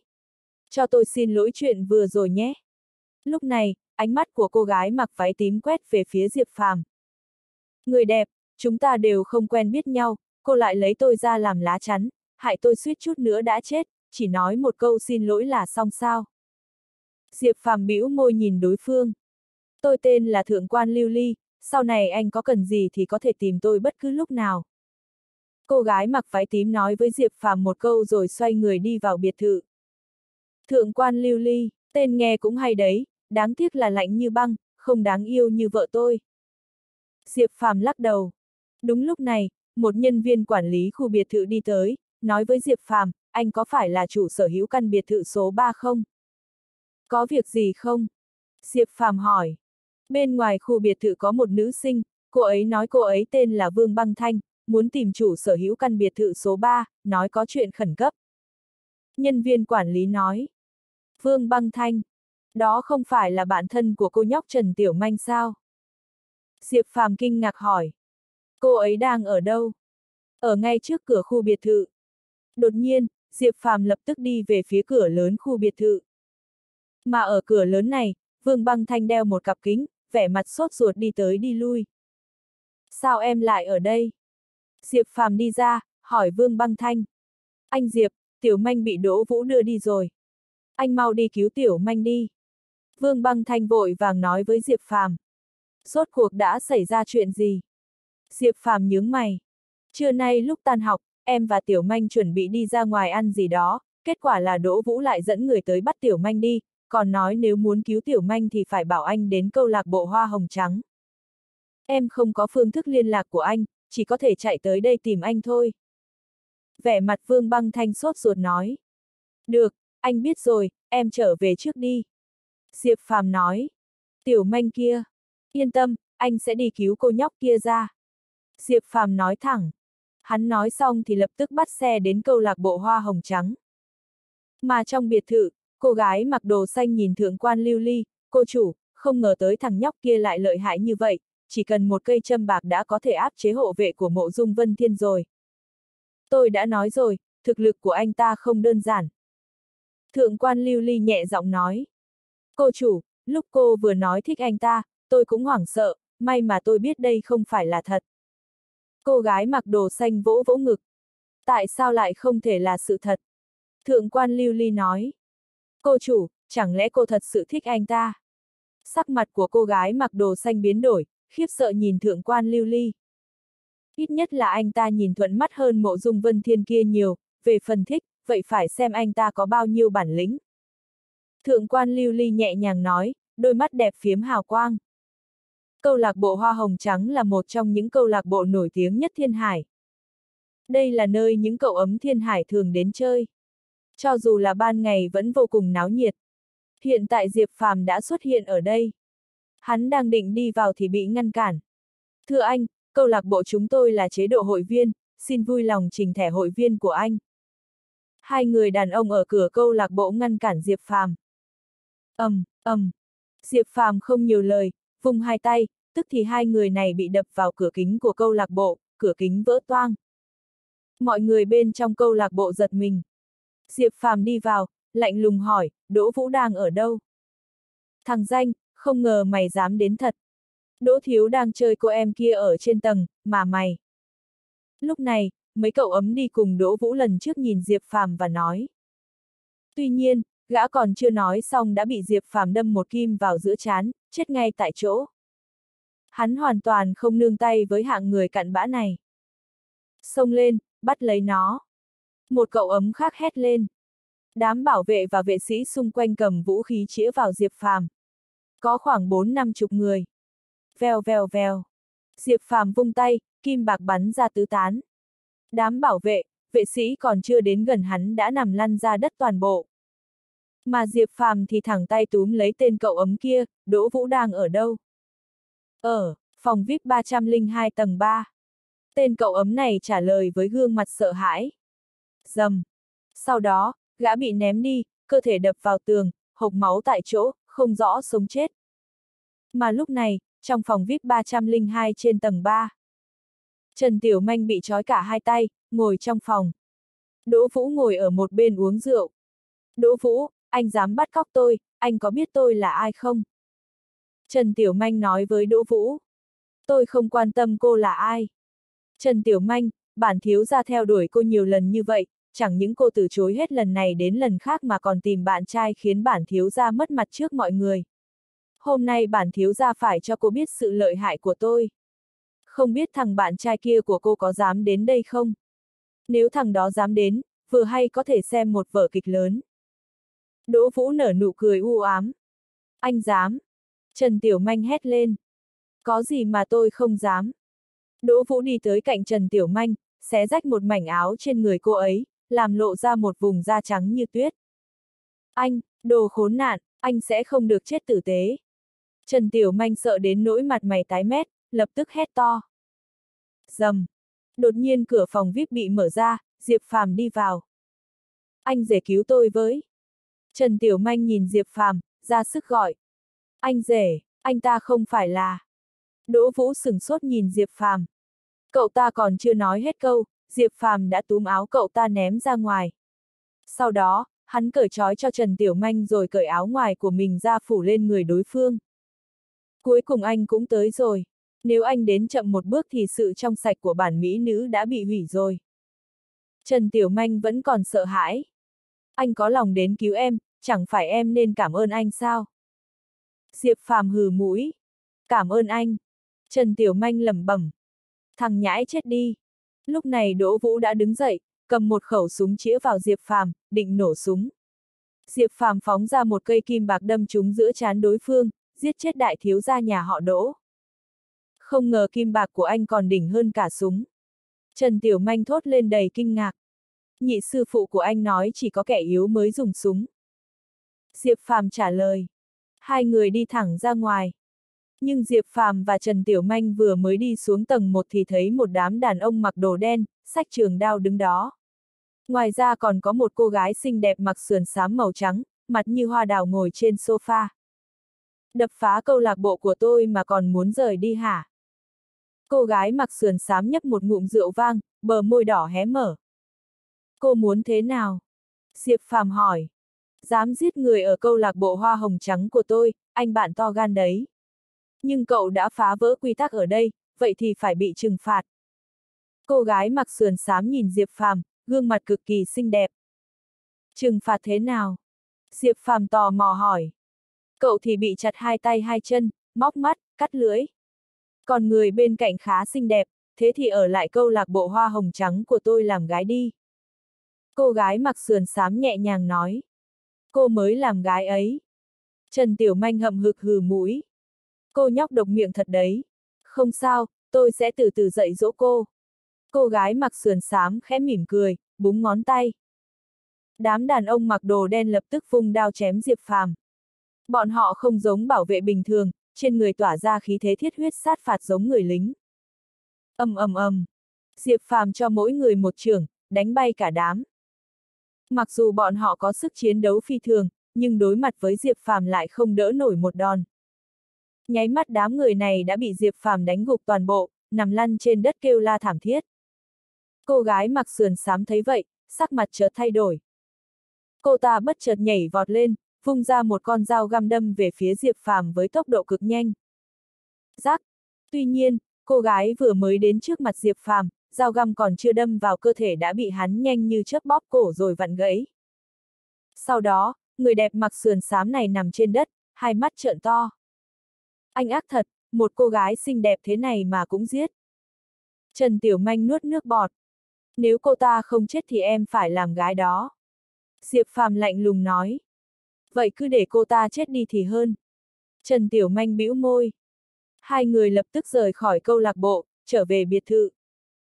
Khi đường sở sở về nhà, biết chuyện Trần Tiểu Manh bị bắt cóc, cô cũng sợ hết hồn. Chị họ, em không sao. Trần Tiểu Manh cười hì hì đáp lời. Con nhóc này lúc nào cũng làm người khác lo lắng. Nói xong đường sở sở nhìn sang Diệp Phàm, anh Tiểu Phàm, hôm nay cảm ơn anh nhé. Không có gì, chuyện nhỏ ấy mà. Diệp Phàm thuận miệng nói, sau đó nhìn đường sở sở, sở sở à, ngày mai anh phải đến thành phố Giang một chuyến. Thành phố Giang chẳng phải là. Đường sở sở kinh ngạc nói. Trên núi Cửu Long, Diệp Phàm đã nói cho cô biết thân thế của hắn. Vì vậy, đường sở sở biết trước kia nhà của Diệp Phàm ở thành phố Giang. Mai là ngày rỗ của ba mẹ anh, anh quyết định trở về cúng bái. Diệp Phàm trầm giọng nói. Anh Tiểu Phàm, em đi cùng anh. Đường sở sở lập tức lên tiếng. Được. Diệp Phàm gật đầu. Trong khi đó, ở một nơi nào đó của Trung Quốc. Gì cơ, Tiểu Manh bị bắt cóc. Một người đàn ông tầm 40 tuổi, mặt vuông chữ điền, cực kỳ uy nghiêm sầm mặt quát. Xin lỗi gia chủ, là do tôi tắc trách, người của chúng ta vốn định cứu người nhưng đã có người ra tay trước, hiện tại tiểu thư đã an toàn. Một chàng trai quỳ gối đáp lời. Ai đã cứu tiểu manh? Người đàn ông kia lạnh lùng hỏi. Là chồng của đường tiểu thư, hình như cậu ta tên là Diệp Phàm. Chàng trai trả lời. Diệp Phàm, cậu hãy điều tra xem người này có thân phận gì. Còn nhà họ đỗ kia nữa, dám động đến con gái tôi thì cứ thẳng tay tiêu diệt đi, không để lại một ai hết. Người đàn ông trung niên nghiêm mặt nói. Vâng, thưa gia chủ. Chàng trai gật đầu. Sáng sớm hôm sau, Diệp Phàm vừa mới thức dậy, đi xuống dưới lầu đã nghe thấy giọng nói của đường sở sở. Anh Tiểu Phàm, nhà họ Đỗ bị tiêu diệt rồi. Đường sở sở nhìn Diệp Phàm và nói. Nhà họ Đỗ bị tiêu diệt rồi á. Trong mắt Diệp Phàm lộ vẻ kinh ngạc. Đúng vậy, đêm qua nhà họ Đỗ bị một nhóm người thần bí diệt môn, cả gia tộc hơn trăm người đều bị giết sạch, ngay cả một số tộc nhân bên ngoài cũng không thoát chết. Hiện tại cả thiên hải đều đang bàn tán chuyện này. Đường sở sở kể tường tận. Ai làm? Diệp Phàm tò mò hỏi. Vẫn chưa biết anh ạ. À. Có điều nhà họ Đỗ bị tiêu diệt vào lúc này liệu có liên quan đến chuyện tiểu manh bị bắt cóc không anh? Ban đầu em còn tưởng là anh làm. Đường sở sở nói. Nếu người bị bọn họ bắt cóc là em thì chắc chắn là anh làm. Diệp Phàm cười khẽ. Ơ này, anh nói như vậy tôi rất buồn đó. Lẽ nào trong lòng anh, tôi không quan trọng bằng chị họ sao? Lúc này Trần Tiểu Manh đi xuống, nhìn Diệp Phàm bằng ánh mắt u oán. Câu này chẳng phải hỏi thừa sao? Diệp Phàm lườm Trần Tiểu Manh, làm cho đối phương hầm hừ tức giận. Tiểu Manh, lẽ nào là người của gia tộc em làm? Đường sở sở nhìn Trần Tiểu Manh. Em không biết. Trần Tiểu Manh lắc đầu. Gia tộc của cô nàng này lợi hại thế cơ à? Diệp Phàm liếc Trần Tiểu Manh. Hừ, tất nhiên rồi. Sau này nếu anh dám bắt nạt tôi, tôi sẽ bảo ba tôi xử anh.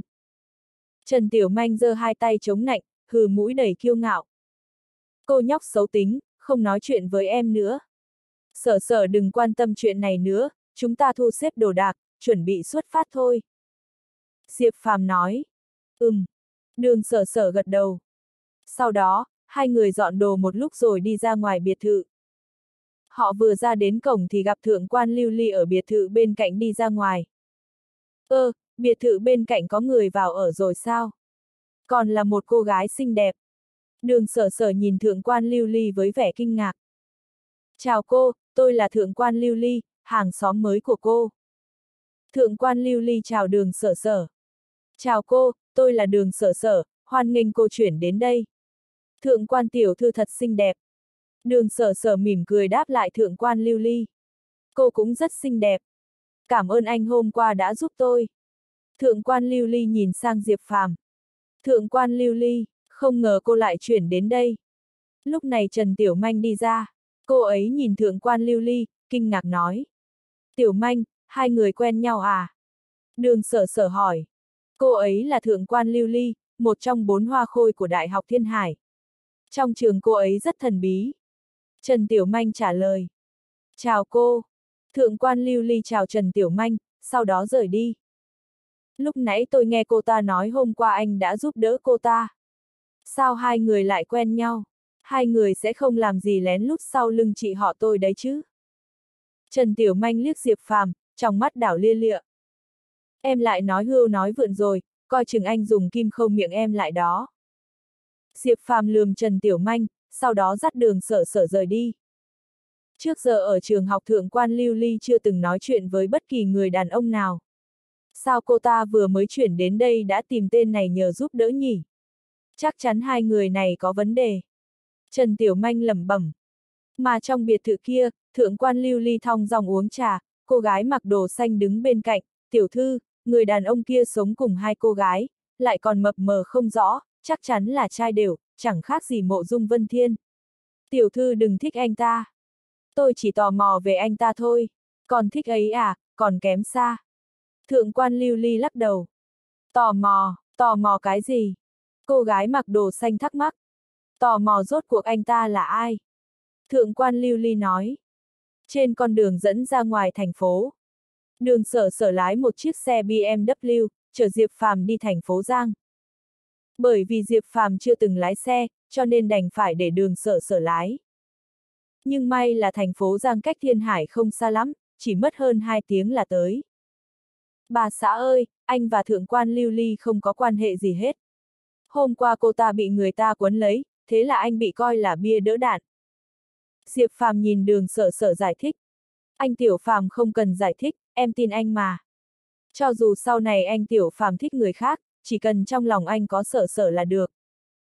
Đường sở sở dịu dàng nói. Bà xã rộng lượng như vậy sao? Diệp Phàm kinh ngạc.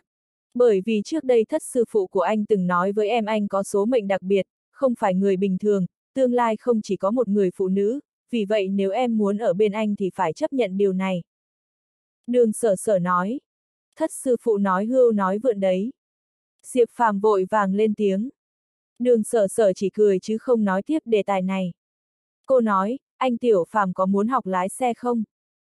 Lái xe dễ ợt, không cần học. Diệp Phàm xem thường. Tuy hắn chưa từng lái xe, nhưng với năng lực học tập của hắn thì chỉ cần nhìn người khác lái một lần là biết. Vậy sau khi trở về em sẽ mua cho anh một chiếc xe, sau này anh đi đâu cũng tiện. Đường sở sở nói. Bà xã thật tuyệt, xem ra anh sắp thành tên ăn bám thật rồi. Diệp Phàm hôn lên má đường sở sở. Chẳng mấy chốc hai người đã ra khỏi khu vực thành phố Thiên Hải, đi về phía thành phố Giang. Trong khi Diệp Phàm và đường sở sở rời khỏi Thiên Hải, nhà họ Bạch sử dụng thế lực hùng mạnh phong tỏa toàn Thiên Hải, không cho bất cứ ai ra khỏi Thiên Khải. Sau đó, nhà họ Bạch thông báo bất cứ ai tham dự bữa tiệc đêm đó đều phải chôn cùng đại thiếu gia nhà họ Bạch. Tin tức này làm chấn động cả Thiên Hải. Nhất thời các gia tộc lớn, các nhân vật quyền quý ở Thiên Hải đều sợ bay màu. Bọn họ không ngờ nhà họ Bạch lại điên cuồng như vậy, muốn giết hết tất cả những người dự tiệc đêm ấy, như vậy chẳng phải là muốn tắm máu cả Thiên Hải sao? Các gia tộc lớn nhanh chóng nghĩ mọi cách liên lạc với nhà họ Bạch với hy vọng nhận được sự tha thứ của nhà họ Bạch. Thậm chí bọn họ có thể bỏ ra tất cả mọi thứ để bồi thường. Nhưng tiếc là bọn họ chỉ nhận được một câu, đại thiếu gia nhà họ Bạch bị giết, nhất định phải có người chôn cùng. Câu nói này đã dập tắt toàn bộ hy vọng của mọi người. Tức thì các thế lực gia tộc lớn, các nhân vật quyền quý ở Thiên Hải đều dối rít chuẩn bị rời trốn khỏi Thiên Hải. Nếu không chạy mà tiếp tục ở lại đây thì chỉ có thể chờ chết. Tuy nhiên, hiện tại toàn Thiên Hải đã bị người nhà họ Bạch phong tỏa hoàn toàn, bọn họ không trốn ra ngoài được. Mà ở nhà họ Đường, sau khi bà cụ Đường biết tin, bà ta tuyệt vọng nói ra một câu, xong rồi, tất cả đều xong rồi. Sau đó bà ta ngất xỉu. Nhà họ Đường lập tức rối loạn. Cùng lúc đó, tại phủ tổng đốc ở Thiên Hải. Sai quyền và một đám quan chức Thiên Hải tập trung ở đây, ai nấy đều mang vẻ mặt sốt ruột. Không lâu sau, một người đàn ông hơn 50 tuổi, tóc muối tiêu, mặc vest xuất hiện. Ông ta là Hầu Hải Tổng đốc Thiên Hải. Sao rồi Tổng đốc, có phải nhà họ Bạch thật sự muốn tiêu diệt các gia tộc lớn Thiên Hải không? Sai quyền vội vàng hỏi. Tôi đã liên lạc với chủ nhà họ Bạch, câu trả lời nhận được là ông cụ nhà họ Bạch đích thân ra lệnh muốn bắt những người dự tiệc đêm đó chôn cùng cháu trai của mình. Không ai có thể thay đổi kết quả này. Hầu Hải trầm giọng nói. Sắc mặt của những người ở đây lập tức thay đổi. Nhà họ Bạch quá đáng thế. Một đứa cháu trai chết lại muốn bắt nhiều người như vậy chôn cùng. Một khi nhà họ Bạch làm vậy, cả thiên hải sẽ đại loạn, bọn họ không sợ bên trên truy cứu sao. Một cán bộ lên tiếng. Thế lực của nhà họ Bạch trải rộng khắp quận Giang Nam, thâm căn cố đế, ngay cả chủ tịch quận Giang Nam cũng không dám đắc tội bọn họ. Hơn nữa, nhà họ Bạch còn có chỗ dựa là thế lực ở thủ đô, nào quan tâm đến chuyện bên trên truy cứu. Sai quyền thở dài. Hiện tại biện pháp duy nhất là lập tức bắt được hung thủ đã giết đại thiếu gia nhà họ Bạch, sau đó đưa tới nhà họ Bạch để xoa dịu cơn giận của nhà họ Bạch, nói không chừng bọn họ sẽ tha cho thiên hải. Hầu Hải trầm giọng nói. Tổng đốc, không thể. Sai quyền phản đối mãnh liệt. Hử, sao vậy? Hầu Hải nhìn Sai quyền với vẻ khó hiểu. Sai quyền ghé vào tai Hầu Hải nói thầm. Cậu ta còn có lai lịch này. Mặt Hầu Hải biến sắc. Đúng vậy. Sai quyền gật đầu. Trong mắt lóe lên tia sáng, Hầu Hải nói, chúng ta không nhúng tay vào chuyện này nữa, mọi người lẳng lặng theo dõi diễn biến đi. Nghe Hầu Hải nói vậy, mọi người đều kinh ngạc, không hiểu ra sao. Nhưng cũng không có ai dám hỏi thêm. Trên một con đường dẫn tới thành phố Thiên Hải, mấy chục chiếc xe hơi chạy tới. Người ngồi trong xe đều là vệ sĩ tinh nhuệ được nhà họ Bạch bồi dưỡng. Nửa tiếng sau chính thức hành động, những người trong danh sách này, một người cũng không để lại. Trong chiếc xe đi đầu, đội trưởng đội vệ sĩ lấy ra một tờ danh sách giao cho cấp dưới, lạnh lùng ra lệnh. Trên danh sách là tên của những người tham dự bữa tiệc của Bạch Cảnh Thiên đêm ấy, trong đó bao gồm 5 gia tộc lớn thiên hải. Đội trưởng, nhà họ đường thì sao? Nhà họ đường do tôi đích thân giải quyết. Đội trưởng đội vệ sĩ của nhà họ Bạch hờ hững trả lời. Rõ. Những người khác dồn dập gật đầu. Lúc nhà họ Bạch phong tỏa thiên hải khiến cho các gia tộc lớn của thiên hải tuyệt vọng, Diệp Phàm và đường sở sở đã đến thành phố Giang, thành phố Giang không lớn như thiên hải, cũng không có tiếng tăm gì trong số các thành phố lớn của quận Giang Nam.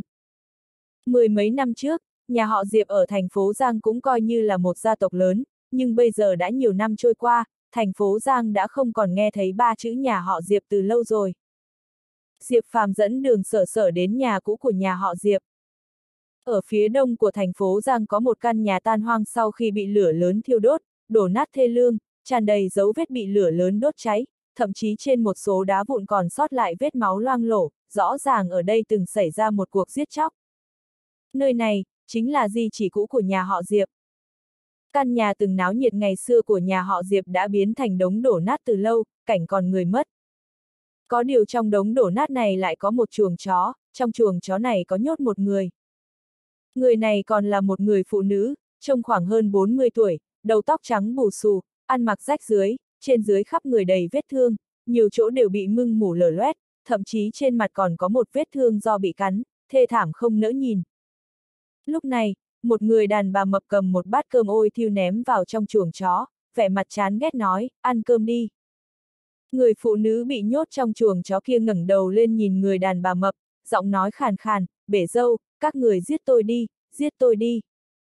Muốn chết à, không dễ dàng như vậy đâu, ăn nhanh lên cho tao, không ăn, tao sẽ thả tiểu hắc ra. Người đàn bà mập này hung ác kêu lên.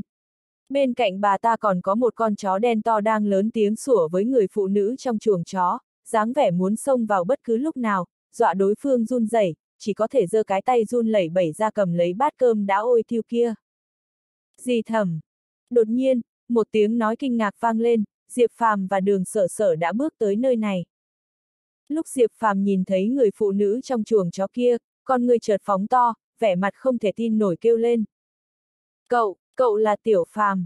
Người phụ nữ trong chuồng chó kia ngẩng đầu nhìn Diệp Phàm, biểu cảm của bà ấy đầu tiên là ngẩn người, sau đó kích động kêu lên, cả người rõ ràng vô cùng hưng phấn, thân thể không ngừng run rẩy. Gì thầm, là gì thật à? Nghe thấy giọng nói quen thuộc của đối phương, Diệp Phàm lập tức chắc chắn người phụ nữ bị nhốt trong chuồng chó chính là hầu gái theo sát bên cạnh mẹ của hắn Thẩm Nhan. Thẩm Nhan là hầu gái theo bên cạnh mẹ Diệp Phàm, năm đó cũng là bà ấy luôn chăm sóc sinh hoạt hàng ngày của Diệp Phàm, vậy nên đã để lại ấn tượng sâu sắc cho Diệp Phàm. Dù đã qua 18 năm, nhưng khi Diệp Phàm gặp lại đối phương, cảm giác quen thuộc lúc nhỏ kia nháy mắt đã dâng lên trong lòng.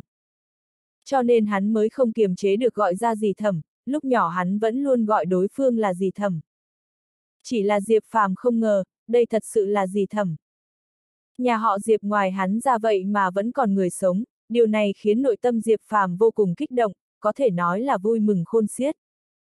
Có điều lúc thấy dáng vẻ thê thảm tới cực điểm của thẩm nhan hiện giờ, nhất là thấy gì thẩm thân nhất với hắn hồi nhỏ bị nhốt trong chuồng chó, bị ép ăn cơm thiêu bốc mùi hôi ngút trời, đôi mắt Diệp Phàm nháy mắt đỏ lên, lửa giận khó nói thành lời phun ra từ trong lòng hắn.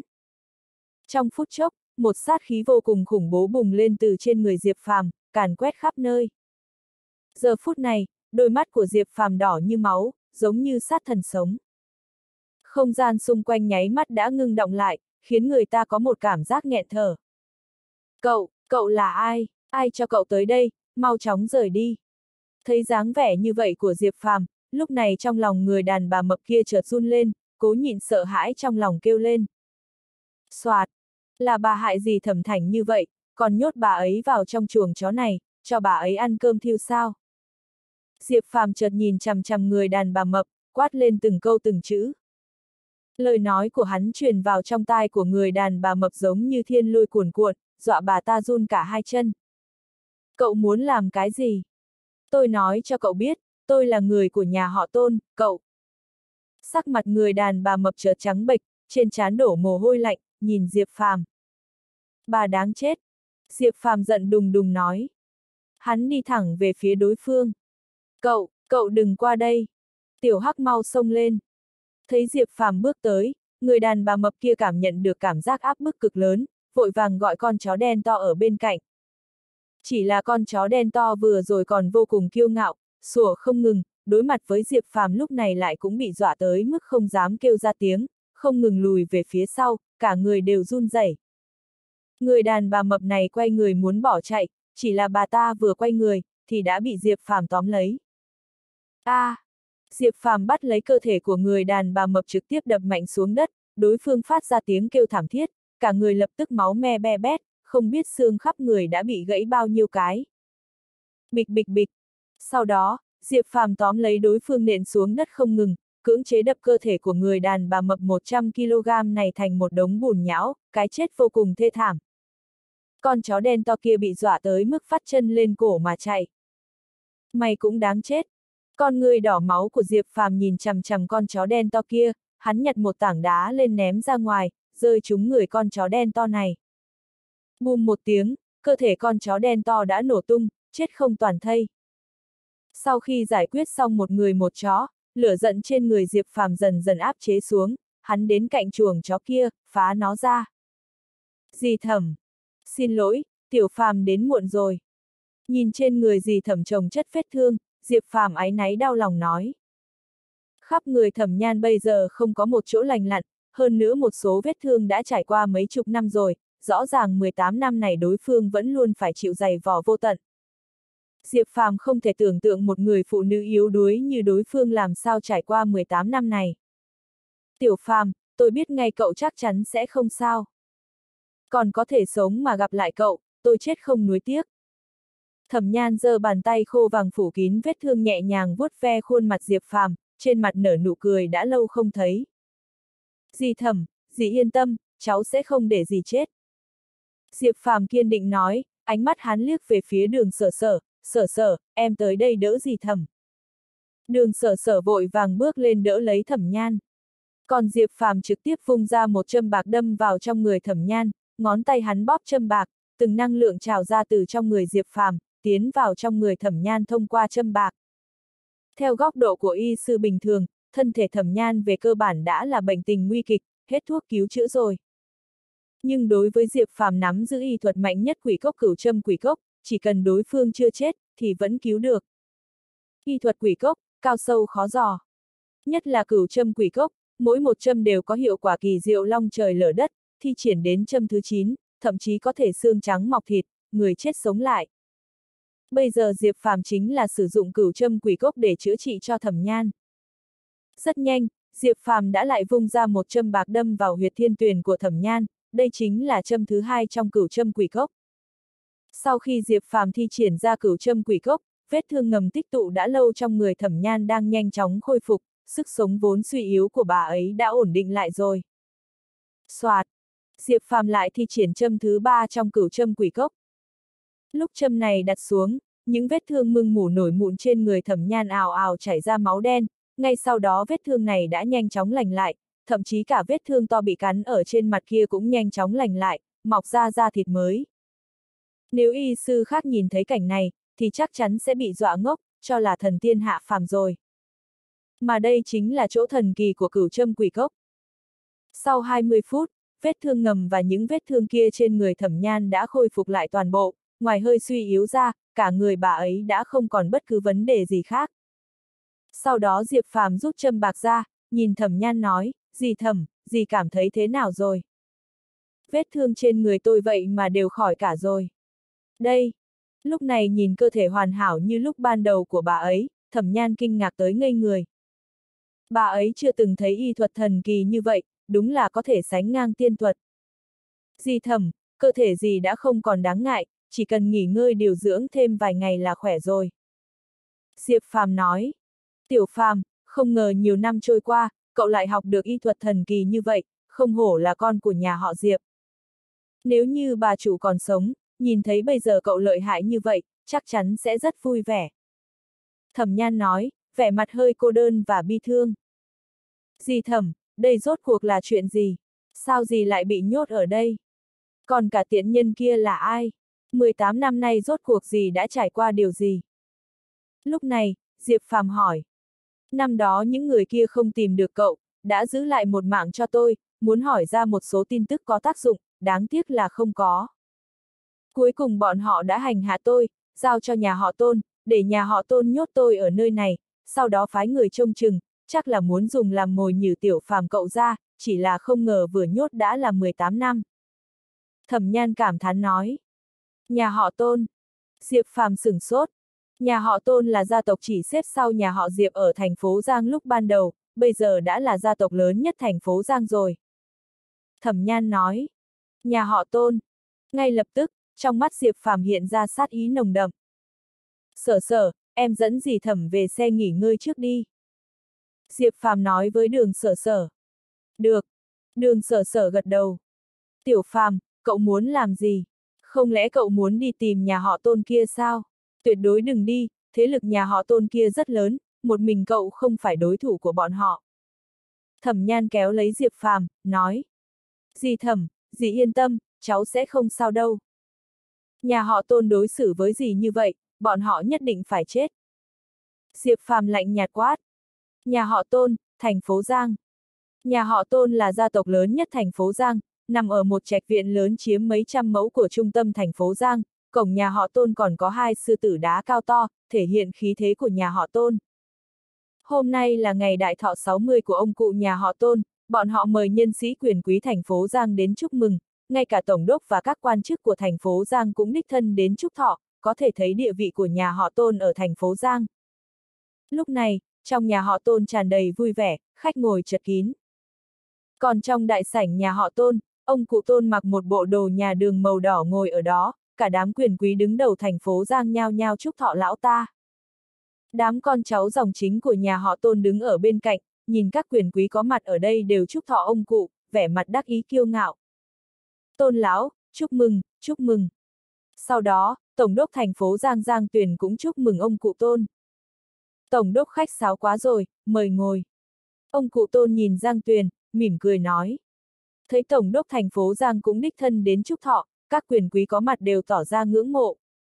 Nếu không phải năm đó nhà họ Diệp bị tiêu diệt, thì sao có thể tới lượt nhà họ Tôn thượng vị?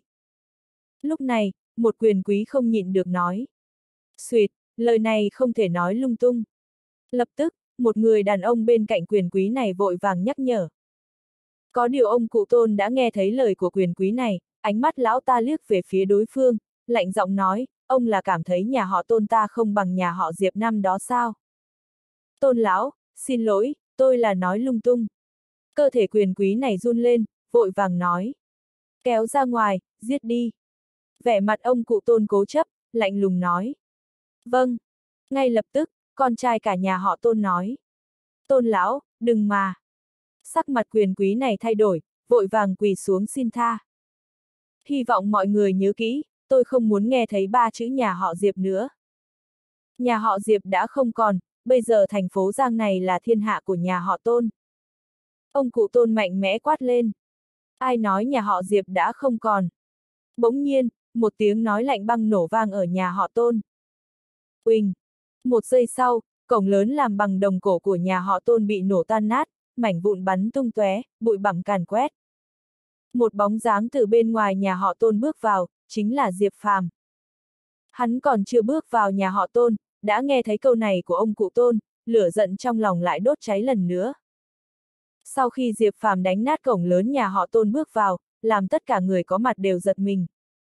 Ánh mắt tất cả mọi người liếc nhìn Diệp Phàm, trong mắt hiện ra vẻ nghi ngờ, thầm nói tên này là ai, lại dám gây sự vào ngày đại thọ của ông cụ nhà họ tôn, đây là chán sống rồi sao? Sắc mặt mọi người nhà họ tôn và những quyền quý trong đại sảnh kia cũng đều thay đổi. Vậy mà dám đến nhà họ tôn gây sự, muốn chết. Con trai cả nhà họ tôn lạnh lùng quát, gã ta trực tiếp bước ra ngoài, nhìn chằm chằm Diệp Phàm, nhóc con, mày to gan lắm, dám gây sự ở nhà họ tôn tao à? Qua ngày hôm nay, thành phố Giang không còn nhà họ tôn. Diệp Phàm giống như một diêm vương, đưa ra phán xét đối với nhà họ tôn. Nghe lời nói của Diệp Phàm, mọi người có mặt ở đây đều sửng sốt, lao nhau cảm thấy có phải thằng nhóc này điên rồi không, vậy mà dám nói ra lời này. Dám nguyền rủa nhà họ tôn, muốn chết. Bắt lấy cho tao. Con trai cả nhà họ tôn trực tiếp quát lên. Gã ta vừa ra lệnh, một đám hộ vệ nhà họ tôn đã xông ra, nhào về phía Diệp Phàm. Vèo vèo vèo. Nháy mắt tay Diệp Phàm vung lên, vô số châm bạc phóng nhanh ra, giống như mưa châm xối xả, đâm vào người những hộ vệ của nhà họ tôn. Tất cả hộ vệ này ngã xuống đất ngay tại chỗ, mắt trợn rất to, tất cả đều chết thảm.